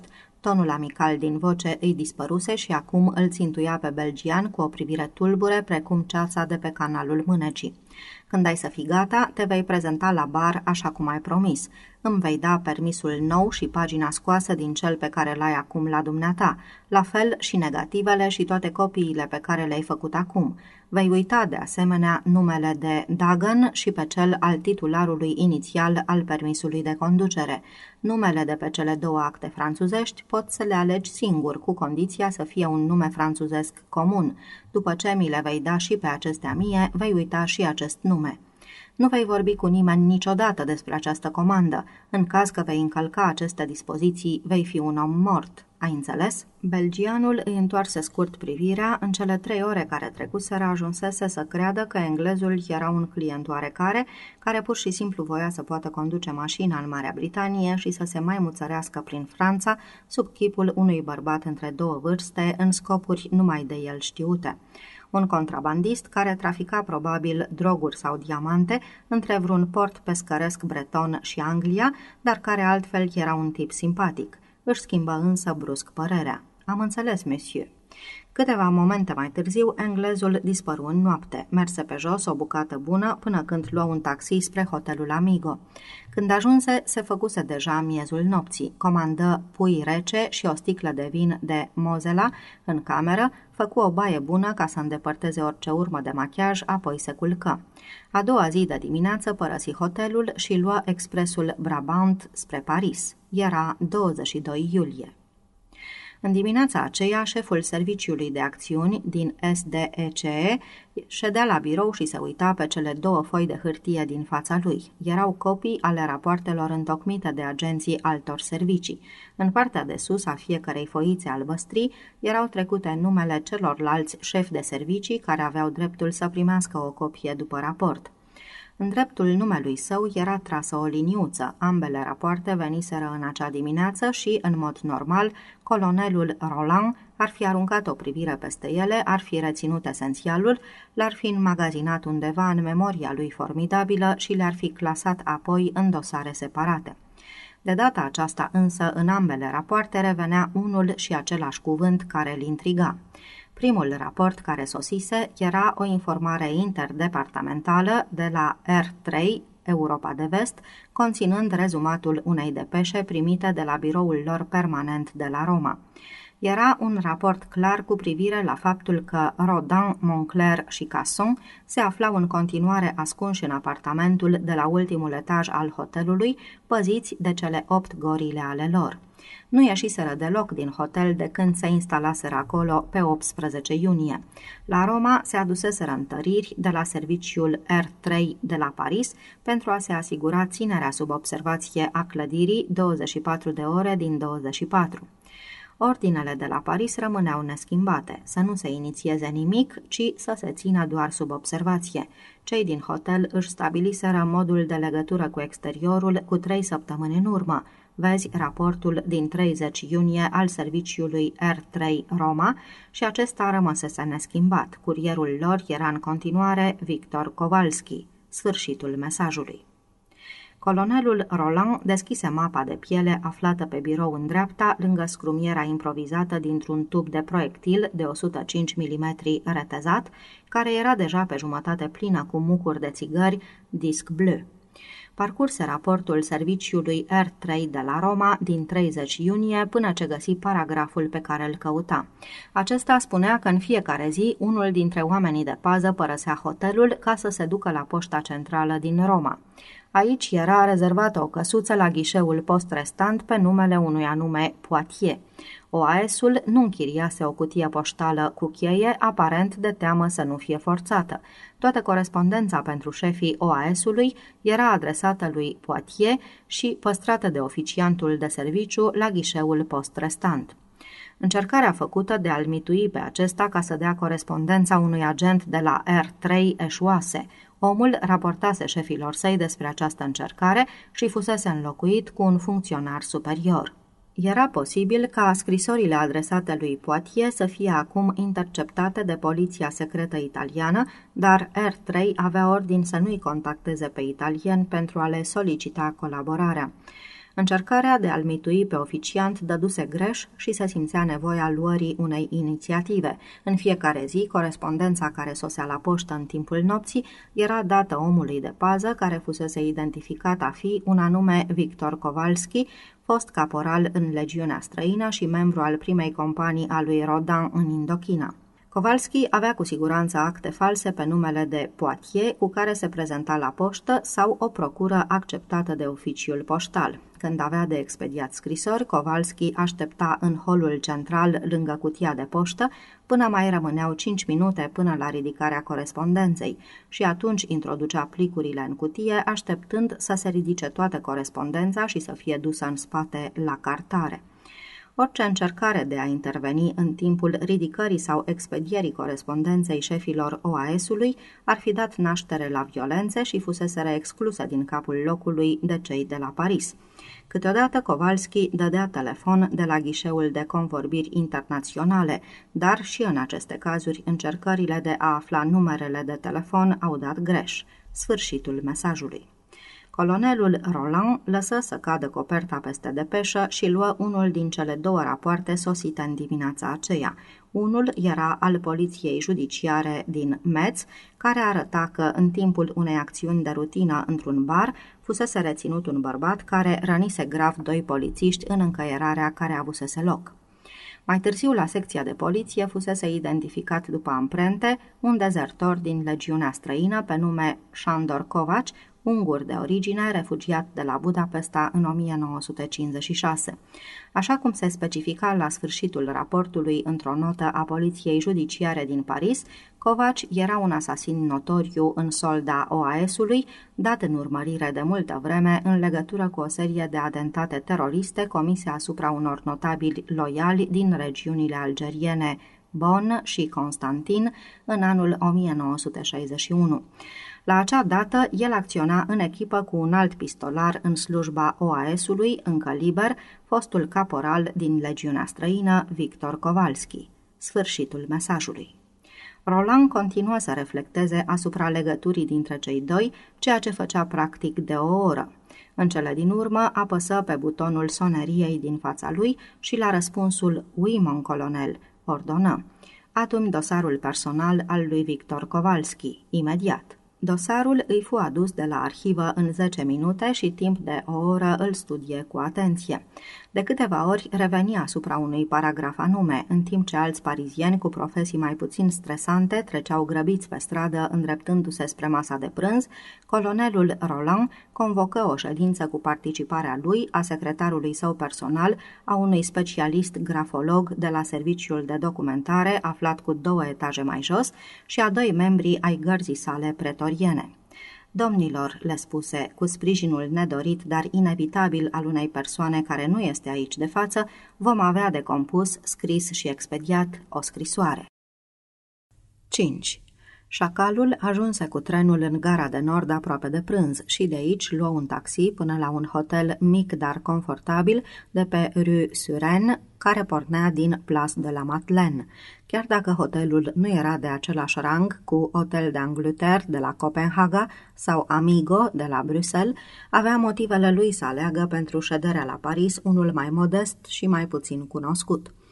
În primul rând, pentru că urma să stea mai mult timp, apoi, locuind la un hotel renumit, probabilitatea era mai mare să întâlnească la acest sfârșit de iulie pe cineva care să-l cunoască întâmplător de la Londra pe adevăratul lui nume. Afară, pe stradă, era sigur că ochelarii mari, aproape negri, pe care îi purta de obicei și care în lumina strălucitoare de pe bulevarde păreau absolut normali, aveau să-i ascundă identitatea. Pericolul care îl putea paște era să fie recunoscut pe vreun coridor de hotel sau în hol. Ultimul lucru pe care și-l dorea era o interpelare vioaie de genul Ei, ia uite, ce plăcere să vă întâlnesc aici!" După care ar fi urmat cu siguranță numele lui adevărat, numai bine să-l audă recepționerul, care îl cunoștea ca fiind domnul Dagan. Șederea lui la Paris nu trebuia să atragă cu nimic atenția. Trăia discret, luându-și micul dejun, cafeaua și cornul în cameră. De la un magazin de delicatese aflat peste drum de hotel, își cumpărase un borcan de marmeladă englezească cu care să înlocuiască gemul de coacăze negre servit la micul dejun și rugase personalul ca dimineața pe tavă să-i aducă borcanul cu marmeladă în locul gemului. Era amabil cu personalul, rostea doar câteva vorbe franțuzești cu acel accent îngrozitor cu care vorbesc englezii limba franceză și zâmbea politicos când îi se adresa cineva. La întrebările pline de solicitudine ale direcției hotelului răspundea că se simte extrem de bine, mersi. Monsieur Dugan, îi spuse proprietara recepționerului într-una dintre zile, et extrêmement gentil, un vrai gentleman. Domnul Dagan este extrem de gentil, un adevărat gentleman. El nu o contrazise. Își petrecea timpul prin locurile căutate de obicei de turiști. În prima zi își cumpăra o hartă a Parisului și își însemnă pe ea locurile care îl interesau, folosind notițele dintr-un carnețel. Pe acestea le vizită și le studie cu atenție deosebită, reținându-le chiar frumusețea arhitecturii sau conotațiile istorice. Petrecut trei zile dând târcoale Arcului de Triunf sau zăbovind pe terasă la Café de l'Elysée și cercetând cu privirea monumentul și acoperișurile imobilelor care înconjoară Place de l'Etoile. Oricine l-ar fi urmărit în acele zile, dar nu a făcut-o nimeni, ar fi fost surprins să constate că realizările arhitectonice ale strălucitului domn Hausmann puteau să-și găsească un admirator chiar atât de devotat. Cu siguranță că niciun observator, oricât de perspicace, n-ar fi putut ghici că turistul englez elegant și tăcut, care amesteca alene în cafea, privea cu insistență la clădirile din jur Orenshire, calcula în minte unghiurile de tragere, distanțele de la ultimele etaje până la flacăra eternă ce pâlpâia sub arc, precum și șansele de a scăpa neobservat pe vreo scară de incendiu și de a se pierde în mulțime.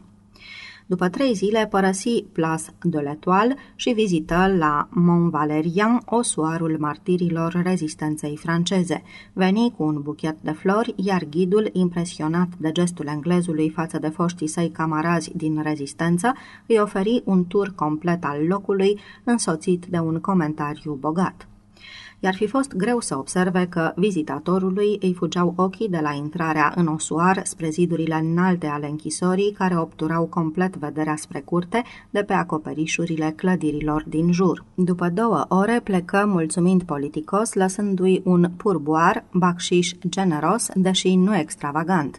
Vizita apoi Place des Invalides, dominată pe latura de sud de Domul Invalizilor, adăpostind mormântul lui Napoleon, altar într-o gloria armatei franceze. Latura de apus a Marii Piețe, formată de Rue Faber, îl interesa cel mai mult și își petrecu o dimineață întreagă la cafeneaua din colțul format de Rue Faber și mica piață triunghiulară Santiago de Chile. Privind la clădirea ce se înălța deasupra sa, la numărul 146, pe Rue de Grenelle, aflată la încrucișarea acesteia în unghi drept cu Rue Faber, aprecie că de la etajul 7 sau 8, un trăgător de elită ar fi putut acoperi grădina din fața domului, intrarea în curtea interioară, cea mai mare parte a pieței și încă două sau trei străzi. Era un loc potrivit ca ultim punct de rezistență, dar nu pentru a comite un asasinat. Odată pentru că distanța de la ferestrele de sus până la aleia cu pietriș, ce ducea din piață spre locul de parcare al mașinilor de la baza scărilor, între cele două tancuri, era de peste 200 de metri apoi pentru că perspectiva ce se deschidea de la ferestrele imobilului cu numărul 146 era în parte mascată de crengile din vârful teilor aflați în piața Santiago, din care porumbeii își slobozeau tributul lor pe umerii statuii răbdătoare a lui Vauban. Regretând, plăti pentru menta cu apă minerală și plecă. Petrecu o zi în zona catedralei Notre-Dame. Aici, în labirintul de pe Ile de la Cité, se găseau tot felul de scări dostnice, alei și pasaje, dar distanța de la intrarea în catedrală până la locul de parcare al mașinilor era doar de câțiva metri. Acoperișurile clădirilor din Place de Parvis erau prea departe, pe când cele scunde care dădeau în Place Charlemagne erau prea aproape și ușor accesibile pentru ca forțele de pază să nu-și plaseze agenții acolo. Ultima vizită a făcut-o în piața aflată la capătul lui Rue de Rennes. Asta se întâmpla pe 28 iulie. Numită odinioară Place de Rennes, piața fusese rebotezată 18 iunie 1940, când oamenii lui de Gaulle reușiseră să se impună la City Hall, Londra. Privirea șacalului lunecă spre tablița lucioasă cu numele pieței și rămase ațintită pe ea. Îi reveni în minte ceva ce citise luna trecută, 18 iunie 1940, era ziua când exilatul singuratic, dar mândru de la Londra, luase microfonul să le spună francezilor că, dacă pierduseră o bătălie, asta nu însemna că pierduseră și războiul. Piața aceasta, dominată de cocoașa masivă a gării Montparnasse de pe latura de sud, plină de amintiri pentru parizienii din generația războiului, avea ceva special ce îl făcu pe asasin să se oprească în loc. Cercetă calm suprafața întinsă de asfalt, străbătută din toate părțile de iureșul de mașini ce se năpustea pe bulevardul Montparnasse și în care se vărsau alte râuri de mașini venind dinspre Rue d'Odessa și Rue de Rennes. Privi clădirile înalte cu fațade înguste care flancau Rue de Rennes și care dădeau și ele spre piață. Ocoli încet piața spre latura de sud și se uită prin grilaj în curtea gării. Un dute vino de mașini și taxiuri aduceau și luau zilnic zeci de mii de navetiști, căci era una dintre principalele gări din Paris dar în iarna următoare avea să rămână doar o masă greoaie și mută, meditând la evenimentele omenești și istorice petrecute în umbra structurii ei metalice. Gara era sortită demolării. Notă. Vechea gară Montparnasse a fost demolată în 1964 pentru a face loc unor imobile pentru birouri. Noua clădire a fost construită la o distanță de 450 de metri față de vechiul amplasament. Am încheiat nota autorului. Șacalul se întoarse cu spatele la grilaj și privi spre Rue de Rennes. În fața lui se afla piața 18 iunie 1940 și era convins că președintele Franței avea să vină încă o dată în acest loc în ziua respectivă. Era posibil să treacă și prin locurile pe care le cercetase în cursul săptămânii anterioare, dar că va veni în acest loc era sigur. Curând, gara Montparnasse nu va mai exista, stâlpii ei de oțel care văzuseră atâtea evenimente vor fi dați la topit, iar curtea de la intrare, martora umilirii Berlinului și a supraviețuirii Parisului, va deveni o cantină ca oricare alta pentru uzul funcționarilor care vor lucra în noile birouri. Înainte ca acest lucru să se întâmple, bărbatul cu chipiu și două stele aurii va veni din nou aici și apoi, între altele, distanța de la ultimul etaj al clădirii din colț, de pe Rue de Rennes și centrul curții gării, era de aproximativ 130 de metri. Șacalul cântări ansamblul urban din fața sa cu ochi de expert. Cele două imobile din colț de pe Rue de Rennes, care dădeau spre piață, erau evident cele mai potrivite și următoarele trei clădiri de pe Rue de Rennes erau variante posibile, oferind însă un unghi îngust de tragere spre curtea gării, în timp ce mai sus de ele unghiul se închidea prea mult. La fel de acceptabile erau și primele trei imobile care dădeau spre bulevardul Montparnasse, ce traversa piața de la est la vest. Următoarele însă nu intrau în calcul, căci unghiul devenea din nou foarte strâns și distanțele mult prea mari. Alte clădiri care să domine curtea și să se afle la o distanță acceptabilă nu mai erau cu excepția gării înseși. Așa ceva ar fi fost însă o nebunie, căci ferestrele de sus dădeau direct în curtea în care vor mișuna agenții de pază. Șacalul decise să cerceteze mai întâi cele trei imobile dinspre colțul de vest pe Rue de Rennes și se îndreptă spre cafeneaua aflată în colțul dinspre răsărit al străzii, cafenea ce se numea Duchesse Anne.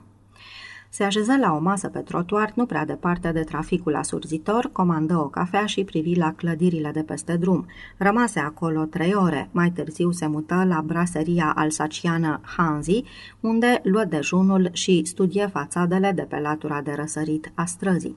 Toată după amiaza se plimbă de colo-colo, aruncând priviri prin holurile blocurilor pe care le alesese ca posibile locuri de acțiune.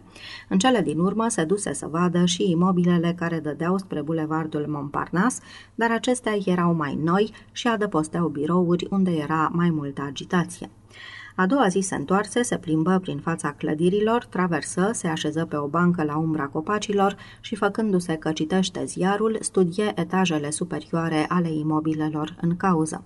Fațadele erau construite după același tipic, cinci sau șase etaje surmontate de un parapet, după care urma acoperișul în pantă învelit cu plăci de ardezie, peste podul mansardat străpuns de lucarne, adăpostind odinioară camerele servitorilor, iar acum locuințe modeste pentru săraci. Acoperișurile și probabil și ferestrele de la mansardă vor fi cu siguranță ținute sub observație toată ziua. S-ar putea ca și pe acoperișuri, ascunși pe după hornuri, să fie plasați agenți care să observe prin binoclu ferestrele și acoperișurile opuse dar și ultimul etaj, cel de sub mansardă, se afla la o înălțime convenabilă, cu condiția ca, aflat în interior, să te ții cât mai în umbră pentru a nu fi văzut de peste drum. În timpul caniculei pariziene, o fereastră deschisă nu era un lucru ieșit din comun, dar cu cât te țineai mai spre interiorul camerei, cu atât se îngusta unghiul de tragere lateral spre curtea gării. Din acest motiv, șacalul elimină cea de-a treia clădire de pe ambele laturi ale străzii.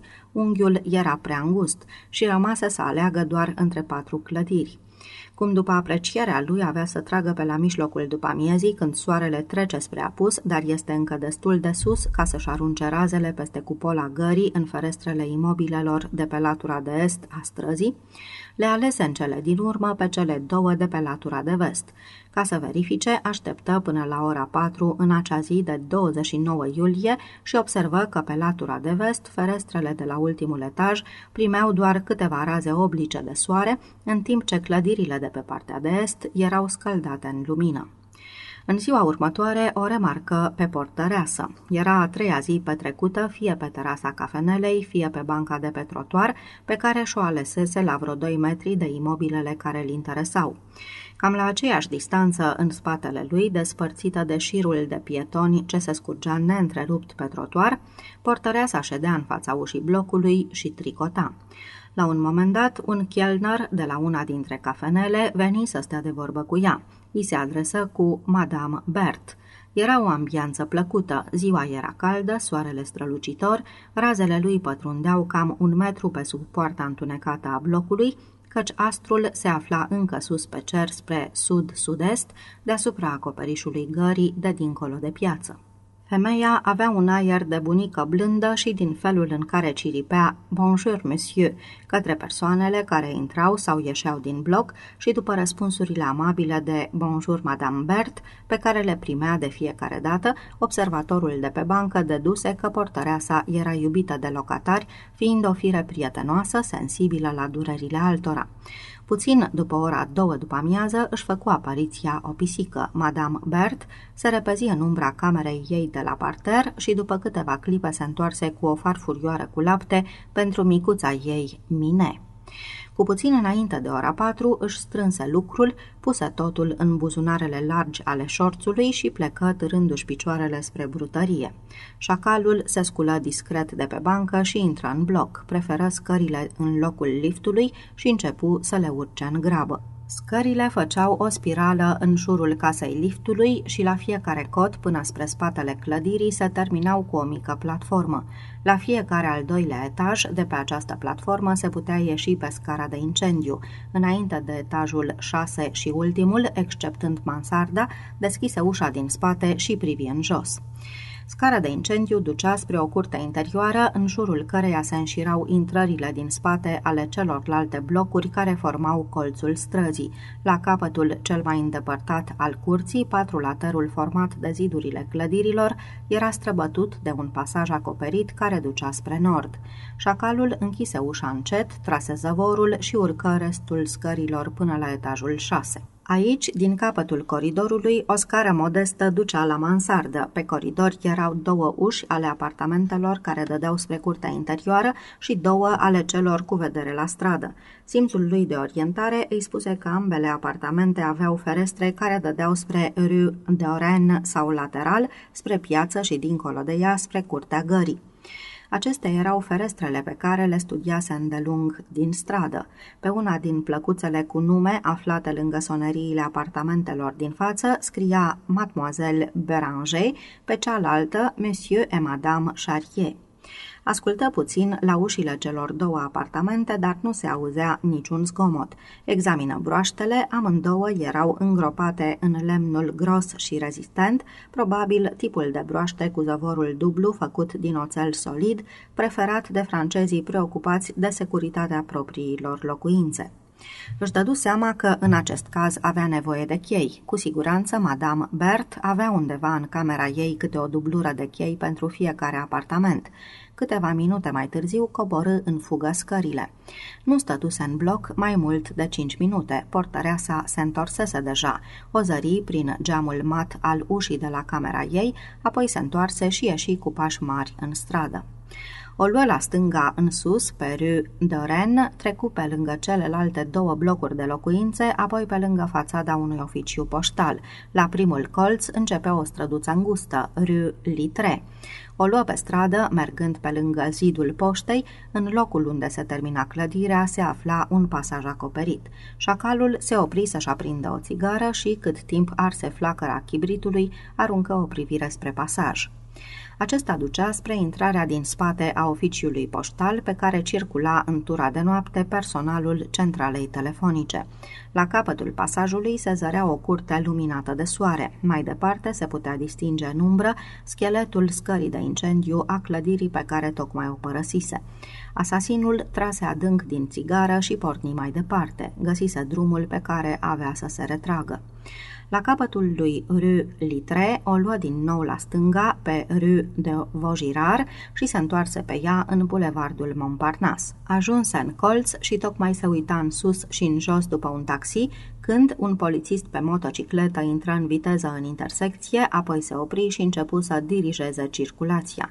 Fluierând strident, opri mașinile ce veneau dinspre Rue de Vaugirard și pe cele care coborau bulevardul dinspre gară. Mașinilor care veneau pe bulevard dinspre Duroc le făcea semne insistente să tragă pe dreapta.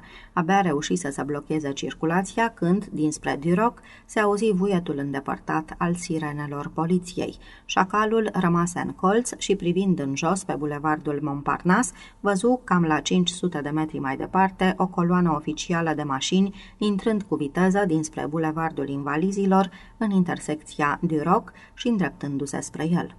În frunte, cu sirenele urlând, veneau doi motocicliști în combinezoane de piele neagră cu căști albe strălucitoare. În spatele lor apărură boturile de rechin a două limuzine Citroën DS-19, mergând strâns una în spatele celeilalte. Polițistul din intersecție stătea țeapăn privind drept înainte și gesticulând rigid cu mâna spre Avenue de Men, latura de sud a intersecției, în timp ce mâna dreaptă o ținea la piept cu palma în jos, indicând trecerea cu prioritate pentru coloana oficială ce se apropia. Aplecându-se mult pe dreapta, cei doi motocicliști intrară în viteză pe Avenue de Men, urmați de limuzine. În prima, pe canapeaua din spatele șoferului și al aghiotantului, ședea drept cu privirea ațintită înainte un bărbat înalt într-un costum gri închis. Înainte ca mașinile să se îndepărteze, șacalul zări preț de o clipă, capul ținut cu demnitate și nasul inconfundabil. Data viitoare, când o să te văd, îi transmisă el fără cuvinte chipului dispărut, va fi în plan apropiat prin luneta telescopică. Găsi în sfârșit un taxi care îl duse înapoi la hotel. Puțin mai departe, lângă stația de metrou Duroc, de unde tocmai ieșise, o altă persoană urmărise trecerea președintelui cu un interes mai mult decât obișnuit. Tocmai voia să traverseze strada când un polițist îi făcu semn să stea pe loc. Câteva clipe mai târziu, coloana oficială țâșni de pe bulevardul invalizilor, traversă porțiunea pavată cu piatră ca să intre apoi pe bulevardul Montparnasse și această persoană zărise profilul inconfundabil prin geamul din spate al primului Citroen și în ochi îi se aprinseseră parcă flăcări. Mașinile trecuseră deja, dar femeia continua să privească în urma lor până când își dădu seama că polițistul o privea insistent. Grăbită porni să traverseze strada. Jacqueline Dumas avea pe atunci 26 de ani și era de o frumusețe remarcabilă pe care știa cum să-și o pună în valoare pentru că era cosmeticiană într-un salon de lux aflat în spatele bulevardului Champs-Élysées. În seara zilei de 30 iulie se grăbea spre micul ei apartament din Place de Breteuil ca să se pregătească pentru întâlnirea din acea seară. Știa că, peste câteva ore, avea să se afle goală în brațele amantului ei pe care îl ura. Dorea să arate cât mai atrăgătoare. Cu câțiva ani în urmă, lucrul cel mai important din viața ei era doar următorul flirt. Făcea parte dintr-o familie cum se cade unită. Tatăl era un respectabil funcționar de bancă, iar mama tipul clasic al franțuzoicei din clasa mijlocie, gospodină și mamă de familie. Ea terminase școala de cosmetică, iar Jean-Claude, fratele ei, își îndeplinea stagiul militar. Familia locuise mai întâi în suburbia Le Vezine. Cartierul nu era cine știe ce, dar ei aveau o casă frumoasă. Telegrama de la Ministerul Forțelor Armate sosise într-o dimineață la micul dejun pe la sfârșitul anului 1959. În ea scria că ministerul regretă că trebuie să-i informeze pe domnul și doamna Armand Dumas despre moartea fiului lor Jean-Claude, soldat în regimentul 1 aeroportat din armata colonială. Lucrurile personale urmau să fie returnate familiei în cel mai scurt timp. O vreme, viața lui Jacqueline a fost profund tulburată. Nimic nu părea să mai aibă rost, nici siguranța în sânul familiei la Levezine, nici flecăreala fetelor de la salonul de cosmetică, despre farmecul lui Yves Montand sau despre rock, ultimul stil nebunesc de muzică importat din America o obseda un singur lucru ca o înregistrare care se repeta mereu și mereu, anume că micul Jean-Claude, scumpul ei frățior, atât de sensibil și blând, urând războiul și violența, dorindu-și doar să fie lăsat în pace cu cărțile lui, un băiețel pe care îl răsfățase cu dragoste fusese împușcat în luptă în Algeria, în cine știe ce oază uitată de Dumnezeu și de atunci începuse să urască. Cei ce comiseseră crima erau arabii, nenorociți ăia respingători, împuțiți și lași. Apoi a apărut François. A venit pe neașteptate la ei acasă într-o duminică dimineață de iarnă, când părinții ei erau plecați în vizită la niște rude. Era în decembrie, pe stradă era zăpadă și pe aleia spre casa lor se făcuse ghețuș. În acel anotimp, lumea era palidă și slăbită, dar nu și François, care arăta bine și era bronzat. A întrebat dacă poate vorbi cu mademoiselle Jacqueline. Ea i-a răspuns, c'est moi-même, eu sunt, și l-a întrebat ce dorește. El i-a răspuns că era comandantul plutonului din care făcuse parte soldatul Jean-Claude Dumas, care murise la datorie și că i-a ducea o scrisoare. Ea l-a invitat înăuntru. Scrisoarea fusese scrisă cu câteva săptămâni înainte de moarte și Jean-Claude o avusese în buzunarul de la piept în timpul unei acțiuni de urmărire prin munți a bandei de rebeli arabi, care lichidaseră o familie de coloniști. Pe partizani nu-i găsiseră, dar dăduseră peste un batalion al ALN, trupele bine antrenate ale Frontului de Eliberare Națională Algerian, FLN. În primele ore ale dimineții avusese loc o luptă violentă și Jean-Claude primise un glonț în piept. Înainte de a muri, îi dăduse scrisoarea comandantului său. Jacqueline a citit scrisoarea și a vărsat câteva lacrimi. În ea nu se pomenea nimic despre ultimele săptămâni, doar lucruri fără importanță, despre viața la cazarmă, antrenamentele pentru asalt și despre disciplină. Restul l-a aflat de la François retragerea pe o distanță de 6 km prin desișuri, în timp ce flancurile ALN strângeau încercuirea, cererile repetate prin radio pentru sprijin aerian, sosirea la ora 8 a bombardierelor cu motoarele țiuind și lansând rachete, și în final cum fratele ei, care, ca să-și dovedească bărbăția, intrase voluntar în regimentul cel mai încercat și murise la adăpostul unei stânci, scuipându-și sângele pe genunchii unui caporal. François s-a purtat foarte delicat cu ea, era însă un bărbat aspru ca pământul provinciei coloniale pe care se formase ca soldat de profesie în cei patru ani de război, dar cu sora unuia dintre băieții din plutonul său nu putea fi decât foarte delicat, ea l-a plăcut imediat pentru acest lucru și a acceptat să ia masa cu el la Paris. În plus, se temea că între timp se vor întoarce părinții și nu dorea ca ei să audă povestea morții lui Jean-Claude. Amândoi abia reușiseră să-și înnăbușe oarecum durerea în cele două luni care trecuseră și să-și ducă de bine de rău viața mai departe.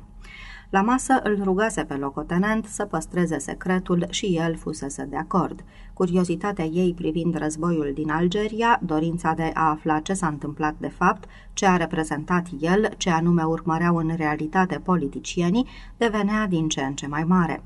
Generalul de Gaulle ajunsese la președinție din postul de prim-ministru în ianuarie trecut, purtat la Elize de un val de entuziasm patriotic, ca omul care urma să pună capăt războiului, păstrând însă Algeria franceză. De la François a aflat întâia oară că omul pe care tatăl ei îl venera era considerat trădător al Franței. Au petrecut împreună permisia lui François, întâlnindu-se în fiecare seară după ce ea își termina treaba la salonul de cosmetică, unde lucra din ianuarie 1960, după ce absolvise școala. El i-a povestit despre trădarea armatei franceze, despre tratativele secrete purtate de guvernul de la Paris cu Ahmed Ben Bella, conducătorul FLN-ului, aflat atunci în pușcărie, cât și despre iminenta cedare a Algeriei arabilor. În a doua jumătate a lui ianuarie, el s-a întors din nou la război și ea s-a mai întâlnit odată cu el la Marsilia în luna august, când el reușise să capete o permisie de o săptămână. L-așteptase plăsmuindu-l cu mintea drept simbol a tot ce era bun, curat și curajos în tinerii bărbați ai Franței. Îl așteptase apoi toată toamna și iarna lui 1960, ținându-i fotografia aproape pe noptieră și când se culca își trăgea bine cămașa de noapte în jos și își lipea palmele de pântece. În ultima permisie din primăvara lui 61 a venit din nou la Paris și pe când se plimbau pe bulevarde, el în uniformă, iar ea în rochia ei cea mai frumoasă, îi se părea că el era cel mai puternic, cel mai bine făcut și cel mai chipeș bărbat din oraș. Una dintre colege îi văzuse și a doua zi tot salonul nu vorbea decât de frumosul para al lui Jackie. Ea nu era de față, își luase concediu pentru a sta cu el tot timpul. François era agitat, în aer plutea ceva. Toată lumea vorbea despre tratativele cu FLN. Armata, adevărata armată, nu va mai suporta mult timp, spunea el. Pentru ofițerul de 27 de ani, călit în lupte și pentru adorabila viitoare mamă de 23, era o datorie de credință ca Algeria să rămână franceză. François n-a știut niciodată de copil. S-a întors în Algeria în martie 61, iar pe 21 aprilie câteva unități ale armatei franceze s-au răzvrătit împotriva guvernului din metropolă. Parașutiștii din regimentul 1 colonial au trecut aproape până la unul de partea rebelilor. Doar câțiva recruți au părăsit în fugă cazarma și s-au prezentat la prefectură.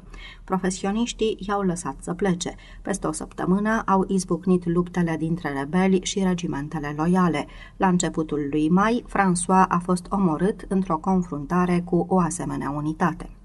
Jacqueline, care nu mai primise scrisori de la el din aprilie, nu pănuise nimic până în iulie când a primit vestea. Atunci a închiriat în secret un mic apartament într-un cartier modest din Paris și a încercat să se sinucidă dând drumul la gaze. Nu i-a reușit însă, camera nefiind bine izolată și a pierdut copilul. Părinții au luat-o cu ei în concediu în august și când s-au întors la Paris, ea părea să-și fi revenit. Din decembrie a început să lucreze în secret pentru OAS. Motivele erau clare. François, apoi Jean-Claude. Cei doi trebuiau răzbunați, indiferent prin ce mișloace, indiferent de prețul care trebuia plătit de ea sau de alții. În afara acestei obsesii, pentru ea nu mai exista altceva pe lume. Singura nemulțumire era aceea că nu putea face mai mult decât să îndeplinească unele comisioane, să ducă mesaje și uneori în sacoșă câte un calup de exploziv plastic ascuns în pâine. Era convinsă că putea face mai mult. Oare nu pe ea o lăsau să treacă polițiștii care făceau razii pe la colțuri și percheziționau lumea după câte un atentat cu bombe în cinematografe sau cafenele, numai pentru că știa cum să clipească punându-și în valoare frumoasele gene lungi și negre? După atentatul de la Petit Clamar, unul dintre asasinii prezumtivi stătuse ascuns trei zile și trei nopți în apartamentul ei din Place de Breteuil. Pentru ea a fost momentul culminant, dar fugarul trebuie să plece. După o lună a fost prins, dar n-a pomenit nimic de șederea în apartamentul ei. Poate că uitase, dar pentru siguranță șeful celulei din care făcea parte i-a dat dispoziție să întrerupă orice legătură cu OAS-ul până ce lucrurile se linișteau. Abia din ianuarie 63 începuse să ducă din nou mesaje. Și a continuat așa până când, în luna iulie, a vizitat-o un bărbat. Era însoțit de șeful celulei, care îi arăta un respect deosebit. Bărbatul nu și-a spus numele. Era pregătită să îndeplinească o misiune specială pentru organizație? Desigur, chiar dacă era periculoasă sau respingătoare, nicio problemă. După trei zile i-a fost arătat un bărbat care ieșea dintr-un imobil. Se aflau într-o mașină parcată. I s-a spus cine era bărbatul și ce funcție avea și, bineînțeles, ce avea ea de făcut. Pe la mijlocul lui iulie s-au întâlnit ca din întâmplare într-un restaurant unde ea se așezase în apropierea lui și îi zâmbise sfioasă rugându-l să împrumute solnița de pe masa lui. El i-a spus câteva cuvinte, ea s-a purtat rezervat. Reacția a fost cea așteptată, reținerea ei i-a stârnit interesul. Conversația s-a înfiripat pe nesimțite, bărbatul avea inițiativa, ea îl seconda docilă. În două săptămâni, legătura lor se înfiripase deja. Ea îi cunoștea destul de bine pe bărbați ca să-și dea seama de genul de aventură preferat de fiecare – Noul ei companion era obișnuit să cucerească femei ușoare, cu experiență. Ea făcea pe timida, atentă și neprihănită, păstra o anumită reținere, dar lăsa să se înțeleagă uneori că trupul ei superb nu era făcut să se irosească în zadar. Momeala a prins. Din acel moment, cucerirea ultimei redute devenise pentru bărbat o chestiune de prioritate absolută. Pe la sfârșitul lui iulie, șeful de celulă îi spuse că trebuie să înceapă să trăiască cu el cât de curând. Inconvenientul era că el locuia cu soția și copiii. Pe 29 iulie, aceștia plecară la casa lor de la țară, pe Valea Loarei, în timp ce el era reținut la Paris de obligații profesionale.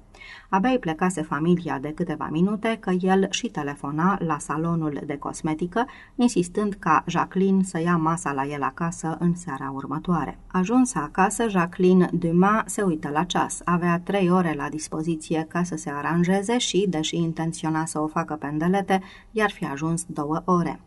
Se dezbrăcă, făcu un duș, se șterse apoi în fața oglinzii prinse pe ușa dulapului, urmărind cu detașare și răceală alunecarea prosopului pe piele și ridicându-și brațele ca să-și etaleze sânii cu vârfurile trandafirii, fără a simți însă cu anticipație acea desfătare pe care o încerca doar la gândul că aveau să fie mângâiați de mâna lui François. Se gândi plictisită la noaptea ce urma să vină și simți cum pântecele îi se contractă de scârbă. O va face, se jura, va face orice îi se va cere. Dintr-un sertar al biroului scoase fotografia lui François, care o privea din ramă cu același zâmbet puțin ironic, cu care obișnuia să o privească ori de câte ori o vedea venind, parcă zburând, la întâlnire părul castaniu și moale, uniforma ușoară de culoarea nisipului sub care se ghiceau mușchitari, de care îi plăcea să-și sprijine fața și insigna de oțel a armei atât de rocoroasă pe obrazul înfierbântat. Toate erau aici în fotografie. Se întinse pe pat, ținând fotografia lui François deasupra ei, așa cum stătea el atunci când făceau dragoste și o întreba evident inutil. Alors, petit, tu veux? Haide, micuța mea, vrei?" Iar ea își șoptea atunci. Oui, tu sais bien. Da, știi că... Și atunci se întâmpla minunea.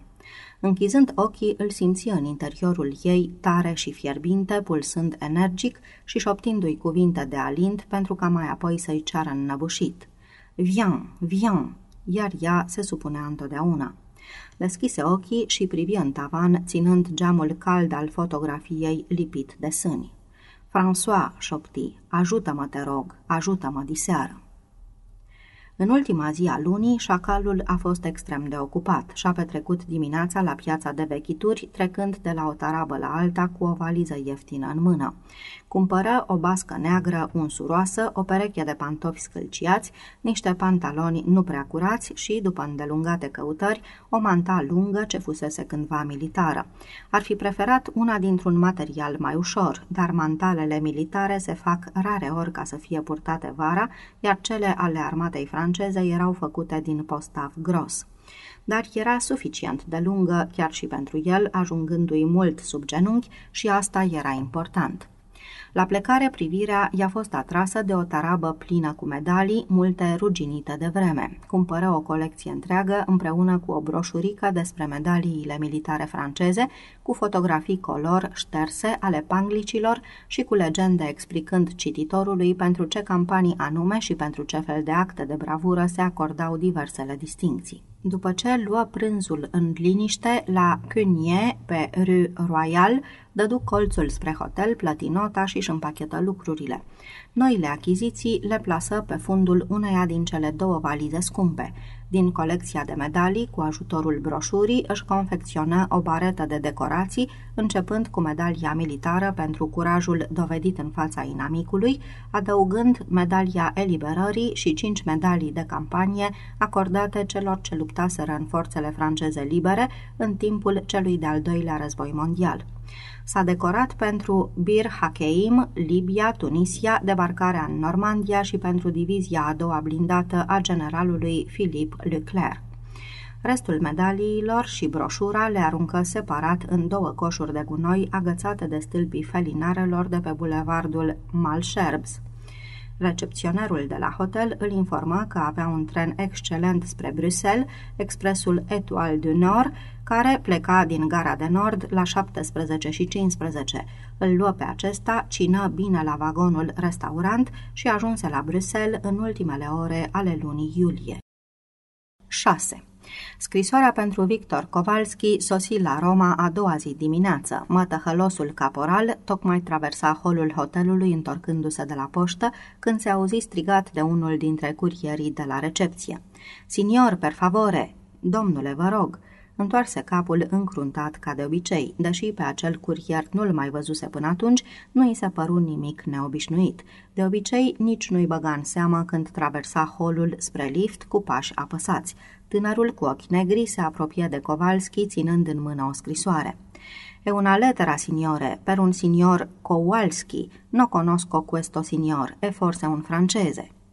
O scrisoare, domnule, pentru un domn Kowalski. Nu-l cunosc, poate este francez. Kowalski nu înțelegea o iotă din cele ce îi spunea italianul, dar ceva pricepuse recunoscându-și propriul nume pe scrisoare, chiar dacă italianul îi stâlcise pronunția. Lua scrisoarea din mâna tânărului și se uită cu atenție la nume și la adresă. El se înregistrase la hotel sub un nume fals, dar cum nu era deprins cu cititul, nu avea de unde să știe că, exact cu cinci zile înainte, într-un ziar din Paris apăruse o știre de senzație, relatând că trei dintre capii OAS-ului se ascundeau la ultimul etaj din acel hotel. În ceea ce îl privea, nimeni nu-i cunoștea identitatea și totuși scrisoarea îi dădea de gândit. Nu primea prea des scrisori și, cum se întâmplă de obicei în cazul oamenilor simpli, sosirea uneia reprezenta un adevărat eveniment. Află de la italianul care îl privea rugător, ca și când el, Kowalski, l-ar fi putut scoate din impas, că nimeni de la recepție nu cunoștea vreun client cu acest nume, iar el nu știa ce să facă de fapt cu scrisoarea. Kowalski îl privi de sus pe tânăr. Bon, je vais demander, spuse el arogant. Bine, o să întreb. Italianul nu-și descreți nici acum fruntea. Demande, demande, repetă Kowalski, arătând cu degetul în sus spre tavan. Italianul pricepu. A, si, domandare. Prego, signor, tante grație. A, să întrebați. Vă rog, domnule, vă mulțumesc mult.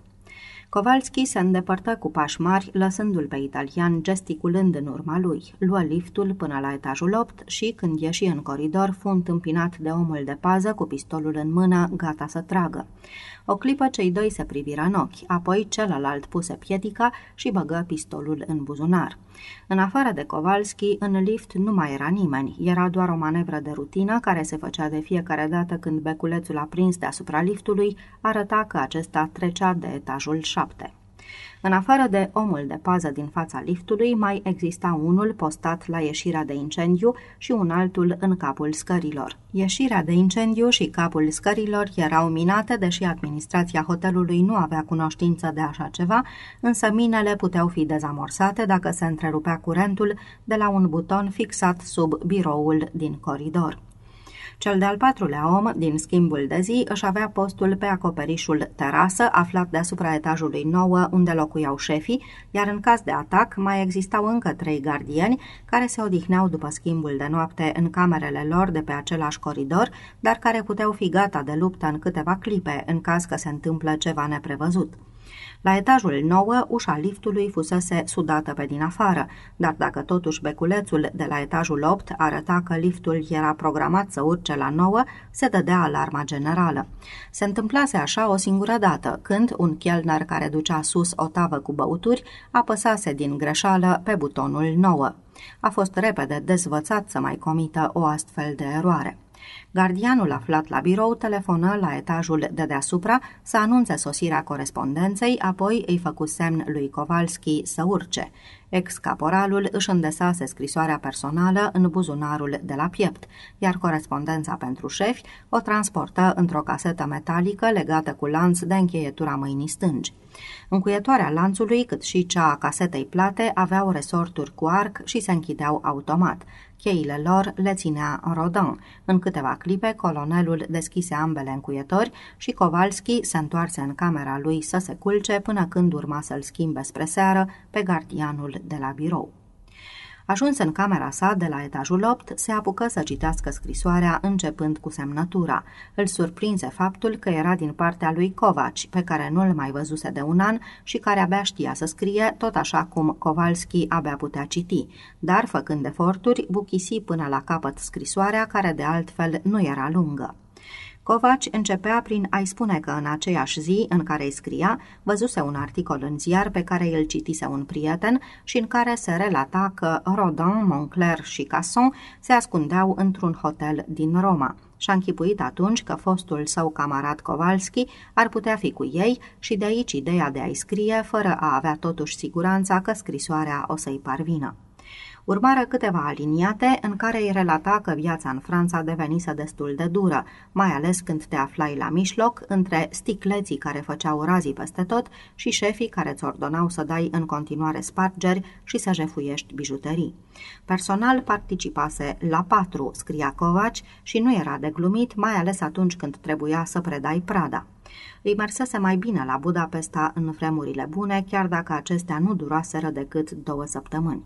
În ultimul paragraf îi spunea că se întâlnise cu Michel acum câteva săptămâni, care vorbise cu Jojo și acesta îi spusese că micuța Silvii era bolnavă de leu și mai nu știu cum, în neregulă cu sângele, dar Covaci își exprimă speranța că se va face bine în curând, iar Victor nu trebuia să fie îngrijorat. Victor era însă îngrijorat, îl speria teribil gândul că micuța Silvii era bolnavă. În cei 36 de ani de viață plină de violențe, puține lucruri îi pătrunseseră lui Kowalski la inimă. Când nemții au invadat Polonia, avea 12 ani, iar când a împlinit cu un an mai mult, părinții săi au fost ridicați de acasă cu o dubă. Era însă destul de mare ca să-și dea seama ce făcea sora lui la impunătorul hotel din spatele catedralei, rechiziționat de nemți și frecventat de numeroși ofițeri. Părinții fuseseră afectați profund de acest lucru și au protestat la comenduire. Fiind destul de mare ca să fugă la partizani, omorâ primul neamț la 15 ani. Când au venit rușii, avea 17 ani. Părinții lui i-au urât de moarte, dar le-a fost întotdeauna teamă de ei. Povesteau despre ororile pe care rușii le comiseseră asupra polonezilor, așa că el i-a părăsit pe partizani, care mai târziu aveau să fie executați din ordinul comisarului rus și a luat-o spre apus, fugind ca un animal hăituit, până ce a ajuns în Cehoslovacia. Mai târziu, tânărul deșirat care nu vorbea decât poloneza și era mort de foame, a ajuns în Austria într-un lagăr pentru persoane fără adăpost. Îl credeau și pe el unul dintre cei mulți și neajutorați rătăciți prin Europa postbelică. Hrănit cu mâncare americană, și-a recăpătat puterile. Într-o noapte, în primăvara lui 46, a fugit de acolo și a luat-o pe jos spre sud către Italia și de aici în Franța, împreună cu un alt polonez pe care îl întâlnise în lagăr și care știa ceva franțuzește. La Marsilia a dat o spargere într-o prăvălie și l-a omorât pe proprietarul care îl surprinsese și de aceea a trebuit din nou să fugă. Tovarășul lui îl părăsise spunându-i că singura lui scăpare era în legiunea străină. S-a înrolat a doua zi dimineață și, până să înceapă cercetările poliției în orașul răvășit de război, el era deja la Sidi Bel Abes. Cum orașul mediteranean era încă o bază însemnată pentru importurile de alimente americane, iar crimele comise pentru a intra în posesia lor erau un fapt comun, cazul a fost abandonat după câteva zile, nedându-se de urma niciunui suspect. Când Kowalski a aflat acest lucru, el era de mult angajat în legiunea străină. Avea doar 19 ani și la început cei mai vechi îi spuneau Petit Bonhomme, puștiul, le-a demonstrat apoi că știe să ucidă și de atunci i-au spus pe nume, Kowalski. Cei șase ani petrecuți în Indochina i-au înnăbușit și ultima urmă de normalitate, iar după aceea mătăhălosul caporal a fost trimis în Algeria. Între timp a întâlnit-o pe Julie, o femeiușcă mărunțică, dar plină de vicii, care lucra la un bar din port și avea necazuri cu peștele ei. Kowalski i-a expediat tipului un pumn zdravăn, de-a zburat vreo șase metri prin bar și a rămas lat vreo zece ore. An de zile după aceea, omul abia putea pronunța cuvintele, atât de rău îi fusese zdrobită falca. Julie l-a plăcut pe legionarul voinic și, timp de câteva luni, acesta a devenit protectorul ei, însoțind-o când se întorcea noaptea de la lucru în mansarda ei infectă din portul vechi. Au trăit împreună o desfrânată plăcere a simțurilor, mai cu seamă ea, fără nici urmă de dragoste și cu atât mai puțin atunci când a rămas gravidă. Copilul era al lui, îi spusese ea, și poate că el o crezuse pentru că așa dorea. Îi mai spusese că nu voia copilul și că știa o bătrână care putea să o scape de el. Kowalski a pocnit-o și i-a spus că dacă face așa ceva, o omoară. Trei luni mai târziu a trebuit să se întoarcă în Algeria. Între timp se împrietenise cu alt polonez și el fost legionar pe nume Jozel Gjibovski, cunoscut ca Jojo Polonezul. Acesta fusese rănit în Indochina și se însurase apoi cu o văduvă drăguță care vindea gustări în gara principală dintr-un cărucior pe care îl împingea în sus și în jos pe peron. De la căsătoria lor, în 1953, se ocupaseră amândoi de această afacere. Jojo, șchiopătând în urma nevestei, lua banii și dădea restul, în timp ce ea servea gustările. În serile când nu lucra, lui Jojo îi plăcea să umble prin barurile frecventate de soldații din legiunea străină, cantonați în cazarma din apropiere, să povestească alături de ei despre vremurile bune de odinioară. Cei mai mulți erau tineri recrutați după zilele lui de glorie de la Turan în Indochina. Într-o seară l-a întâlnit pe Kowalski. Kowalski i-a cerut lui Jojo un sfat în privința copilului. Jojo i-a dat dreptate, amândoi fuseseră cândva buni catolici. Vrea să scape de copil, îi spusese Kowalski. Salop, târfa, fusese răspunsul lui Jojo. N-am mai avut copil până acum, continuă Victor după un timp de gândire. Nici eu, chiar dacă sunt însurat, îi răspunse Jojo. Spre dimineață, beți de-a binelea căzură de acord asupra unui plan și mai băură un rând, închinând în cinstea lui cu solemnitatea caracteristică bețivilor notorii. A doua zi de dimineață, Jojo își aminti de angajamentul luat, dar nu știa cum să-i spună nevestei. Îi trebuiră trei zile. De două sau trei ori se învârtise în jurul subiectului, apoi i-a trântit-o pe când se aflau în pat. Spre mirarea lui, femeia a fost încântată de idee și așa lucrurile s-au aranjat.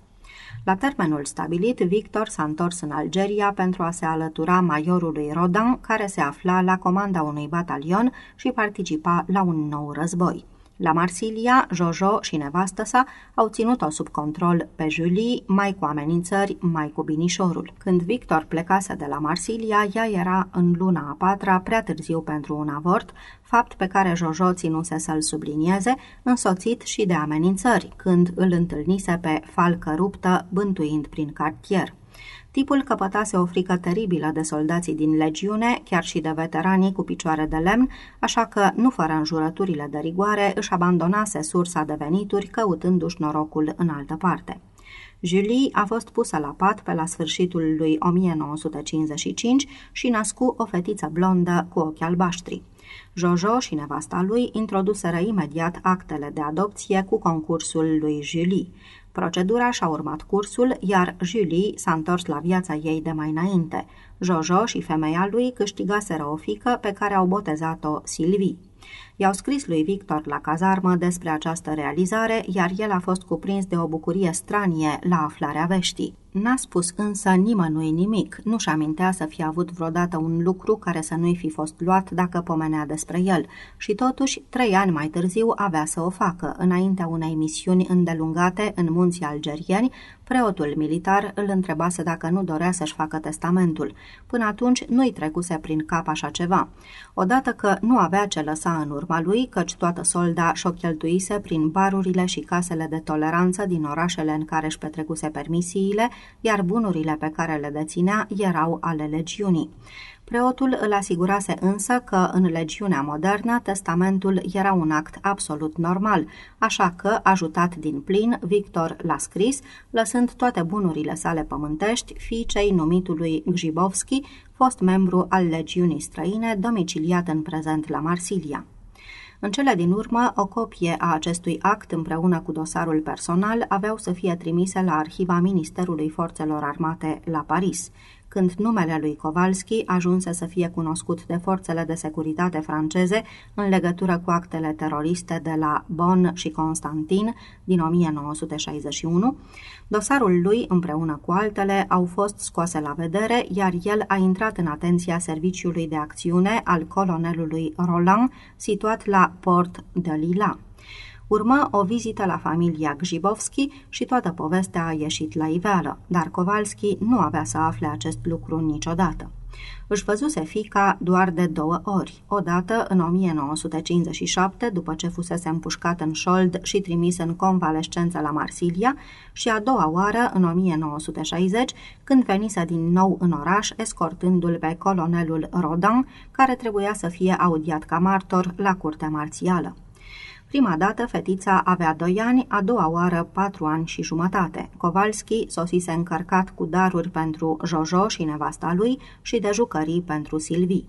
Copila și unchiul Victor, mare cât un urs, se înțeleseseră de minune, dar el n-a mai pomenit nimănui despre toate acestea, nici măcar lui Rodin.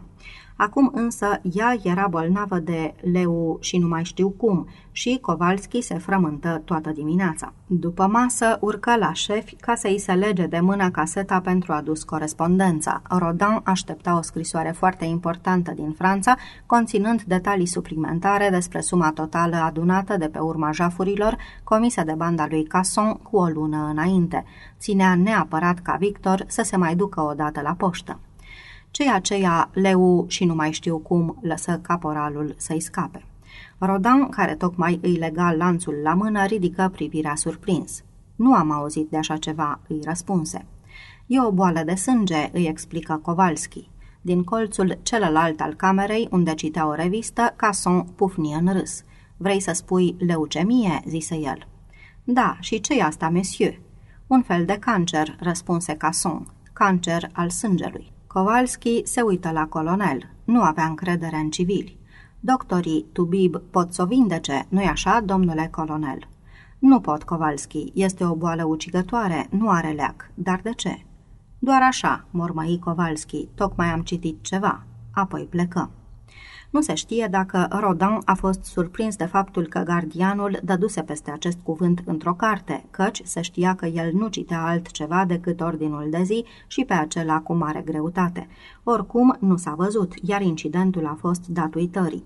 Cu poșta de după amiază sosise scrisoarea așteptată în care se preciza că toate conturile OAS-ului din băncile elvețiene însumau acum peste 250.000 de dolari. Mulțumit, Rodan se așeză să scrie bancherilor dându-le instrucțiuni să transfere toată suma în contul asasinului angajat de el. Nu-și făcea griji de rest. Când președintele de Gaulle va fi mort, industriașii și bancherii extremei drepte, care finanțaseră OAS-ul în zilele lui bune, se vor grăbi să scoată și restul de 250 de mii. Aceiași oameni care, cu numai două săptămâni înainte, răspunseseră cererii de noi fonduri, băiguind scuze de genul că din cauza lipsei de inițiativă și acțiune manifestată de forțele patriotice, șansele de a-și recupera investițiile erau tot mai mici, aveau acum să-și revendice onoarea de a-i fi sprijinit pe militarii care urmau să devină în curând noi conducători ai Franței renăscute. Când termina de scris instrucțiunile către banchieri, afară se lăsase întunericul. Casson protestă văzând ordinul dat bancherilor elvețieni de a-l plăti pe șacal. Îi reaminti un lucru important și anume că toți trei îi promiseseră șacalului că îl vor pune în legătură la Paris cu o persoană capabilă să-i furnizeze permanent cele mai precise informații de ultimă oră privind mișcările președintelui Franței, precum și orice modificare intervenită în măsurile de securitate obișnuite. Acestea ar putea fi și cu siguranță că vor fi de importanță vitală pentru asasin. Al informa în acest stadiu de transferul banilor, opina Casson, însemna să-l încurajezi să treacă la o acțiune prematură. Momentul când va trece la atac va fi evident ales de el singur, dar câteva zile în plus nu mai contau. Informațiile furnizate asasinului ar fi putut înclina balanța spre succes sau spre alt eșec, cu siguranță ultimul. El, Casson, primise o informație cu poșta de dimineață și anume că principalul său agent la Paris reușise să placeze un om în anturajul din imediata apropiere a lui de Gaulle. Mai erau necesare vreo câteva zile pentru ca agentul să poată culege informații corecte despre mișcările lui de Gaulle și, în primul rând, despre deplasările și aparițiile în public care nu se mai anunțau în prealabil. N-ar vrea Rodan să mai întârzie câteva zile transmiterea ordinului către banchieri, până când el, Casson, avea să fie în măsură să comunice asasinului un număr de telefon la Paris, de unde să poată primi informații vitale pentru misiunea sa? Rodin reflectă îndelung la argumentele lui Casson și până la urmă îi dădu dreptate. Niciunul dintre ei nu putea ști intențiile șacalului și, de fapt, nici transmiterea ordinului către banchieri și a unei scrisori la Londra cu numărul de telefon de la Paris nu l-ar fi făcut pe asasin să schimbe o iotă din planul său. Teroriștii de la Roma nu aveau cum să știe că el alesese deja ziua și își urma planul neabătut, luându-și măsuri de precauție pentru situații neprevăzute cu o precizie de ceasornic. În fierbintea noapte romană, Kowalski ședea de pază pe acoperiș, ținând cu mâna sigură coltul 45 mascat de coșul ventilatorului și se gândea plin de îngrijorare la o fetiță care zăcea în pat la Marsilia, cu leu și nu mai știu cum în sânge. Puțin înaintea zorilor îi veni o idee. Își aduse aminte că ultima dată când se văzuse cu Jojo în 1960, acesta îi spusese că urma să-și instaleze telefon. În dimineața în care Kowalski primea scrisoarea, șacalul părăsea hotelul Amigo din Bruxelles și lua un taxi până în colțul străzii pe care locuia domnul Gosens. Îi telefonase armurierului prezentându-se cu numele de Dagan, așa cum îl cunoștea domnul Gosens, și fixaseră o întâlnire la ora 11 dimineața. Ajunse în colțul străzii la 10.30 și timp de o jumătate de oră observă mișcarea de pe stradă, stând pe o bancă în micul parc aflat la capătul ei și privind din spatele unui ziar. Strada părea să fie destul de liniștită. La 11 fix se prezentă la ușă, domnul Gosens îi deschise, apoi îl pofti în micul birou de dincolo de hol. După ce șacalul intră, domnul Gosens încuie ușa cu grijă și puse lanțul de siguranță. Ajunși în birou, șacalul se adresa armurierului. Sunt probleme?" întrebă el. Belgianul nu se simțea în largul lui. Da, din păcate. Asasinul îl măsură cu privirea rece, fără nicio expresie, ținându-și ochii sumbrii pe jumătate închiși. Mi-ați spus că dacă vin la 1 august, arma va fi gata până pe 4 ca să o pot lua. Perfect adevărat și pot să vă asigur că nu există nicio problemă în ceea ce privește arma, îi spuse belgianul. Arma este gata și nu că mă laud, dar este o capodoperă, un exemplar unic. Necazuri am avut cu cealaltă piesă, care evident că a trebuit construită de la zero. Să vă arăt. Pe masă se afla o casetă plată, lungă de circa 60 de centimetri, lată de 40 și adâncă de 10. Domnul Gosens deschise caseta și lăsă capacul pe masă. Șacalul privi înăuntru. Arăta ca o tavă lată împărțită în compartimente pentru fiecare componentă a puștii. Nu este caseta originală, îi explică domnul Gosens. Ar fi fost prea lungă. Pe aceasta am făcut-o eu. Totul intră înăuntru la milimetru. Și, într-adevăr, totul se potrivea perfect. În capacul casetei erau fixate țeava și cutia închizătorului, care, puse cap la cap, nu erau mai lungi de 45 de centimetri. Șacalul scoase piesa din cutie și o examină cu atenție. Era foarte ușoară și aducea mai degrabă cu țeava unui pistol mitralieră. Închizătorul subțire se afla în cutia lui în poziție închisă. El avea fixat la capăt un mic buton nu mai lat decât cutia. Englezul prinse butonul între arătător și degetul mare și îl răsuci în lăcașul lui. Îl trase apoi înspre el, închizătorul culisă și lăsă să se vadă camera lucioasă în care urma să fie plasat glonțul și gaura întunecată de la capătul țevii. Împinse închizătorul la loc și răsuci butonul în sensul acelor de ceasornic. Închizătorul se blocă în lăcașul lui. Chiar sub capătul posterior al închizătorului fusese sudat cu maestrie un disc suplimentar de oțel. Acesta era gros de un centimetru, dar nu depășea 2,5 cm în circumferință. În partea de sus avea decupat un semicerc care permitea culisarea înapoi a închizătorului. În centrul feței posterioare a discului se afla o singură gaură de un centimetru în diametru cu interiorul filetat, în care urma să se fixeze un șurub. Discul servește la fixarea patului, spuse belgianul calm. Șacalul observă că în locul de unde fusese scos patul de lemn al puștii originale nu rămăsese nicio urmă, cu excepția unor protuberanțe fine pe sub cutia închizătorului, de care fusese fixat anterior patul de lemn. Cele două găuri lăsate de șuruburile de prindere ale patului fuseseră înfundate și șlefuite cu maestrie. Întoarse pușca și o examina pe dedesubt. Sub cutia închizătorului se afla o fantă îngustă prin care se putea zări partea de dedesubt a închizătorului care conținea percutorul. Prin fantă ieșea capătul trăgaciului. Acesta fusese însă retezat scurt până la peretele de oțel al cutiei închizătorului. De capătul trăgaciului original al puștii fusese sudat un buton mic de metal prevăzut cu o gaură filetată. Fără să spună un cuvânt, domnul Gosens îi dădu englezului o mică piesă curbată de oțel, având unul din capete filetat. Acesta introduse capul piesei în gaura filetată și îl răsuci rapid. Astfel, noul trăgaci fu fixat sub cutia închizătorului. Apoi belgianul luă din cutie o vergea îngustă de oțel, care avea și ea unul din capete filetat. Iată prima capodoperă a cadrului metalic ce ține loc de pat, spuse el. Asasinul înșurubă capătul vergelei de oțel în gaura din mijlocul discului fixat în spatele cutiei închizătorului și îl răsuci până la capăt. Din profil, vergeaua părea să iasă din partea posterioară a puștii, coborând sub un unghi de 30 de grade. La 5 cm de capul cu filet înșurubat în apropierea mecanismului armei, vergeaua era ușor aplatizată și în centrul acestei porțiuni era dată o gaură sub un anumit unghi față de axul vergelei. Această gaură era orientată direct spre spate. Gosens luă acum o a doua vergea mai scurtă. Vergeaua de sus, spuse el și aceasta fu fixată la locul ei. Cele două vergele ieșeau din spatele armei, cea de sus făcând un unghi mai mic față de axul țevii, astfel că ele se îndepărtau una de alta ca laturile unui triunghi fără bază. Gosens scoase apoi la iveală și baza. Era curbată, lungă de 12-15 cm și căptușită cu piele neagră. La ambele capete avea două găuri mici. Aici nu există filet, spuse armurierul. Se fixează de cele două capete ale vergelelor doar prin presare. Englezul potrivi capetele vergelelor în cele două găuri și cu o lovitură a palmei le fixă la locul lor.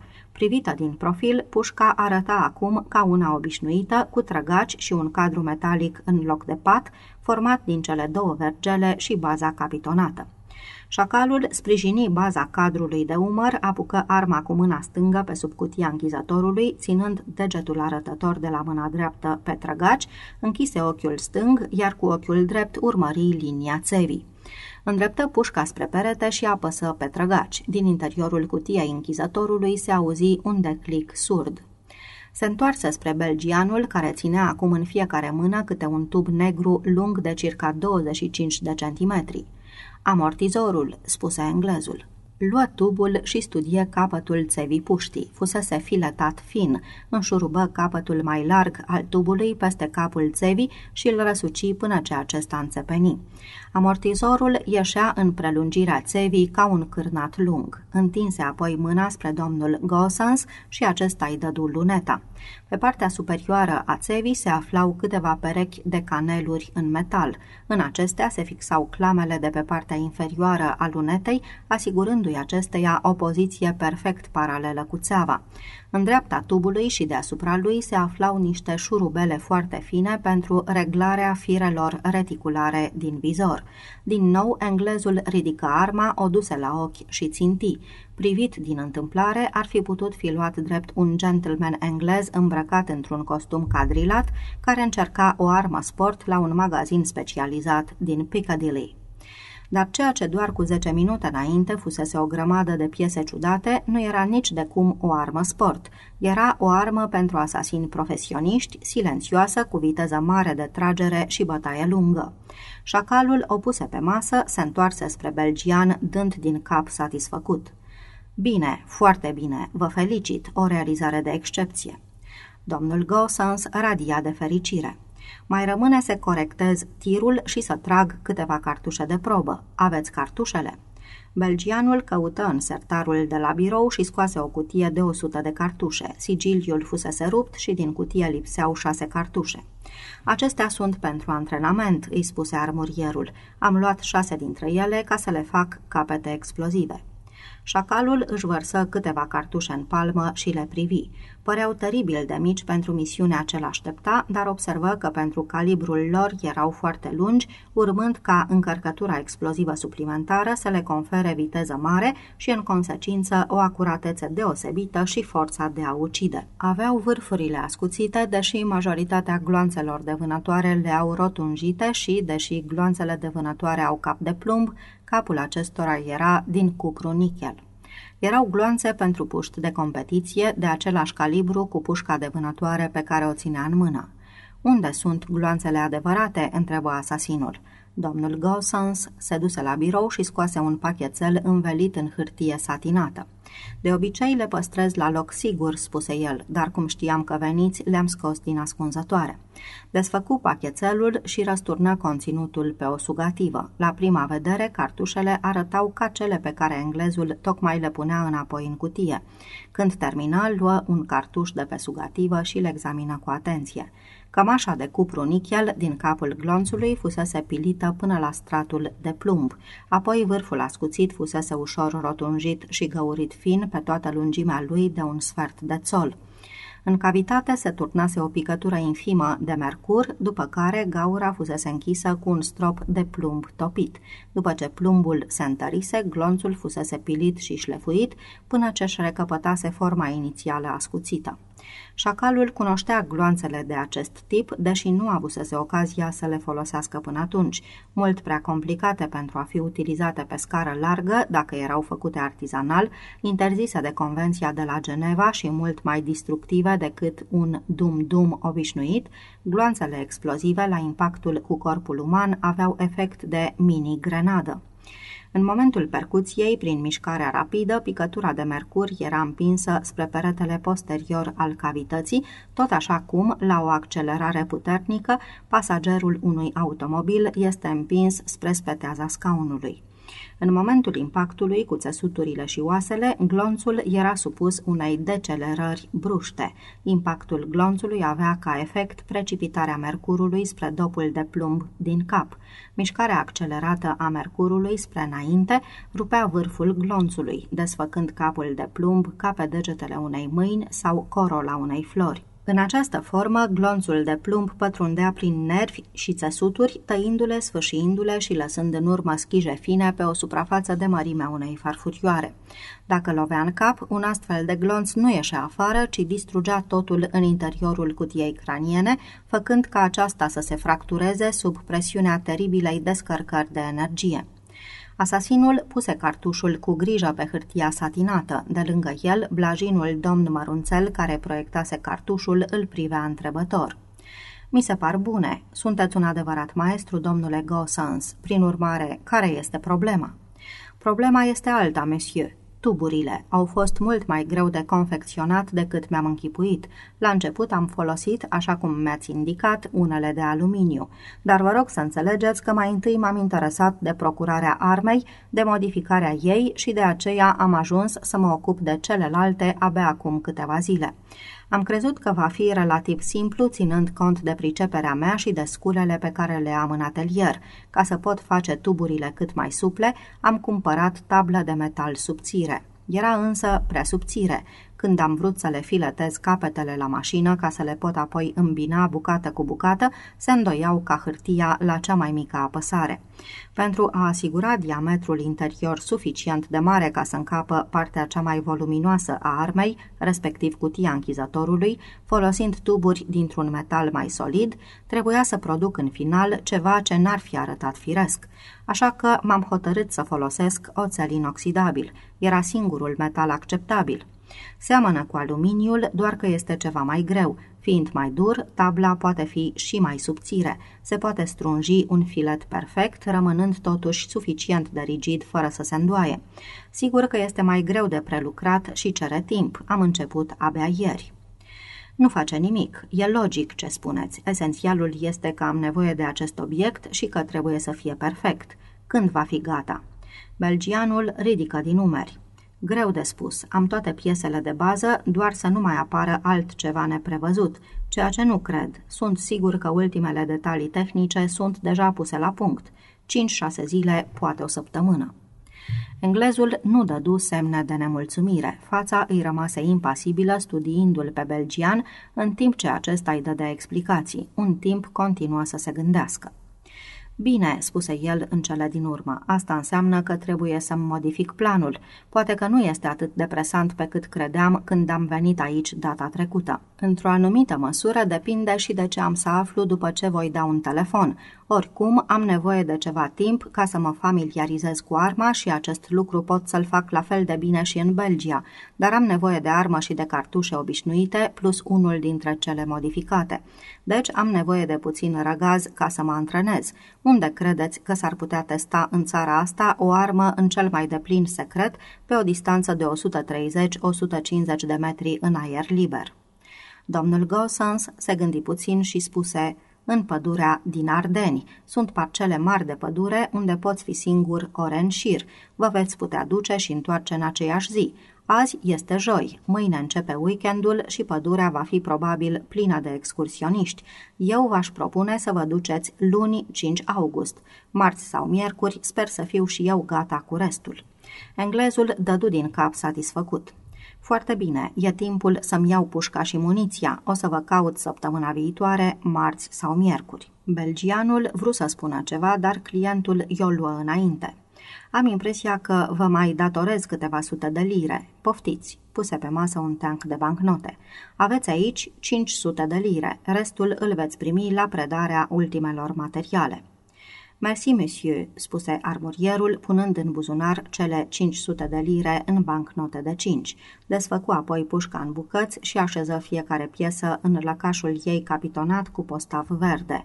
Unicul glonț exploziv cerut de asasin îl împachetă în hârtia satinată și îl puse alături de periile și cârpa de curățat. După ce închise caseta, i-o întinse englezului împreună cu cutia de cartușe. Acesta luă caseta, iar cartușele le puse în buzunar. Domnul Gosens îl conduse politicos la ieșire. Șacalul sosi la hotel puțin după prânz, așeză mai întâi caseta pe fundul dulapului pe care îl încuie, iar cheia o puse în buzunar. După amiază făcu o plimbare până la poștă și solicită o convorbire telefonică cu un număr din Zurich, Elveția. Așteptă o jumătate de oră până când primi legătura și încă cinci minute până ce Herr Mayer veni la aparat. Englezul se prezentă spunând un număr, apoi își dădu și numele. Hermayer se scuză și se întoarse după două minute. De data aceasta, tonul lui mai pierduse din rezerva circumspectă pe care o manifestase la început. Clienții ale căror conturi în dolari și franci elvețieni creșteau pe parcurs meritau un tratament reverențios. Bărbatul de la Bruxelles puse o întrebare și din nou bancherul elvețian se scuză, dar de data aceasta reveni la aparat după 30 de secunde. Era evident că între timp îi se adusese dosarul clientului și extrasul de cont pe care acum le studia. Nu, mein Herr, se auzi printre pârâituri vocea în receptorul din cabina telefonică de la Bruxelles. Avem aici scrisoarea dumneavoastră prin care ne rugați să vă informăm în scris expres paravion în momentul în care vă intră sume în cont, dar în perioada menționată de dumneavoastră nu au existat astfel de intrări. Herr Mayer, voiam doar să mă informez de situație, deoarece sunt plecat de la Londra de două săptămâni și s-ar fi putut ca scrisoarea să sosească în absența mea. N-a sosit nimic. Când ne va intra vreo sumă, o să vă anunțăm neîntârziat. Pe fondul excesului de amabilități din partea lui Herr Mayer, șacalul închise receptorul, plăti convorbirea și plecă. Cu falsificatorul de acte se întâlni în aceeași seară pe la șase în barul din apropierea lui Rue Neuve. Omul se afla deja acolo. Când intră, englezul descoperi o masă liberă într-un colț și făcu semn falsificatorului să-l urmeze. La câteva secunde după ce se așeză și și-a prinsă țigara, veni și belgianul și se așeză la masă. Ești gata?" îl întrebă englezul. Da, totul e gata, a ieșit ceva foarte bun și o spun fără să mă laud." Englezul întinse mâna spre el. Să văd," îi ordonă. Belgianul își aprinse una dintre țigările lui Bastos și clătina din cap.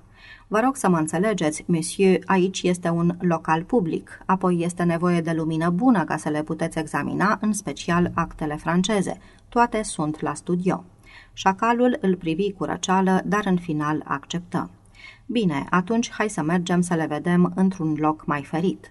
După câteva minute, părăseau barul și luau un taxi până în colțul străzii unde se afla studioul. Era o seară caldă, soarele nu asfințise încă. Ca de obicei, englezul purta ochelarii negri care îi ascundeau partea de sus a feței și îl fereau de a fi recunoscut. Dar strada pe care au intrat era îngustă și aici nu mai pătrundeau ultimele raze de soare. Pe lângă ei trecu un bătrân venind din sens opus, dar fiind cocoșat de artroză, mergea cu capul în pământ, târșeindu-și picioarele. Falsificatorul o luă înainte pe scări în jos și descuie ușa cu una dintre cheile de pe inel. Înăuntru era întuneric, ca și când afară ar fi fost noapte. Câteva raze palide de lumină se strecurau pieziș printre fotografiile expuse în vitrina de lângă ușă, așa încât englezul putu desluși conturul unui scaun și al unei mese care se aflau în anticameră. Falsificatorul trecu prin cele două draperii de pluș și aprinse lumina centrală din studio. Scoase din buzunar un plic cafeniu, îl deschise și împrăștie conținutul pe măsuța rotundă de mahon, folosită ca recuzită la realizarea fotografiilor. Lua apoi măsuța și o mută în centrul camerei sub lampă. Cele două proiectoare cu arc, aflate deasupra micului podium, nu fură aprinse. Vă rog, monsieur, zise el, arborând un zâmbet larg și invitându-l să vadă cele trei acte de identitate de pe masă. Englezul ridică unul să-l privească mai bine. Era permisul de conducere care avea lipită pe prima pagină o etichetă pe care scria domnul Alexander James Quentin Duggan din Londra, W1, este autorizat să conducă vehicule cu motor din grupele 1A, 1B, 2, 3, 11, 12 și 13, numai de la 10 decembrie 1960 până la 9 decembrie 1963 inclusiv. Deasupra erau înscrise numărul permisului, desigur fals, cuvintele London County Council, și Road Traffic Act 1960, apoi permisul de conducere și taxa de 15 lire încasată. Din câte aș putut da seama șacalul, falsul era perfect și suficient de bun pentru ceea ce avea el nevoie. Al doilea act era pur și simplu o carte d'identité franțuzească pe numele de André Martin, vârsta 53 de ani, născut la Colmar și rezident la Paris. Propria lui imagine, îmbătrânită cu 20 de ani, cu părul cărunt, tuns perie, îl privea tâmp și stângaci dintr-un colțișor al cărții de identitate. Actul era pătat și cu colțurile îndoite, căci trebuia să aparțină unui muncitor. Cel de-al treilea act îl interesa cel mai mult. Fotografia era ușor diferită de cea de pe cartea de identitate, pentru că între datele de emitere ale celor două documente era un interval de câteva luni și probabil nici datele de reînnoire nu ar fi coincis dacă cele două acte nu ar fi fost contrafăcute. A doua carte de identitate avea și ea o fotografie de-a lui făcută cu aproape două săptămâni înainte, dar cămașa părea mai închisă la culoare, iar în jurul bărbiei se zărea o urmă de barbă nerasă de câteva zile. Acest efect fusese realizat prin retușare, lăsând impresia că erau două fotografii diferite ale aceleiași persoane, făcute la date diferite, în haine diferite. În ambele cazuri, perfecțiunea contrafacerii era de admirat – Șacalul ridică privirea și puse actele în buzunar. Excelent, spuse el, este exact ce mi-am dorit, te felicit, mi se pare că mai am să-ți dau încă 50 de lire. Exact, monsieur, merci. Falsificatorul aștepta să primească banii. Englezul scoase un pachet de 10 bancnote de 5 lire și îl întinse. Înainte de a da drumul banilor din mână, englezul se interesă. Cred că a mai rămas ceva, nu-i așa?" Belgianul încercă în zadar să se prefacă a nu înțelege despre ce era vorba. Monsieur? Pagina originală din carnetul de conducere. Ți-am spus că o vreau înapoi. Nu mai era niciun dubiu că falsificatorul juca teatru.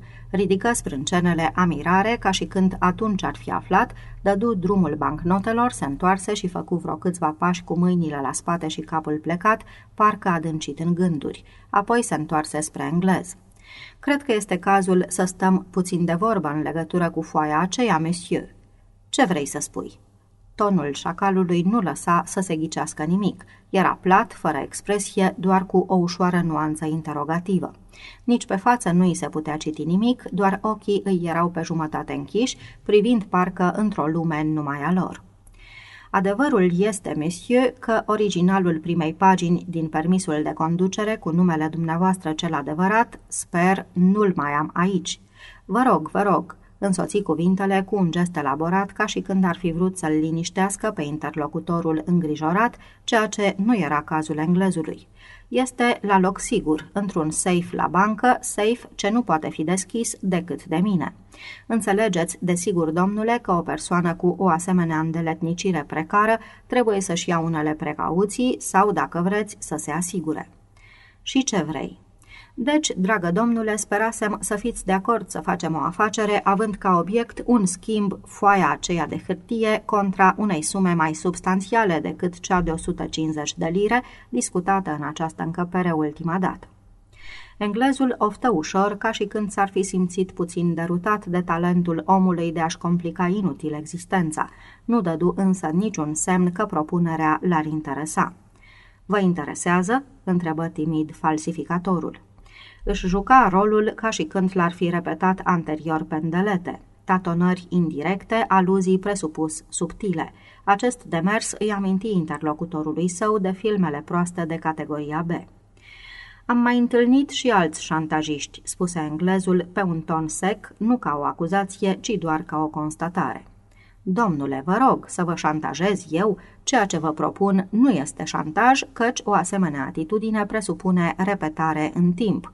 Eu vă propun doar un târg, toate materialele primare contra unei sume de bani. În fond, eu dețin în safe originalul primei pagini din carnetul de conducere, plăcile developate și toate negativele fotografiilor pe care vi le-am făcut, ba mai mult, din păcate, însoți replica cu o expresie de compătimire.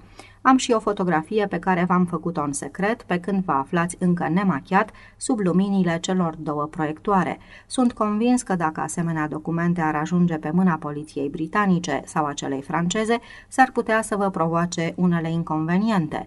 Este evident că sunteți obișnuiți să plătiți pentru a evita asemenea inconveniente. Englezul reflectă, dând calm din cap, ca și când propunerea i-ar fi stârnit un ușor interes, dar numai unul teoretic.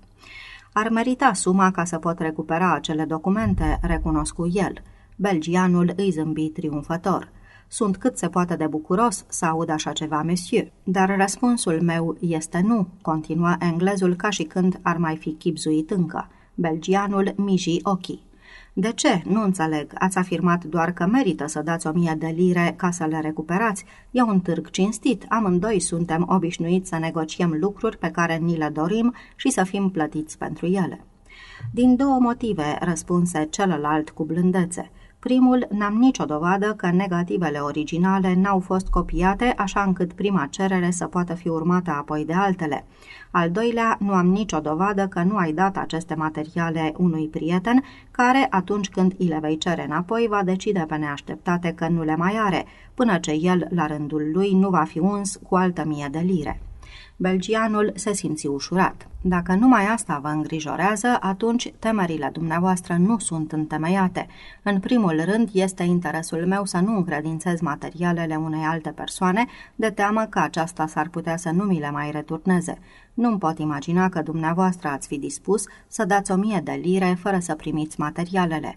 De aceea n-am niciun motiv să le înstrăinez. Repet, sunt depuse într-un safe la bancă. În ceea ce privește cererile repetate de bani, prezumția dumneavoastră este lipsită de sens. O fotocopie a paginii din permisul de conducere nu o să impresioneze autoritățile britanice și, chiar dacă ați fi prins cu un permis fals, v-ați alege doar cu neplăceri minore, insuficiente să justifice plățile repetate ale unor sume de bani către mine. Cât privește cărțile de identitate franțuzești, dacă autoritățile franceze ar fi informate că un englez oarecare se ascunde sub identitatea unui francez inexistent, pe nume André Martin, s-ar putea desigur să vă aresteze la intrarea în Franța sub numele de mai sus, dar dacă eu v-aș cere în mod repetat bani, ar fi mai avantajos pentru dumneavoastră să aruncați actele la gunoi și să găsiți un alt profesionist în materie care să vă facă un set nou. Și atunci n-ar mai trebui să vă temeți că veți fi descoperit în Franța folosind numele de André Martin, căci Martin ar fi încetat să mai existe. Și de ce n-aș face-o chiar acum?" întrebă englezul, dacă un set nou de acte nu m-ar costa decât altă 150 de lire. Belgianul deschise brațele ținând palmele în sus. Eu contez pe faptul că pentru dumneavoastră lipsa de complicații și factorul timp merită toți banii. Cred că veți avea nevoie cât de curând de actele acelui Martin și de tăcerea mea. Ca să vă faceți alte acte, aveți nevoie de timp, iar ele nu vor fi la fel de bine executate. Cele pe care le-ați obținut deja sunt fără cusur. Deci, acum aveți nevoie de acte și de tăcerea mea. Amândouă vă sunt indispensabile. Actele le aveți, tăcerea mea costă o mie de lire. Foarte bine, dacă așa aveți problema, dar ce te face să crezi că am la mine o mie de lire aici în Belgia? Falsificatorul zâmbi îngăduitor ca unul care avea răspunsuri la toate întrebările și nu ezita să le dezvăluie pentru a satisface capriciile unui prieten drag. Monsieur, dumneavoastră sunteți un gentleman englez, Asta este clar și totuși vreți să fiți luat drept muncitor francez trecut de 50 de ani. Vorbiți francez afluent și cu un ușor accent. De aceea am ales locul nașterii lui André Martin la Colmar. Știți, alsacienii vorbesc franțuzește cu un ușor accent, așa ca dumneavoastră. Intrați în Franța sub identitatea lui André Martin. Perfect, o lovitură de geniu. Cine s-ar gândi să-l caute pe un om în vârstă ca Martin? Deci, tot ceea ce veți duce cu dumneavoastră trebuie să fie de valoare. Poate droguri sunt foarte la modă în unele cercuri mondene britanice, iar Marsilia este unul dintre centrele de aprovizionare. Sau diamante, n-am cum să știu, dar oricum afacerea în care sunteți amestecat este profitabilă. Domnii englezi nu-și pierd vremea furând din buzunare pe la cursele de cai.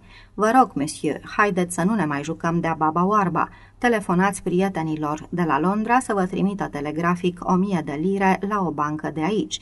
Apoi, mâine noapte, schimbăm pachetele și hop, ați și plecat pe drumul dumneavoastră. Nu e bine așa?" Englezul dădu din cap de câteva ori ca și când și-ar fi contemplat cu tristețe întreaga viață plină, până acum numai de greșeli. Ridică brusc capul și zâmbi încurajator belgianului. Acesta îl văzu zâmbind pentru prima oară și se simți extrem de ușurat că englezul placid primise până la urmă propunerea cu calm, eternele tertipuri pentru a găsi o portiță de scăpare, dar în final niciun fel de probleme, Omul se dăduse pe brazdă, simțea cum tot corpul îi se relaxează. Foarte bine. Deodată belgianul deveni din nou precaut. Nu ne vom întâlni aici. Falsificatorul se afla iar în impas. Dar locul acesta este potrivit, e liniștit, discret, în ce mă privește, nu-l găsesc deloc potrivit. Ai spus că mi-ai făcut o fotografie în secret. Nu doresc ca micuța ceremonie de schimbare a pachetelor să fie tulburată de clicul unui aparat plasat în vreun colț neștiut, în mâna vreunui prieten de-al tău ascuns acolo în mod intenționat. Ușurarea care îl cuprinse pe belgian era evidentă, râse tare. Nu trebuie să vă faceți griji, șerami. Studioul ăsta este al meu, este foarte discret, nu vine nimeni aici dacă nu l-am invitat eu. E nevoie de discreție, căci, știți, eu mă mai ocup și de altceva. Fac fotografii pentru turiști, sunt foarte populare, dar oricum nu în genul celor care se fac în vreun studio din Grand Place ridică mâna stângă și formă litera O cu degetul mare și cel arătător, apoi își trecut degetul arătător de la mâna dreaptă prin deschiderea circulară de câteva ori, mimând actul sexual. Ochii englezului luciră, arboră un zâmbet larg, apoi începu să râdă. Belgianul râse și el ca de o glumă bună. Englezul îl plesni pe belgian cu palmele peste brațe, apoi degetele lui prinseră bicep și imobilizându-i, în timp ce belgianul simți o lovitură puternică în boașe. Capul îi căzu în piept, mâinile încetară să se mai miște, lăsându-se în jos spre testiculele zdrobite, din dreptul cărora bărbatul care îl imobiliza tocmai își retrăgea genunchiul, în timp ce râsetul se transformă într-un țipăt ascuțit, apoi într-un gâlgâit și în final într-un horcăit. Pe jumătate inconștient, belgianul căzu în genunchi, apoi încercă să se lase ușor la pământ pentru a-și obloji rănile. Șacalul îl lăsă să alunece în genunchi, apoi trecu în spatele lui, îl încălecă, își trecu mâna dreaptă pe sub gâtul belgianului, o scoase pe partea cealaltă și își prinse cu ea mușchii de brațul stâng. Mâna stângă o puse pe ceafa omului, smuci scurt de cap în sus, apoi în jos și lateral. Coloana cervicală se frânse cu o trosnitură nu foarte puternică, dar care, în liniștea din studio, răsună ca un foc de pistol. Corpul belgianului fu străbătut de o ultimă convulsie, apoi se îndoi ca o păpușă de cârpă. Șacalul îl mai ținu strâns câteva clipe, apoi îi dădu drumul și trupul se prăbuși la pământ. Corpul inert căzuse oarecum pe o parte și se vedeau mâinile strânse între picioare, limba care ieșea puțin printre dinții încleștați, mușcată pe jumătate, ochii deschiși, ațintiți spre linoleumul decolorat. Englezul se duse repede și verifică draperiile dacă erau bine trase, apoi se întoarse la cadavru. Îl răsuci și îl căută prin buzunare. Cheile erau în buzunarul stâng de la pantaloni. Într-un colț al studioului se găsea o ladă mare cu recuzită și truse de machiaj. Cu cea de-a patra cheie pe care o încercă, descuie lada, deschise capacul și, timp de 10 minute, scoase toate lucrurile aflate înăuntru, punându-le grămadă pe dușumea. După ce goli lada, asasinul apucă de sub suor trupul falsificatorului, îl ridică și îl băgă înăuntru. Fu destul de ușor să-l așeze în ladă, îndoindu-i picioarele ca să încapă. În câteva ore, trupul avea să înțepenească în poziția în care se afla.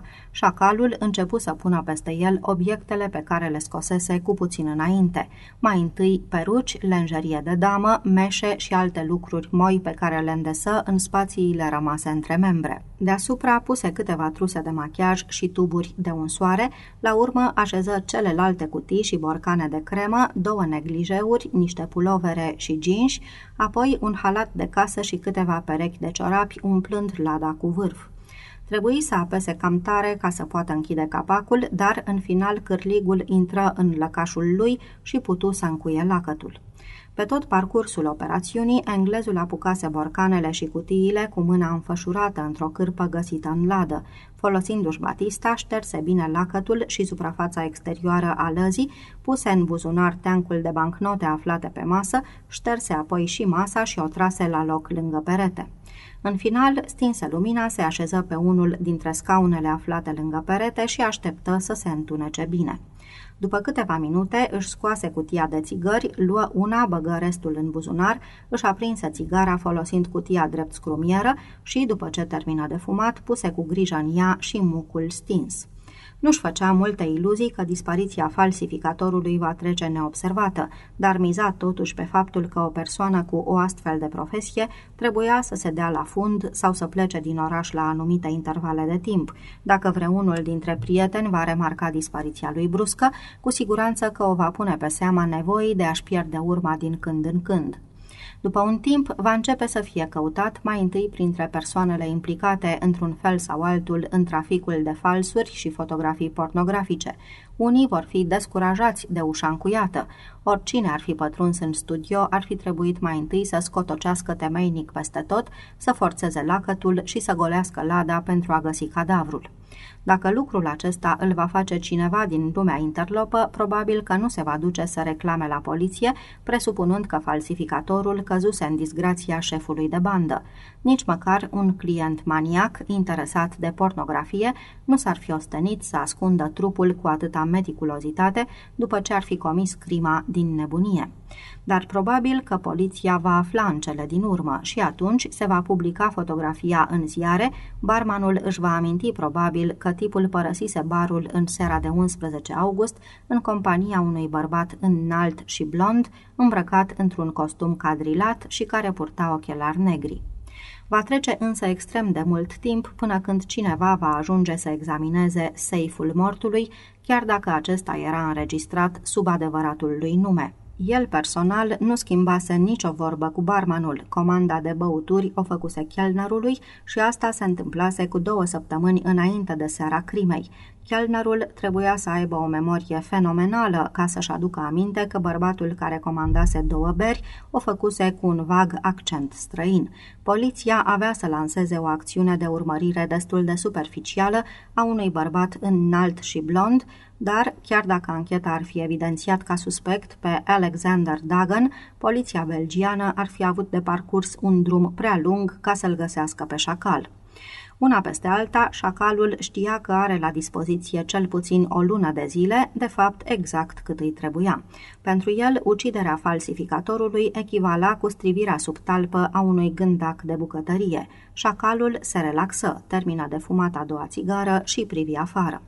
Era ora 21.30 și strada îngustă era cufundată în besnă. Părăsi discret studioul, încuind ușa în urma lui. Nu se întâlni cu nimeni pe stradă. La vreo jumătate de kilometru mai încolo, aruncă cheile într-un canal și auzi plescăitul lor în apă la câțiva metri sub pământ. Se întoarse la hotel târziu, la timp însă ca să mai poată servi cina. A doua zi, vineri, făcu cumpărături într-un cartier muncitoresc din Bruxelles. Dintr-o prăvălie specializată în articole de camping, își cumpără o pereche de bocanci, șosete lungi de lână, pantaloni din pânză de cort, o cămașă de lână în carouri și un rucsac. Mai cumpără apoi câteva foi de cauciuc expandat, o plasă de ață, un ghem de sfoară, un cuțit de vânătoare, două pensule subțiri, o cutie de vopsea roz și una maro. Se gândi să cumpere și un pepene mare de la o tarabă cu fructe, dar renunță, presupunând că se va strica până luni. Întors la hotel, se folosi de noul permis de conducere, acum pe numele de Alexander Dagan, la fel cu cel din pașaport, cerând să îi se rezerve o cameră pentru o singură persoană, cu baie sau duș pentru weekend, într-o stațiune de pe litoral. Deși în august era o problemă, recepționerul reuși să-i găsească o cameră într-un hotel mic, aflat deasupra pitorescului port pescăresc din Zeebrugge și ură petrecere frumoasă la mare. 7. În timp ce șacalul își făcea cumpărăturile la Bruxelles, Victor Kowalski se lupta cu Serviciul de Informații Internaționale ale Telefonelor la poșta centrală din Roma. Cum nu știa italienește, apelase la ajutorul funcționarilor de la ghișee și, în cele din urmă, găsi unul care știa puțin franțuzește. Kowalski îi explică, nu fără eforturi, că dorea să telefoneze unei persoane la Marsilia, în Franța, dar că nu știa numărul de telefon.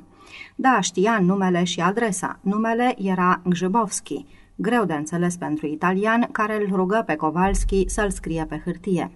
Kowalski îl scrise, dar italianul, care nu putea concepe că un nume ar putea începe cu g r z y b îl dictă operatoarei pe litere, Grib, crezând că Z-ul scris de Kowalski era de fapt I. În cartea de telefon a orașului Marsilia nu figura numele Gribovski, îl informă operatoarea pe italianul de la celălalt capăt al firului. Funcționarul îi se adresă lui Kowalski explicându-i că nu exista o asemenea persoană, absolut din întâmplare pentru că era un om conștiincios, dornic să ajute un străin, funcționarul îi repetă lui Kowalski numele literă cu literă pentru a-l convinge că are dreptate. Il n'existe pas, monsieur, voyons, GRE, nu există, domnule, să vedem, GRE, nu, GRZ, îl întrerupse Kowalski. Nu, GRZ. Funcționarul rămase perplex. Excusez-moi, monsieur, GRZ? GRZYB? Mă scuzați, domnule, GRZ? GRZYB? Ui, insistă Kowalski. GRZYBOWSKI. Italianul ridică din numeri și se prezentă din nou la operatoare. Dați-mi informațiile internaționale, vă rog. În 10 minute, Kowalski avea numărul de telefon al lui Jojo și peste jumătate de oră primi legătura. La capătul firului se auzi vocea ex-legionarului, distorsionată de paraziți și care parcă ezita să confirme veștile proaste din scrisoarea lui Covaci. Sigur, era bucuros că Kowalski îl sunase și el încercase să-i dea de urmă în ultimele trei luni de zile. Din nefericire, era adevărat că micuța Silvii este bolnavă, începuse să slăbească și să-și piardă puterile și când doctorul îi pusese diagnosticul, nu mai era nimic de făcut. Se afla în dormitorul de alături din apartamentul de unde vorbea Jojo. Nu, nu mai locuiau în vechiul apartament, își cumpăraseră unul mai mare și nou. Ce? Adresa? Jojo i-o spuse rar, în timp ce Kowalski, strângându-și limba între buze, o scria încet. Cât îi mai dau vracii, urmă el în receptor. Jojo înțelese abia după ce el repetă de patru ori. Se făcu o pauză lungă. Alo, alo, strigă el neprimind răspuns. Vocea lui Jojo reveni. Poate o săptămână, poate două-trei, răspunde Jojo. Nevenindu-i să creadă, Kovalski privea țintă la receptorul din mână. Fără un cuvânt, îl puse în furcă și ieși împleticindu-se din cabină. După ce plăti convorbirea, se duse și ridică totuși corespondența, închise caseta de oțel de la mână și se întoarse la hotel. Era muncit de gânduri pentru prima dată după mulți ani și nu avea cui să raporteze, așteptând ordinul să rezolve problema prin violență. În apartamentul lui cel vechi de la Marsilia, Jojo puse receptorul în furcă după ce constată că Kowalski închisese telefonul. Se întoarse și îi văzu pe cei doi bărbați de la serviciul de acțiune în același loc, fiecare din ei cu un Colt 45 special în mână. Unul era ațintit asupra lui Jojo, celălalt asupra nevestei lui, care ședea pe sofa palidă cavarul. Ticăloșilor, spuse Jojo cu obidă, rahaților. Vine?" întrebă unul din cei doi. N-a spus nimic, mi-a închis telefonul," spuse polonezul. Trebuie să vină, astea sunt ordinele." Ei și, ați auzit, i-am spus ce ați vrut voi. Probabil că a avut un șoc, mi-a închis telefonul, n-aveam cum să-l împiedic." Ar face mai bine să vină, de dragul tău, Jojo," repetă corsicanul. O să vină," spuse Jojo resemnat. Dacă poate o să vină, de dragul fetiței." asta e tot, rolul tău s-a terminat." Atunci cărați-vă de aici, țipă Jojo, lăsați-ne în pace. Corsicanul se ridică de pe scaun cu coltul în mână, celălalt rămase așezat privind-o pe femeie. Noi o să plecăm acum, spuse corsicanul, dar voi doi veniți cu noi. Nu putem să vă lăsăm aici să povestiți la toată lumea și nici să telefonați la Roma. Nu-i așa, Jojo? Unde ne duceți? Într-o scurtă vacanță, într-un hotel plăcut, la munte, soare și aer curat din belșug. O să-ți facă bine, Jojo. Cât timp? întrebă polonezul posomorât. Cât va fi nevoie? Polonezul privi pe fereastră labirintul de ulicioare și tarabele cu pește ce se ascundeau în spatele imaginii pitorești a portului vechi, așa cum apare ea în cărțile poștale ilustrate. Acum este vârf de sezon turistic. Trenurile sunt pline în aceste zile. În august câștigăm mai mult decât toată iarna. O să ajungem la sapă de lemn. Corsicanul, amuzat de idee, începu să râdă. Ar trebui să te consider mai degrabă norocos. La urma urmei o faci pentru Franța, patria ta adoptivă. Polonezul se întoarse brusc. Nu dau o ceapă degerată pe politică. Nu mă interesează cine este la putere, care partid vrea să-și bage picioarele în tot ce este. Pe tipii ca voi îi cunosc bine, toată viața m-am ciocnit de ei. Sunteți genul care l-ați sluji și pe Hitler, sau pe Mussolini, sau OAS-ul, dacă vă convine, sau pe oricare altul. Regimurile se mai schimbă, dar ticăloșii ca voi nu se schimbă niciodată țipa apropiindu-se șchiopătând de bărbatul care ținea pistolul nemișcat în mână. Jojo, strigă femeia de pe sofa, te rog, lasă-l în pace. Polonezul se opri și privi spre nevastă ca și când uitase că și ea era de față. Își roti privirea prin cameră privindu-l pe fiecare dintre cei prezenți și ceilalți îl priveau, nevasta implorator, iar haidamacii de la serviciile secrete fără nicio reacție. Erau obișnuiți cu reproșurile care oricum nu aveau cum să schimbe situația. Șeful făcu un semn cu capul spre dormitor. Faceți-vă bagajele, primul te duci tu, apoi nevastă ta. Dar cu Silvii ce facem? Se întoarce de la școală la ora 4 și nu o să o aștepte nimeni, spuse femeia. Corsicanul privea în continuare la soțul ei. O să o luăm noi în primire pe drumul de la școală. Am aranjat totul. Directoarei i s-a spus că bunica fetiței este pe moarte și că toată familia a fost chemată la căpătâiul ei. Totul s-a făcut foarte discret. Și acum mișcați-vă.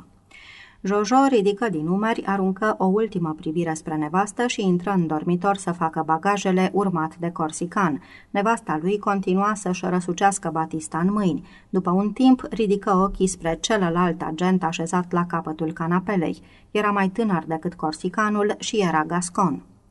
Ce... ce o să-i facă? Lui Kowalski? Lui Victor. Niște domni vor să-i vorbească. Asta-i tot. O oră mai târziu, cei doi soți așezați pe bancheta din spate a unui Citroen mare, cu cei doi agenți în față, goneau spre un hotel particular aflat la munte, în Vercor. Șacalul își petrecu sfârșitul de săptămână la mare, își cumpără costum de baie, petrecu sâmbătă stând la soare pe plaja de la Zeebrugge și scăldându-se în Marea Nordului. Se plimbă prin orășel și pe digul unde marinarii și soldații britanici se luptaseră și muriseră odinioară într-o baie de sânge și o ploaie de gloanțe. Unii dintre bătrânii cu mustăți ca de morsă așezați pe dig, care dădeau la pește, și-ar fi reamintit poate de evenimentele de acum 46 de ani dacă i-ar fi întrebat, dar el nu o făcu. Singurii englezi prezenți acolo în acea zi erau câteva familii împrăștiate pe plajă care se bucurau de soare și își urmăreau copiii jucându-se în valuri. Duminică dimineața își făcu bagajul și porni cu mașina, traversând pendelete câmpiile Flandrei și plimbându-se pe ulicioarele strâmte din Ghent și Bruges. Mânca la prânz o friptură fără egal, pregătită la foc de lemne, la restaurantul Sifon din Dam, iar către mijlocul după amiezii se întoarse la Bruxelles. Înainte de a se retrage la culcare, rugă să fie trezit de vreme, să-i se aducă micul dejun în cameră și prânzul la pachet, explicând că a doua zi dorea să plece cu mașina în Ardeni, să vadă mormântul fratelui său mai mare, mort în bătălia de pe acele locuri, aflate între Bastog și Malmdi. Recepționerul a fost cât se poate de serviabil, promițându-i că va fi trezit la timp pentru a porni în pelerinaj. La Roma, Victor Kowalski petrecu un sfârșit de săptămână mai puțin relaxant. Își făcea cu regularitate serviciul de pază, fie la birou, fie pe palierul din capul scărilor de pe etajul 8 sau pe acoperiș în cursul nopții. Dormi foarte puțin în timpul liber, stătea lungit pe pat, fumând și bând vin roșu adus în sticle de 3 litri pentru cei 8 ex-legionari care formau garda. Vinul italian Rosso nu se putea compara cu cel algerian numit Pinar, ce nu lipsea din gamela fiecărui legionar, își spunea el, dar decât nimic era bun și acesta. Lui Kowalski îi trebuia de obicei mult timp ca să poată lua o decizie de unul singur când nu era cineva să-i ordone ce să facă, dar până luni dimineața trebuia să se hotărască. Nu va lipsi mult, poate o zi, poate două, dacă nu o să aibă legături bune între zboruri. În orice caz, ceva trebuia făcut. O să-i explice patronului după aceea. Era sigur că patronul va înțelege chiar dacă se va înfuria. Se gândise să-i spună colonelului de necazul lui și să ceară o permisie de 48 de ore, dar era sigur că el, deși bun comandant care își ajuta oamenii la nevoie, îi va interzice să plece. N-ar fi putut înțelege povestea cu Silvii, iar Kowalski știa că n-ar fi putut să-i o explice niciodată. Îi era imposibil să se folosească de cuvinte pentru a da explicații.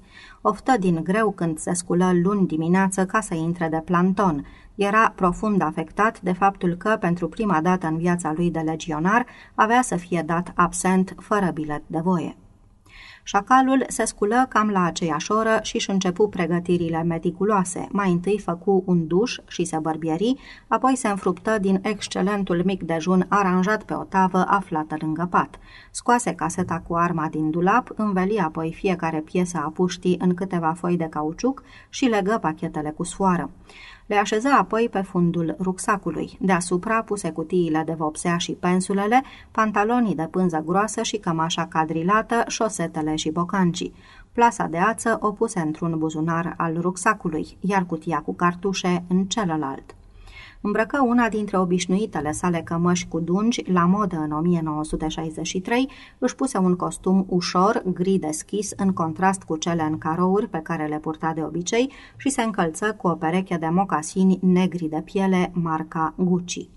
O cravată neagră de mătase împletită completa ținuta. Luă rucsacul într-o mână și se duse la mașina pe care o lăsase în parcarea hotelului. Rucsacul îl încuie în portbagaj. Se întoarse în hol, luă pachetul cu mâncarea pentru prânz, răspunse cu o înclinare a capului la urările de drum bun pe care îi le făcu recepționerul și pe la nouă ieșea deja în viteză din Bruxelles pe vechea șosea E40 în direcția Namur. Câmpia se încălzea deja la soare, prevestind arșița ce avea să vină peste zi. Citi pe hartă că până la Bastog erau 130 de kilometri, la care mai adăugă câțiva, până ce își va găsi un loc ferit și liniștit în pădurea aflată la sud de orășel. Aprecie că până la prânz avea să străbată cu ușurință peste 150 de kilometri și apăsa pe accelerație conducându-și Simca Arond peste câmpia valonă plată și întinsă. Înainte ca soarele să ajungă la zenit, șacalul trecuse deja prin Namur și marș, urmând indicatoarele care arătau că se apropie de Bastog. După ce trecu prin orășelul care fusese distrus de tancurile Tiger ale lui Hasofon Manteufel în iarna lui 44, coti pe drumul care ducea spre sud către dealuri. Pădurea devenea tot mai deasă, drumul șerpuitor tot mai întunecat, de fagii și ulmii înalți, rare ori străbătuți de câte o rază de lumină. La circa 10 km de oraș, șacalul a dat de un drum îngust care ducea în pădure. O luă pe acest drum până când, după încă un kilometru, pătrunse mai adânc în pădure. Înaintă cu mașina câțiva metri pe acest drum, apoi o ascunse în spatele unor tufișuri. Rămase puțin timp la umbra răcoroasă a copacilor și fumă o țigară, ascultând ticăitul motorului care se răcea, adierea vântului prin crengile înalte și uguitul îndepărtat al unui porumbel. Se dădu jos din mașină încet, deschise portbagajul și puse rucsacul pe capotă. Își schimbă hainele piesă cu piesă, așezând cu grijă costumul gri impecabil pe bancheta din spate a mașinii și își trase pantalonii de pânză groasă. Era destul de cald și putea să renunțe la haină. În locul cămășii îndungi își puse cămașa cadrilată de tăietor de lemne. În fine, mocasinii scumpi de oraș cedară locul bocancilor și șosetelor de lână în care își îndesă manșetele pantalonilor. Despachetă pe rând părțile componente ale puștii și le asamblă una câte una. Amortizorul îl puse într-un buzunar, iar luneta în celălalt răsturnă 20 de cartușe din cutie în unul din buzunarele de la cămașă, iar în celălalt puse unicul glonț exploziv înfășurat în hârtie satinată. După ce asamblă pușca, o puse pe capota mașinii. Din portbagaj scoase obiectul cumpărat în seara precedentă într-o piață din Bruxelles, înainte de a se întoarce la hotel. Era un pepene verde pe care îl lăsase peste noapte în mașină trânti capacul portbagajului, puse pepenele în rucsacul gol împreună cu vopseaua, pensulele și cuțitul de vânătoare.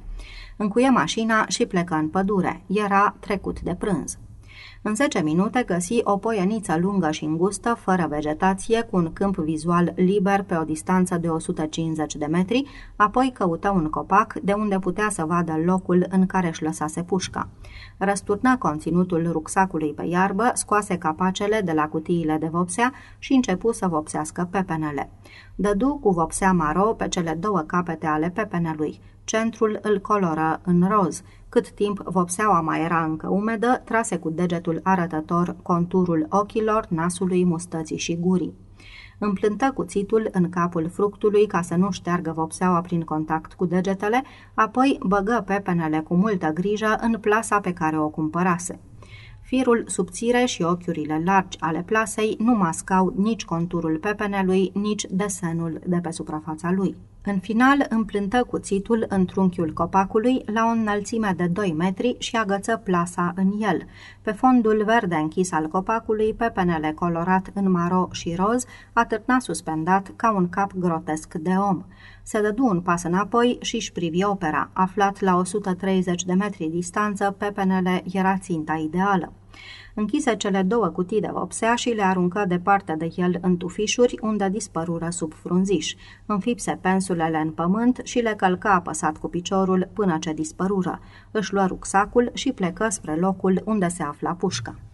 Montă amortizorul cu ușurință, înșurubându-l pe țeava puștii până când acesta se înțepeni. Luneta telescopică se potrivi și ea la milimetru deasupra țevii. Trase închizătorul spre el și introduse primul cartuș în cameră. Duse pușca la ochi și căută ținta aflată la capătul opus al poienii. Când o găsi, fu surprins să constate cât de clară și de mare putea să o vadă. După aparență, dacă ținta ar fi fost chiar capul unui om în carne și oase, nu s-ar fi aflat la o distanță mai mare de 30 de metri. Putea distinge rețeaua plasei care strângea pepenele și trăsăturile feței desenate grosolan pe el își modifică ușor poziția, se sprijini de un copac pentru a avea stabilitate, duse pușca la ochi și viză ținta. Cele două fire reticulare din vizor nu păreau a fi bine centrate și de aceea întinse mâna dreaptă și prinse cele două șuruburi de reglare pe care le răsuci până ce crucea din vizor apăru perfect pe centru. Mulțumit, ținti cu grijă mijlocul pepenelui și trase. Reculul fu mai ușor decât se aștepta, iar pufăitul surd al amortizorului era atât de slab, încât nu s-ar fi auzit de pe un trotuar pe altul. Cu pușca sub braț, traversă Poiana până la locul unde se afla pepenele, pe care îl studie cu atenție. Glonțul ștersese coaja pepenelui în dreapta sus, distrugând un ochi al plasei și apoi se împlântase în copac. Se duse înapoi la locul de plecare și trase a doua oară cu corecția făcută anterior în vizor. Rezultatul fu același lângă țintă, la o distanță de circa un centimetru. Trase patru cartușe, fără să se atingă de șuruburile de reglare, până când se convinse că ochise corect, dar că nu era bună calibrarea, glonțul plecând în sus și ușor spre dreapta. Apoi reglă șuruburile. De data aceasta, lovitura era prea jos și prea către stânga. Pentru a fi sigur, mai traversă odată poienița și examina gaura făcută de glonț. Trecuse prin colțul stâng al gurii desenate. Mai trase trei cartușe cu aceeași corecție a tirului și gloanțele loviră în aceeași zonă. În cele din urmă mai făcu încă o corecție fină. Al nouălea glonț trecu direct prin frunte, exact prin locul în care o chise se duse pentru a treia oară la țintă și încercui cu cretă punctele de impact, un grup de cerculețe în dreapta sus, altul în partea stângă a gurii și un singur cerculeț clar în mijlocul frunții. În continuare, trimise lovituri precise în fiecare ochi, la baza nasului, în buza de sus și în barbă. Întorcând ținta în profil, folosi ultimele cartușe pentru a trage pe rând în tâmplă, ureche, gât, obraz și craniu și doar un singur glonț nimeri foarte puțin alături de țintă. Mulțumit de performanțele puștii, marcă pozițiile corecte ale șuruburilor de reglare a lunetei, scoase din buzunar un tub de mastic, îi întinse lichidul viscos pe capetele șuruburilor și pe suprafața de bachelită adiacentă. După o jumătate de oră, timp în care fumă două țigări, liantul se întări și coordonatele de tragere ale puștii fură astfel fixate ca să permită maximum de acuratețe de la o distanță de 130 de metri. Din celălalt buzunar al cămășii scoase cartușul exploziv, îl desfăcu din hârtie și îl introduse în camera glonțului. Ochii cu maximă atenție centrul pepenelui și trase. Când se împrăștie și ultimul firicel de fum albăstrui de la gura amortizorului, șacalul sprijini pușca de un copac și se duse spre plasa cu pepenele. Aceasta atârna moale și aproape goală de trunchiul scrijelit al copacului. Pepenele care absorbise 20 de plumbi se dezintegrase. Bucăți din el trecuseră prin ochiurile plasei și se aflau împrăștiate pe iarbă. De pe coaja copacului picura zeamă. Restul de pepene sfărâmat se strânsese la fundul plasei, care arăta acum ca un scrot stors atârnând de cuțitul de vânătoare luă plasa și o aruncă în tufișurile din jur. Din ținta care se aflase în ea nu rămăseseră decât bucăți informe de miez. Scoase din trunchi lama cuțitului și îl puse la loc în teacă. Plecă de lângă copac, își recuperă pușca și se întoarse agale spre mașină. Aici, fiecare piesă a puștii fu din nou împachetată în foile de cauciuc și pusă în rucsac împreună cu bocancii, șosetele, cămașa și pantalonii. Se îmbrăcă apoi cu hainele de oraș, închise rucsacul în portbagaj și își mâncă tihnit sandvișurile. După ce termină, se urcă în mașină și ieși din pădure, luând drumul spre șoseaua principală, care o cotea spre Bastog, Marș, Namur și Bruxelles. Se întoarse la hotel puțin după ora șase și, după ce își duse rucsacul în cameră, coborâ la recepție să plătească chiria pentru mașină. Înainte de a face baie, petrecu o oră curățând cu grijă fiecare parte componentă a puștii și ungând mecanismele, după care puse pușca în caseta ei și o încuie în dulap. În aceeași seară târziu, rucsacul, sfoara, câteva fâșii de cauciuc au fost aruncate într-o ladă de gunoi, iar cele 21 de cartușe goale au fost asvârlite la canal. În aceeași dimineață de luni 5 august, Victor Kowalski se afla din nou la poșta din Roma, căutând pe cineva care să știe franțuzește. De data aceasta voia să-l roage să sune la informații la Alitalia și să întrebe la ce oră plecau avioane de la Roma la Marsilia și retur află că pierduse deja zborul de luni pentru că avionul pleca într-o oră de la Fiumicino, iar el nu avea timp să-l ajungă. Următorul zbor era miercuri. Nu, nu mai erau alte zboruri directe de la Roma la Marsilia. Existau doar zboruri cu legături prin alte orașe. Îl interesează pe domnul această variantă? Nu? Atunci cursa de miercuri? Desigur, avionul pleca la ora 11 și 15 dimineața și ajungea la aeroportul Marignan, la Marsilia, puțin după prânz. Cursa de întoarcere era a doua zi. Un singur loc, numai dus sau și întors? Sigur că da. Numele? Kowalski îi dădu numele de pe actele pe care le avea în buzunar. Cum pașapoartele în piața comună se desfințaseră, cartea de identitate națională era suficientă. Fu rugat să fie la ghișeul al Italia de la Fiumicino miercuri cu o oră înainte de decolare. După ce funcționara închisă telefonul, Kowalski ridică scrisorile, le încuie și plecă înapoi la hotel. A doua zi de dimineață, șacalul a avut ultima întâlnire cu domnul Gossens. Îi telefonă pe la ora micului dejun și armurierul îi spuse că avea plăcerea să-l anunțe că terminase lucrarea. Ar putea domnul Dagan să vină la ora 11. Îl roagă să aducă și articolele necesare pentru ultima probă. Sosi iarăși la întâlnire cu o jumătate de oră înainte, ducând o valijoară din fibră de sticlă cumpărată cu o seară înainte, în care ascunsese caseta cu arma. Timp de 30 de minute înainte de a suna la ușă, ținu sub observație strada pe care locuia arburierul. După ce domnul Gossans îi deschise, șacalul se duse direct în birou fără să aștepte invitații. După ce încuie ușa de la intrare, Gossans veni și el în birou, închizând ușa în urma lui. Nu mai sunt probleme?" întrebă englezul. Nu, de data asta mi-a reușit." Din spatele biroului, belgianul scoase la iveală câteva suluri de pânză groasă de sac și le așeză pe masă. Pe măsură ce le derula, așeză unul lângă altul mai multe tuburi din oțel subțire lustruit, care arăta la fel ca aluminiul. După ce puse și ultimul tub pe birou, întinse mâna după caseta în care se afla arma, șacalul i-o dădu. Armurierul începu să introducă în tuburi componentele puștii, una câte una, fiecare intra perfect în tub. Cum a fost la antrenament?" întrebă el, continuându-și treaba. Sunt foarte mulțumit."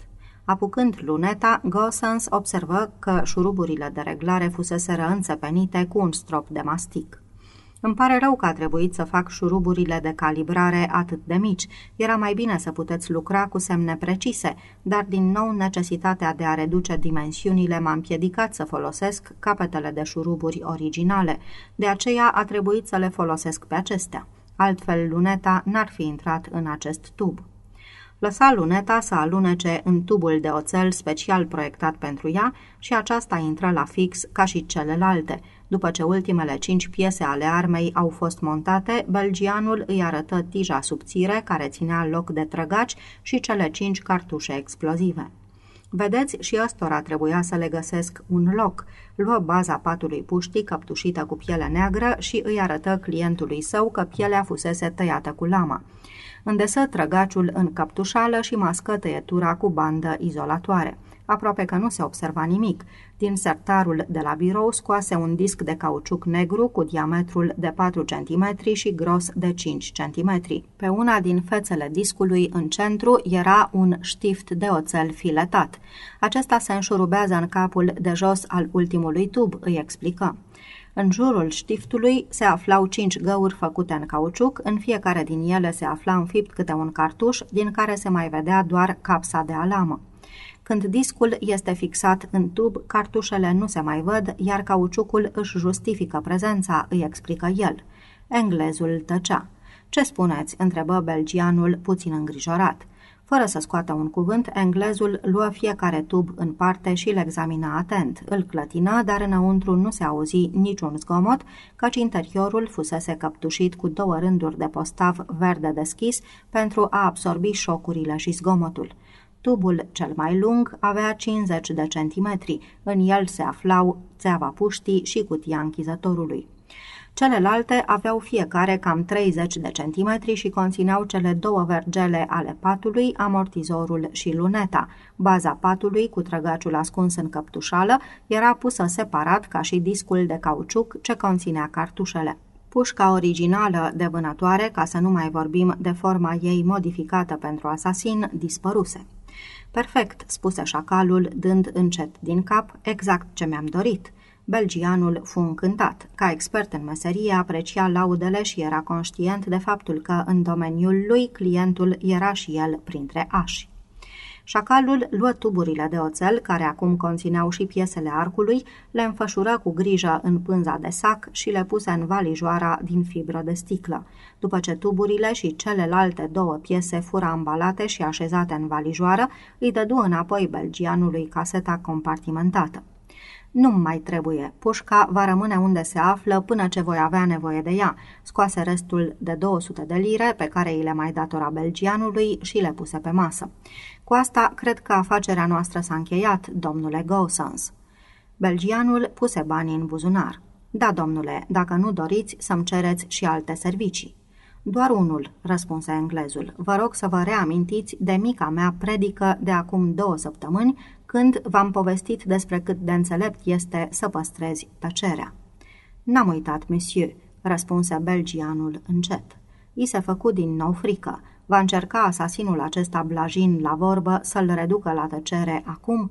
Cu siguranță că nu. Ancheta pe care o va face poliția în caz de asasinat ar scoate la iveală faptul că fusese vizitat de un englez înalt înainte ca acesta să aibă ocazia să folosească pușca pe care o avea acum în valiză. Englezul părea că îi citește gândurile, schiță un zâmbet. Nu aveți motiv de îngrijorare, nu intenționez să vă fac niciun rău. Apoi îmi imaginez că un om inteligent ca dumneavoastră și-a luat măsuri de prevedere pentru cazul în care ar fi asasinat de vreun client. Poate așteptați să fiți sunat după o oră sau prietenul va veni aici și va găsi cadavrul văzând că nu răspundeți la telefon. Sau ați depus o scrisoare la un avocat care ar urma să fie deschisă în cazul decesului dumneavoastră. Domnul Gosens era surprins. Avea într-adevăr depusă o scrisoare la avocat care urma să fie deschisă în caz de deces. Scrisoarea conținea instrucțiuni pentru poliție ca aceasta să caute sub o piatră anume în grădină. Sub piatră se afla o cutie conținând lista tuturor celor care urmau să-l viziteze în ziua respectivă. Lista era înlocuită zilnic. Pentru azi apărea pe listă un singur client, un englez înalt, ce părea a fi cu stare și care își spunea Dagan. Era un mod de a se asigura. Englezul îl observă calm. Așa m-am gândit și eu, spuse el, sunteți suficient de apărat, dar eu am să vă ucid fără șovăire dacă veți pomeni vreodată cuiva că am fost aici sau că am cumpărat ceva de la dumneata. Din momentul în care am plecat din casa asta, am încetat să mai exist pentru dumneata. Este foarte clar, monsieur. Așa procedez în mod normal cu toți clienții, dar aștept aceeași discreție și din partea dumneavoastră. De aceea, seria de pe țeava puștii pe care o dețineți a fost arsă cu acid și eu trebuie să-mi iau măsuri de protecție. Englezul zâmbi din nou. Înseamnă că ne înțelegem. Bună ziua, monsieur Gossens. O clipă mai târziu, ușa se închise în urma lui și belgianul, care știa atât de multe despre arme și trăgători de elită, dar atât de puțin despre șacal, oftă ușurat și se retrase în birou să numere banii.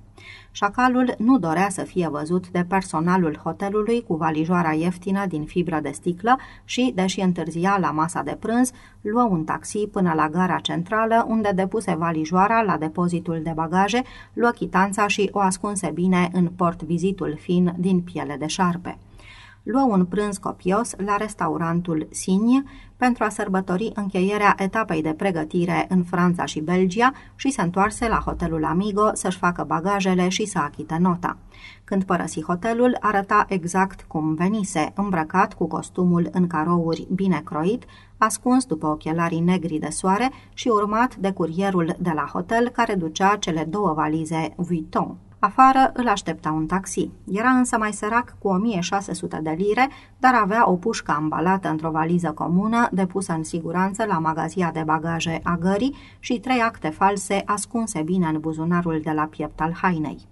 Puțin după ora 4, avionul părăsi Bruselul în direcția Londra și, deși i se controlase prin sondaj unul din bagaje pe aeroportul din Londra, nu se găsi nimic – pe la șapte se bărbierea deja în propriul apartament, înainte de a pleca să cineze într-un local din West End. 8. Din nefericire pentru Kowalski, miercuri dimineață nu a avut de făcut nicio convorbire telefonică de la oficiul poștal, dacă ar fi avut, ar fi pierdut avionul. Și corespondența pentru domnul Poitier aștepta la căsuța poștală. Luă cele cinci plicuri, le încuie în cutia metalică prinsă de lanț și se îndreptă grăbit spre hotel. La nouă și jumătate se descotorosise deja de cutie, înmânându-i o colonelului Rodan și era liber să se întoarcă în camera lui să se culce. Îi venea rândul să stea de pază pe acoperiș de-abia la ora șapte seara. Se opri în camera lui doar pentru a-și lua coltul 45, Rodan nu i-ar fi permis în ruptul capului să-l poarte pe stradă și îl vârâ în tocul prins la umăr. Dacă ar fi purtat o haină bine croită, protuberanța armei și a tocului s-ar fi văzut de la o poștă, dar cum costumele lui stăteau de parcă ar fi fost făcute de cel mai prost croitor, în ciuda staturii lui impunătoare, atârnau pe el ca niște saci. Luă o rolă de leucoplast și bereta pe care o cumpărase cu o zi înainte și le îndesă în haină, băgă în buzunare un sul de bancnote de lire italiene și franci francezi, care reprezentau economiile sale din ultimele șase luni, și închise ușa în urma lui. De la biroul din coridor, omul de pază ridică privirile. M-au trimis să dau un telefon, spuse Kowalski, arătând cu degetul mare în sus spre etajul nouă. Omul din post nu-i spuse nimic, îl privi cum cheamă liftul și dispare în el. Câteva secunde mai târziu se afla în stradă cu ochelarii mari negri pe nas. De la cafeneaua de pe celălalt trotuar, bărbatul care citea din Ogi lăsă puțin mai în jos revista și îl studie pe Kowalski prin impenetrabili ochelari de soare, în timp ce polonezul se uita după un taxi în susul și în josul străzii. Deoarece nu apărea niciunul, se îndreptă spre colțul străzii. Omul cu revista părăsi terasa cafenelei și porni spre bordură. Un fiat mic țâșni dintr-un șir de mașini parcate mai departe, în josul străzii, și se opri în dreptul lui. Se urca în el și fiatul porni încet pe urmele lui Kowalski. Ajuns la colț, Kowalski văzu un taxi liber și îl opri. Fiu Micino, îi spuse el șoferului. La aeroport, omul SDCE-ului îl urmări discret cum se prezentă la ghișeul al Italia. Kowalski își plăti biletul cu bani gheață, asigură pe fata de la ghișeu că nu are nicio valiză sau bagaj de mână și ea îi comunică faptul că pasagerii pentru zborul de la 11 și 15 spre Marsilia urmau să fie chemați la avion peste o oră și 5 minute. Având atâta timp la dispoziție, ex-legionarul intra gale într-un bufet cu autoservire, cumpără de la teșghia o cafea și se retrase cu ea în spatele geamurilor fumurii, de unde putea privi avioanele care veneau și plecau. Iubea aeroporturile, cu toate că nu înțelegea cum funcționează. Aproape toată viața, zgomotul motoarelor de avion însemnase pentru el Messerschmitturile germane, stormovicurile rusești sau flying forturile americane. Mai târziu însemnase sprijin aerian cu aparate B-26 sau Skyrider în Vietnam, Mister sau Foiga în Algeria, dar când se afla într-un aeroport civil, îi plăcea să le privească cum vin să aterizeze ca niște păsări mari argintii cu motoarele amuțite, atârnând pe cer ca suspendate de niște fire, câteva clipe înainte să atingă pământul. Deși în societate era un om retras, îi plăcea să privească nesfârșita agitație din aeroporturi. Poate, se gândea el, dacă viața i-ar fi fost alta, ar fi lucrat pe un aeroport, dar era ceea ce era și acum nu mai exista cale de întoarcere. Gândurile îi reveniră la Silvii și sprâncenele sale stufoase se apropiară de atâta concentrare. Nu e drept, își spuse sobru, nu e drept ca ea să moară și toți nenorociții ăia din Paris să trăiască. Colonelul Rodan îi povestise despre ei și despre modul în care trădaseră Indochina și Algeria, lăsându-i pradă teroriștilor. Colonelul Rodan avea întotdeauna dreptate. Anunțându-se zborul, se așeză la rând, ieși pe ușile de sticlă și parcurse pe cimentul alb fierbinte, cei aproximativ 100 de metri care îl despărțeau de avion. De pe terasa de observare, cei doi agenți ai colonelului Roland îl priveau cum urcă scările intrând în avion. Acum purta bereta neagră și avea lipită o bucată de leucoplast pe obraz. Unul din agenți se întoarse spre celălalt și ridică din sprânceană obosit. În timp ce turbopropulsorul decola spre Marsilia, cei doi bărbați părăsiră balustrada.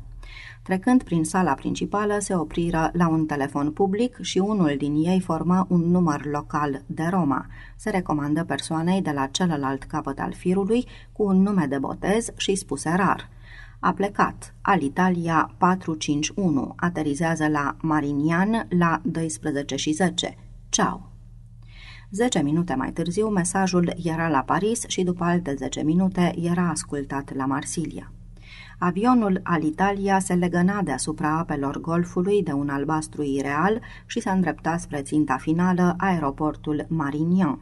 Frumoasa stewardesă italiană își făcut turul zâmbitoare de la un capăt la altul al avionului, verificând ca toate centurile de siguranță să fie bine fixate și se așeză în colțul ei din spate, punându-și la rândul ei centura de siguranță observă că pasagerul din fața ei privea țintă pe geam la strălucitoarea pustietate albicioasă a deltei Ronului, ca și când nu ar mai fi văzut-o până atunci. Acesta era bărbatul mătăhălos care nu vorbea italiana și a cărui franceză păstra puternice accente din patria sa, situată undeva în estul Europei.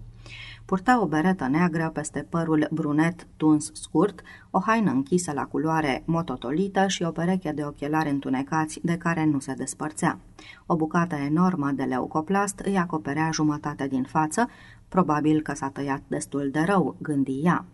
Aterizarea exact la ora anunțată, chiar în apropierea clădirii terminalului și pasagerii se îndreptau spre sala vămii. În timp ce intrau pe ușile de sticlă, un bărbat scund și chel, care stătea lângă unul dintre polițiștii de la pașapoarte, atinse ușor glesna acestuia cu vârful pantofului.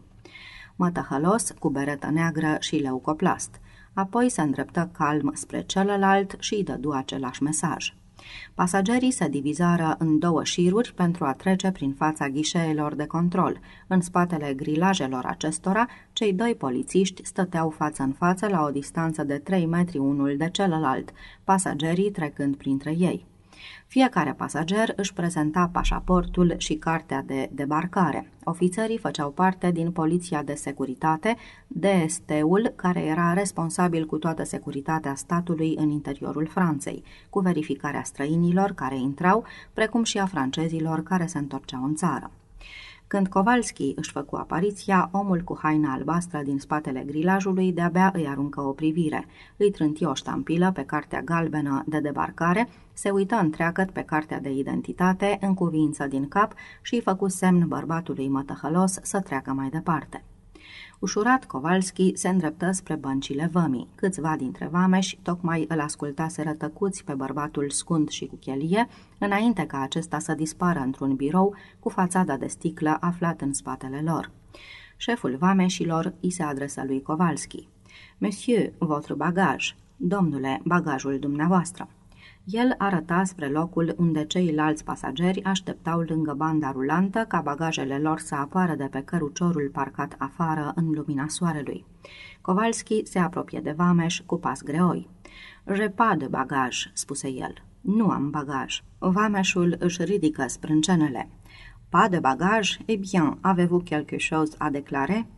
Fără bagaj? Ei bine, aveți ceva de declarat? Non, rien. Nu, nimic, spuse Kowalski. Bărbatul de la vamă arboră un zâmbet amabil, aproape la fel de senin ca și accentul său melodios marseiez. E bien, pase monsieur. Bine, treceți, domnule, zise el, arătând spre șirul de taxiuri aflat la ieșire. Kowalski dădu din cap și ieși în lumina soarelui de afară. Neobișnuit să cheltuiască mult, se uită împrejur până zări autobuzul aeroportului și se urcă în el. Când Kowalski nu se mai văzu, câțiva vameși se strânseră în jurul șefului, cel mai în vârstă dintre ei. Mă întreb ce vor cu el," spuse unul. Arată a fi un tip șters și posac. Nu o să mai arate așa după ce o să termine nemernicii aia cu el, zise un al treilea, făcând un semn scurt cu capul spre birourile din spate. Haideți, înapoi la treabă, interveni bărbatul în vârstă. Ne-am făcut datoria față de Franța astăzi. Față de Marele Charlie, vrei să spui, replică primul în timp ce se împrăștiau, după care murmură ca pentru sine. Putrezia roasele. Era ora prânzului când autobuzul opri în cele din urmă la agenția Air France, în inima orașului, și era chiar mai cald decât la Roma. La Marsilia, luna august prezintă câteva calități, dar nu și pe aceea de a te îndemna la eforturi mari. Căldura se așterne peste oraș ca o molimă, pătrunzând toate fibrele, măcinând puterea, energia, voința de a face altceva, în afară de a lâncezi într-o cameră rocoroasă, cu jaluzelele trase și ventilatorul dat la maximum. Chiar și Canbier, de obicei clocotitoarea venă jugulară a Marsiliei, care, după lăsarea întunericului, se transformă într-un fluviu de lumină și animație, era acum moartă. Cele câteva persoane și vehicule păreau că se mișcă afundate până la brâu în melasă. Dură o jumătate de oră să găsească un taxi. Majoritatea șoferilor se retrăseseră în câte un loc umbros prin parcuri pentru a-și face siesta. Adresa pe care Jojo i-o dăduse lui Kowalski la ieșirea din oraș era pe șoseaua principală spre Casi. Pe Avenue de la Liberation, Kowalski îi spusese șoferului să-l lase pentru a putea merge pe jos restul drumului. Șoferul îi adresă un si vous voulez, dacă așa vreți, care exprima limpede ce gândește el despre străinii care intenționau să parcurgă pe jos distanțe mai mari de câțiva metri în căldura aceea, atunci când aveau la dispoziție o mașină. Kowalski urmări cum taxiul se întoarce în oraș până când ieși din raza sa vizuală găsi strada laterală indicată pe bucata de hârtie, cerând lămuriri unui chelner de la o cafenea cu mese afară pe trotuar.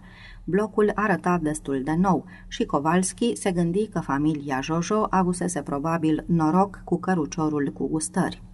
Poate chiar pusese rămâna pe chioșcul pe care Madame Jojo îl ochise de mai mulți ani. Acest lucru ar fi putut în orice caz să explice creșterea prosperității lor și o să fie mai bine pentru Silvii să crească în cartierul ăsta decât în preajma docurilor. La gândul fiicei sale și a idioțeniei pe care tocmai și-o imaginase în privința ei, Kowalski se opri la baza scărilor de la bloc, ceea ce spusese Jojo la telefon. O săptămână, poate două săptămâni, era imposibil.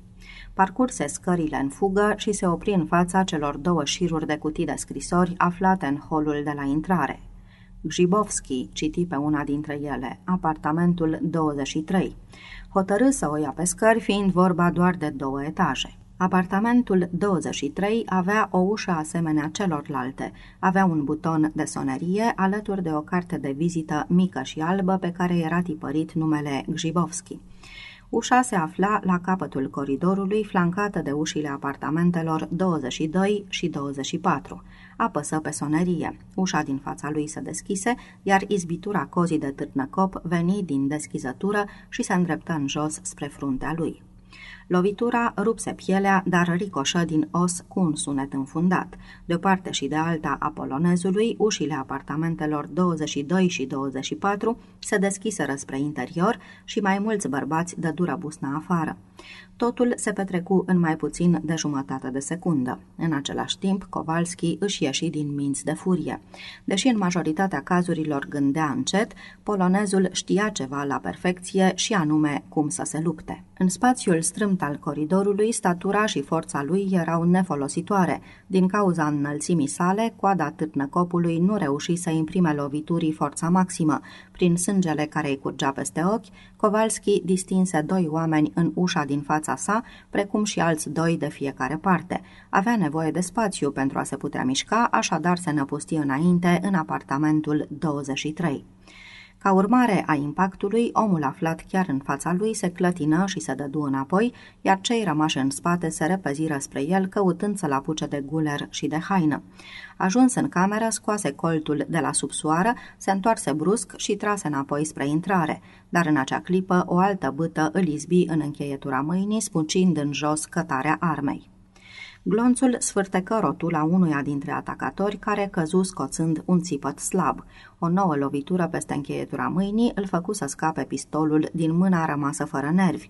O secundă mai târziu era copleșit de cei cinci bărbați care se năpustiră asupra lui. Lupta dură trei minute. Mai târziu, un doctor avea să aprecieze că, până în momentul în care își pierduse cunoștința, primise vreo 20 de lovituri în cap cu niște ciomege învelite în piele. O parte dintr-o ureche îi fusese ciopărțită de o lovitură piezișă, nasul îi era rupt, iar fața o mască de un roșu aprins. Luptase mai mult din reflex. În două rânduri era gata să ajungă la pistol, dar câte un șut trimitea arma în celălalt capăt al camerei de zi. Când în cele din urmă polonezul căzu cu fața în jos, mai rămăseseră în picioare doar trei agresori. După ce își terminară treaba, iar trupul uriaș zăcea la podea fără simțire, doar cu un firicel de sânge prelingându-i se din scalpul numai o rană, singurul semn că omul era încă în viață, cei trei supraviețuitori se traseră înapoi, înjurând cumplit și respirând din greu. Bărbatul împușcat în picior se încolăcise lângă perete în apropierea ușii, alb la față, ținându-și genunchiul sfărâmat, cu mâinile de un roșu aprins și dând drumul printre buzele cenușii de durere unui puhoi lung și monoton de obscenități. Un altul, în genunchi, se legăna încet înapoi și înainte, ținându-se cu mâinile de vintre. Ultimul zăcea pe covor, nu departe de polonez, având o rană la tâmpla stângă, acolo unde una dintre loviturile nimicitoare ale lui Kowalski îl surprinsese cu o forță maximă. Șeful grupului îl rostogoli pe Kowalski pe spate și îi ridică una din ploapele închise, traversă încăperea spre telefonul din apropierea ferestrei, formă un număr local și așteptă. Încă mai respira greu când i se răspunse, spuse persoanei de la celălalt capăt al firului. L-am prins. S-a luptat? Normal că s-a luptat nenorocitul. I-a scăpat un glonț și Gherini și-a pierdut rotula. Capeti a primit un în testicule și Visar și-a pierdut cunoștința. Ce? Da, polonezul trăiește, doar astea au fost ordinele, nu? Altfel nu ar mai fi făcut tot prăpădul ăsta. Păi e rănit, ce mai? Habar n-am, este inconștient. Știi ce? N-avem nevoie de dubă, ci de două ambulanțe și asta repede. Trânti receptorul și mormăi, nenorociții, referindu-se la lume în general. Peste tot în cameră, fragmente de mobilier distrus zăceau aruncate ca niște lemne de foc și, de fapt, nici nu mai puteau servi la altceva. Toți se gândiseră că polonezul o va lua pe coridor spre ieșire. Nici o mobilă nu fusese mutată în vreuna din camerele alăturate și asta a fost un mare neajuns. El însuși oprise cu pieptul un fotoliu aruncat de Kowalski cu o singură mână și asta îi provocă o mare durere. Nenorocitul de polonez, gândi el, blestemații de la direcție nu-i spuseseră cum arată. 15 minute mai târziu, două ambulanțe Citroën opriră în fața blocului și doctorul își făcu apariția. Îi luă cinci minute să-l examineze pe Kowalski. În cele din urmă trase mâneca omului aflat în stare de inconștiență și îi făcu o injecție. Când cei doi brancardieri plecară spre lift cu polonezul, doctorul se întoarse spre corsicanul rănit, care în tot acest timp îl privise încruntat din balta de sânge de lângă perete. Dădu la o parte de pe genunchi mâna corsicanului, aruncă o privire rănii și fluieră. În regulă, morfină și la spital îți voi da o doză ca pentru knockout. Aici nu prea am ce face. Oricum, Momptui, cariera ta în meseria asta s-a sfârșit. Gherini îi răspunse cu un șuvoi de înjurături în timp ce acul intra în el. Visar stătea în capul oaselor cu mâinile la ochi și cu o expresie uluită pe față. Capetti se ridicase deja în picioare și voma sprijinit de perete. Doi dintre colegii săi îl apucară de subsoară și îl scoaseră în coridor. Șeful îl ajută pe visar să se ridice în picioare, în timp ce brancardierii din cea de-a doua ambulanță cărau corpul inert al lui Gherini. Afară în coridor, șeful celor șase își aruncă pentru ultima dată privirea înapoi spre camera devastată. Doctorul se afla alături de el. Un adevărat dezastru, exclamă doctorul. Cei de la serviciul local n-au decât să curețe, spuse șeful. Blestematul ăsta de apartament este al lor. Cu aceasta închise ușa. Apartamentele 22 și 24 aveau și ele ușile deschise, dar interioarele erau neatinse. Trânti ambele uși închizându-le. Nu există vecini?" întrebă doctorul. Nu," spuse corsicanul, am luat tot etajul. Precedat de doctor, îl ajută pe visar, aflat încă în stare de șoc, să coboare scările la mașinile care așteptau. 12 ore mai târziu, după ce străbătuse în mare viteză Franța de la un capăt la altul, Kowalski zăcea pe un pat de campanie într-o celulă aflată în beciul unei fortărețe din afara Parisului. Ca mai în toate celulele de închisoare, încăperea avea nelipsiții pereți dați cu var, murdari și mucegăiți, pe care erau scrijelite aici colo câte o obscenitate sau o rugăciune. Era cald și un aer închis cu miros de transpirație și de urină. Polonezul stătea cu fața în sus pe patul îngust de fier, ale cărui picioare erau fixate în pardoseala de ciment. În afară de salteaua maronie și de pătura făcută sul la cap, nu mai exista nicio altă lenjerie de pat. Două curele puternice din piele îi imobilizau glesnele, iar altele două, coatele și încheieturile mâinilor. O singură curea îi fixa pieptul. Era încă inconștient, dar respira adânc și neregulat. Fața îi fusese spălată de sânge, iar urechile și pielea capului cusute. O bucată de leucoplast îi acoperea nasul rupt și în gura căscată prin care șuiera respirația se puteau zări cioturile a doi dinți. În rest, fața era acoperită de vânătăi și contuzii. Sub părul des și negru, care îi acoperea pieptul, umerii și burta, se distingeau și alte contuzii provocate de pumni, ghete și ciomege. Încheietura mâinii drepte avea un bandaj gros. Omul în halat alb își termină consultația, strânse stetoscopul și îl puse la loc în geantă. Se întoarse și făcu un semn din cap omului din spatele său, care bătu încet în ușă. Aceasta se deschise și amândoi ieșiră afară. Ușa se închise în urma lor și gardianul fixă înapoi cele două bare uriașe de oțel. Cu ce l-ați lovit? Cu un accelerat?" întrebă doctorul în timp ce străbăteau coridorul. A fost nevoie de șase oameni pentru treaba asta," replică colonelul Roland. Ei bine, au făcut treabă bună, mai să-l omoare. Dacă n-ar fi avut o constituție de taur, așa s-ar fi întâmplat. A fost singura modalitate, spuse colonelul. Mi-a terminat trei oameni. Trebuie să fi fost o luptă pe cinste. A fost. Și acum spuneți-mi, în ce stare se află? În termeni profani, posibilă fractură a încheieturii de la mâna dreaptă, nu uitați că n-am avut posibilitatea să fac radiografii, plus urechea stângă și scalpul sfâșiate, nasul rupt, multiple tăieturi și contuzii, o ușoară hemoragie internă care s-ar putea agrava provocându-i moartea sau ar putea trece de la sine. Se bucură, sau mai bine zis, s-a bucurat de ceea ce am numit o sănătate de fier – Ceea ce mă îngrijorează este capul. A suferit o comoție și este greu de spus dacă este ușoară sau gravă. Nu sunt semne de fractură craniană, dar nu din vina oamenilor dumneavoastră. Are o țeastă tare ca o bucată de fildeș, dar dacă nu este lăsat în pace, starea îi se poate înrăutăți.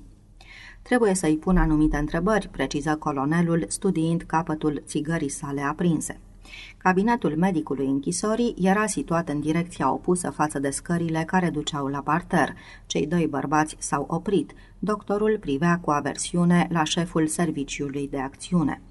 Ne aflăm într-o închisoare, spuse el încet. De acord, o închisoare pentru cei care au atentat la siguranța statului, dar sunt încă medicul acestei închisori. În general, aici se ține cont de ce spun eu privind sănătatea deținuților.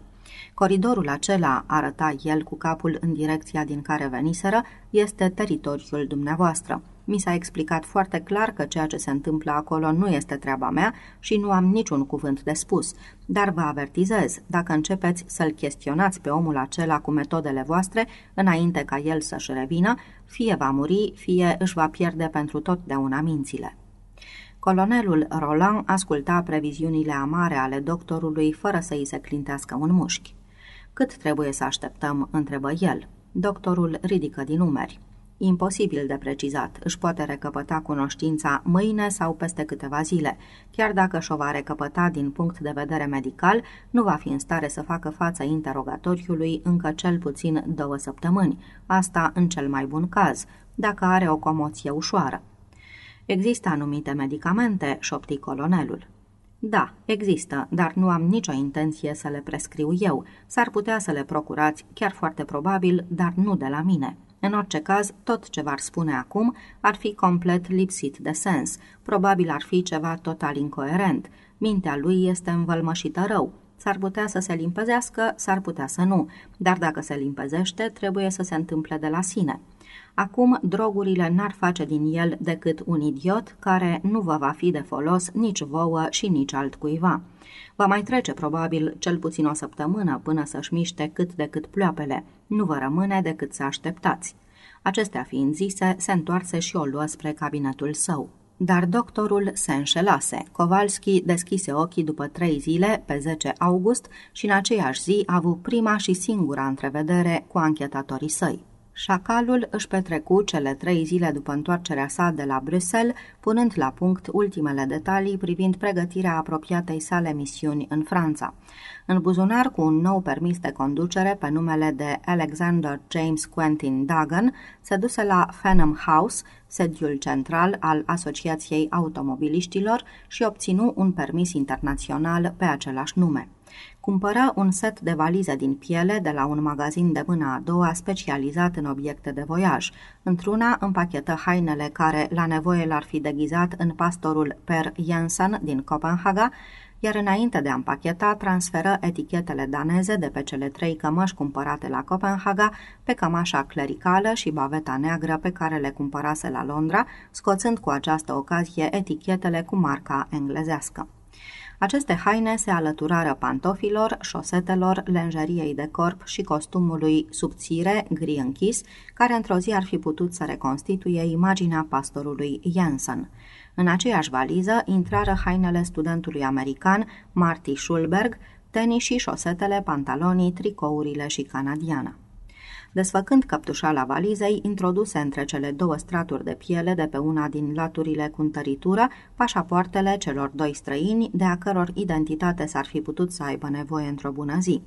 Ultimele completări aduse acestei valize pline cu haine au fost cartea daneză despre catedralele franceze, cele două seturi de ochelari, unul pentru danez și celălalt pentru american, cele două seturi diferite de lentile de contact împachetate cu grijă în batiste de hârtie și loțiunile pentru vopsitul părului.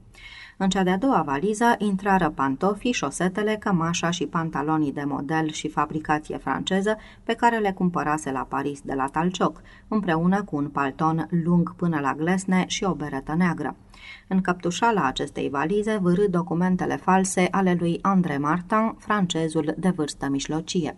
Această valiză rămăsese parțial goală pentru că, în scurt timp, urma să conțină o serie de tuburi înguste de oțel, cuprinzând o carabină pentru trăgători de elită și muniție. Cea de-a treia valiză, puțin mai mică, era umplută cu lucrurile lui Alexander Dagan, pantofi, șosete, lenjerie de corp, cămăși, cravate, batiste și trei costume elegante. În căptușala acestei valize intrară mai multe teancuri subțiri de bancnote de câte 10 lire, în valoare totală de 1000 de lire, sumă pe care o retrăsese de la banca sa la întoarcerea de la Bruxelles. Fiecare valiză a fost încuiată cu grijă și cheile prinse la inelul său cu chei. Costumul cenușiu albăstrui, curățat și călcat, a fost lăsat să atârne în dulapul din apartament. În interiorul buzunarului de la piept erau pașaportul, permisul de conducere, permisul internațional și un portofel cu 100 de lire bani gheață. În ultimul bagaj, o geantă de voiaj, intrară mașina de ras, pijamaua, o trusă de toaletă și un prosop, precum și un fel de harnașament ușor dintr-o fibră subțire, o pungă cu un kilogram de ipsos, mai multe role de bandaje de bumbac cu țesătura rară, jumătate de duzină de role de plasture adeziv, trei pachete de vată și o foarfecă zdravănă cu lamele neascuțite, dar puternice. Geanta de voiaj avea să călătorească în chip de bagaj de mână, deoarece din propria experiență constatase că, de obicei, în niciun aeroport acest gen de bagaj nu trezea curiozitatea vameșilor la controlul prin sondaj. Cumpărăturile și împachetatul odată terminate ajunsese la sfârșitul pregătirilor. Deghizările pentru pastorul Jensen și Marty Schulberg, spera el, erau doar măsuri de precauție la care probabil nu va fi nevoit să recurgă decât în cazul că ar fi trebuit să renunțe la identitatea lui Alexander Dagan. Identitatea lui André Martin era vitală pentru planul său, dar era posibil ca celelalte două să nu-i fie necesare. În acest caz, la terminarea misiunii, întreaga valiză putea fi abandonată la un oficiu pentru păstrarea bagajelor. Chiar și atunci, reflectă el, n-ar fi fost exclus să-i trebuiască una sau alta din aceste identități pentru a reuși să scape. Identitatea lui André Martin și arma puteau fi și ele abandonate după ce sfârșea treaba și nu-i mai erau necesare. Dacă la intrarea în Franța va avea trei valize și o geantă de voiaj, la plecare, socoti el, avea doar o valiză și bagajul de mână, în niciun caz mai mult. Odată terminată și treaba aceasta, se puse să aștepte cele două hârtii care urmau să-i dea semnalul de plecare.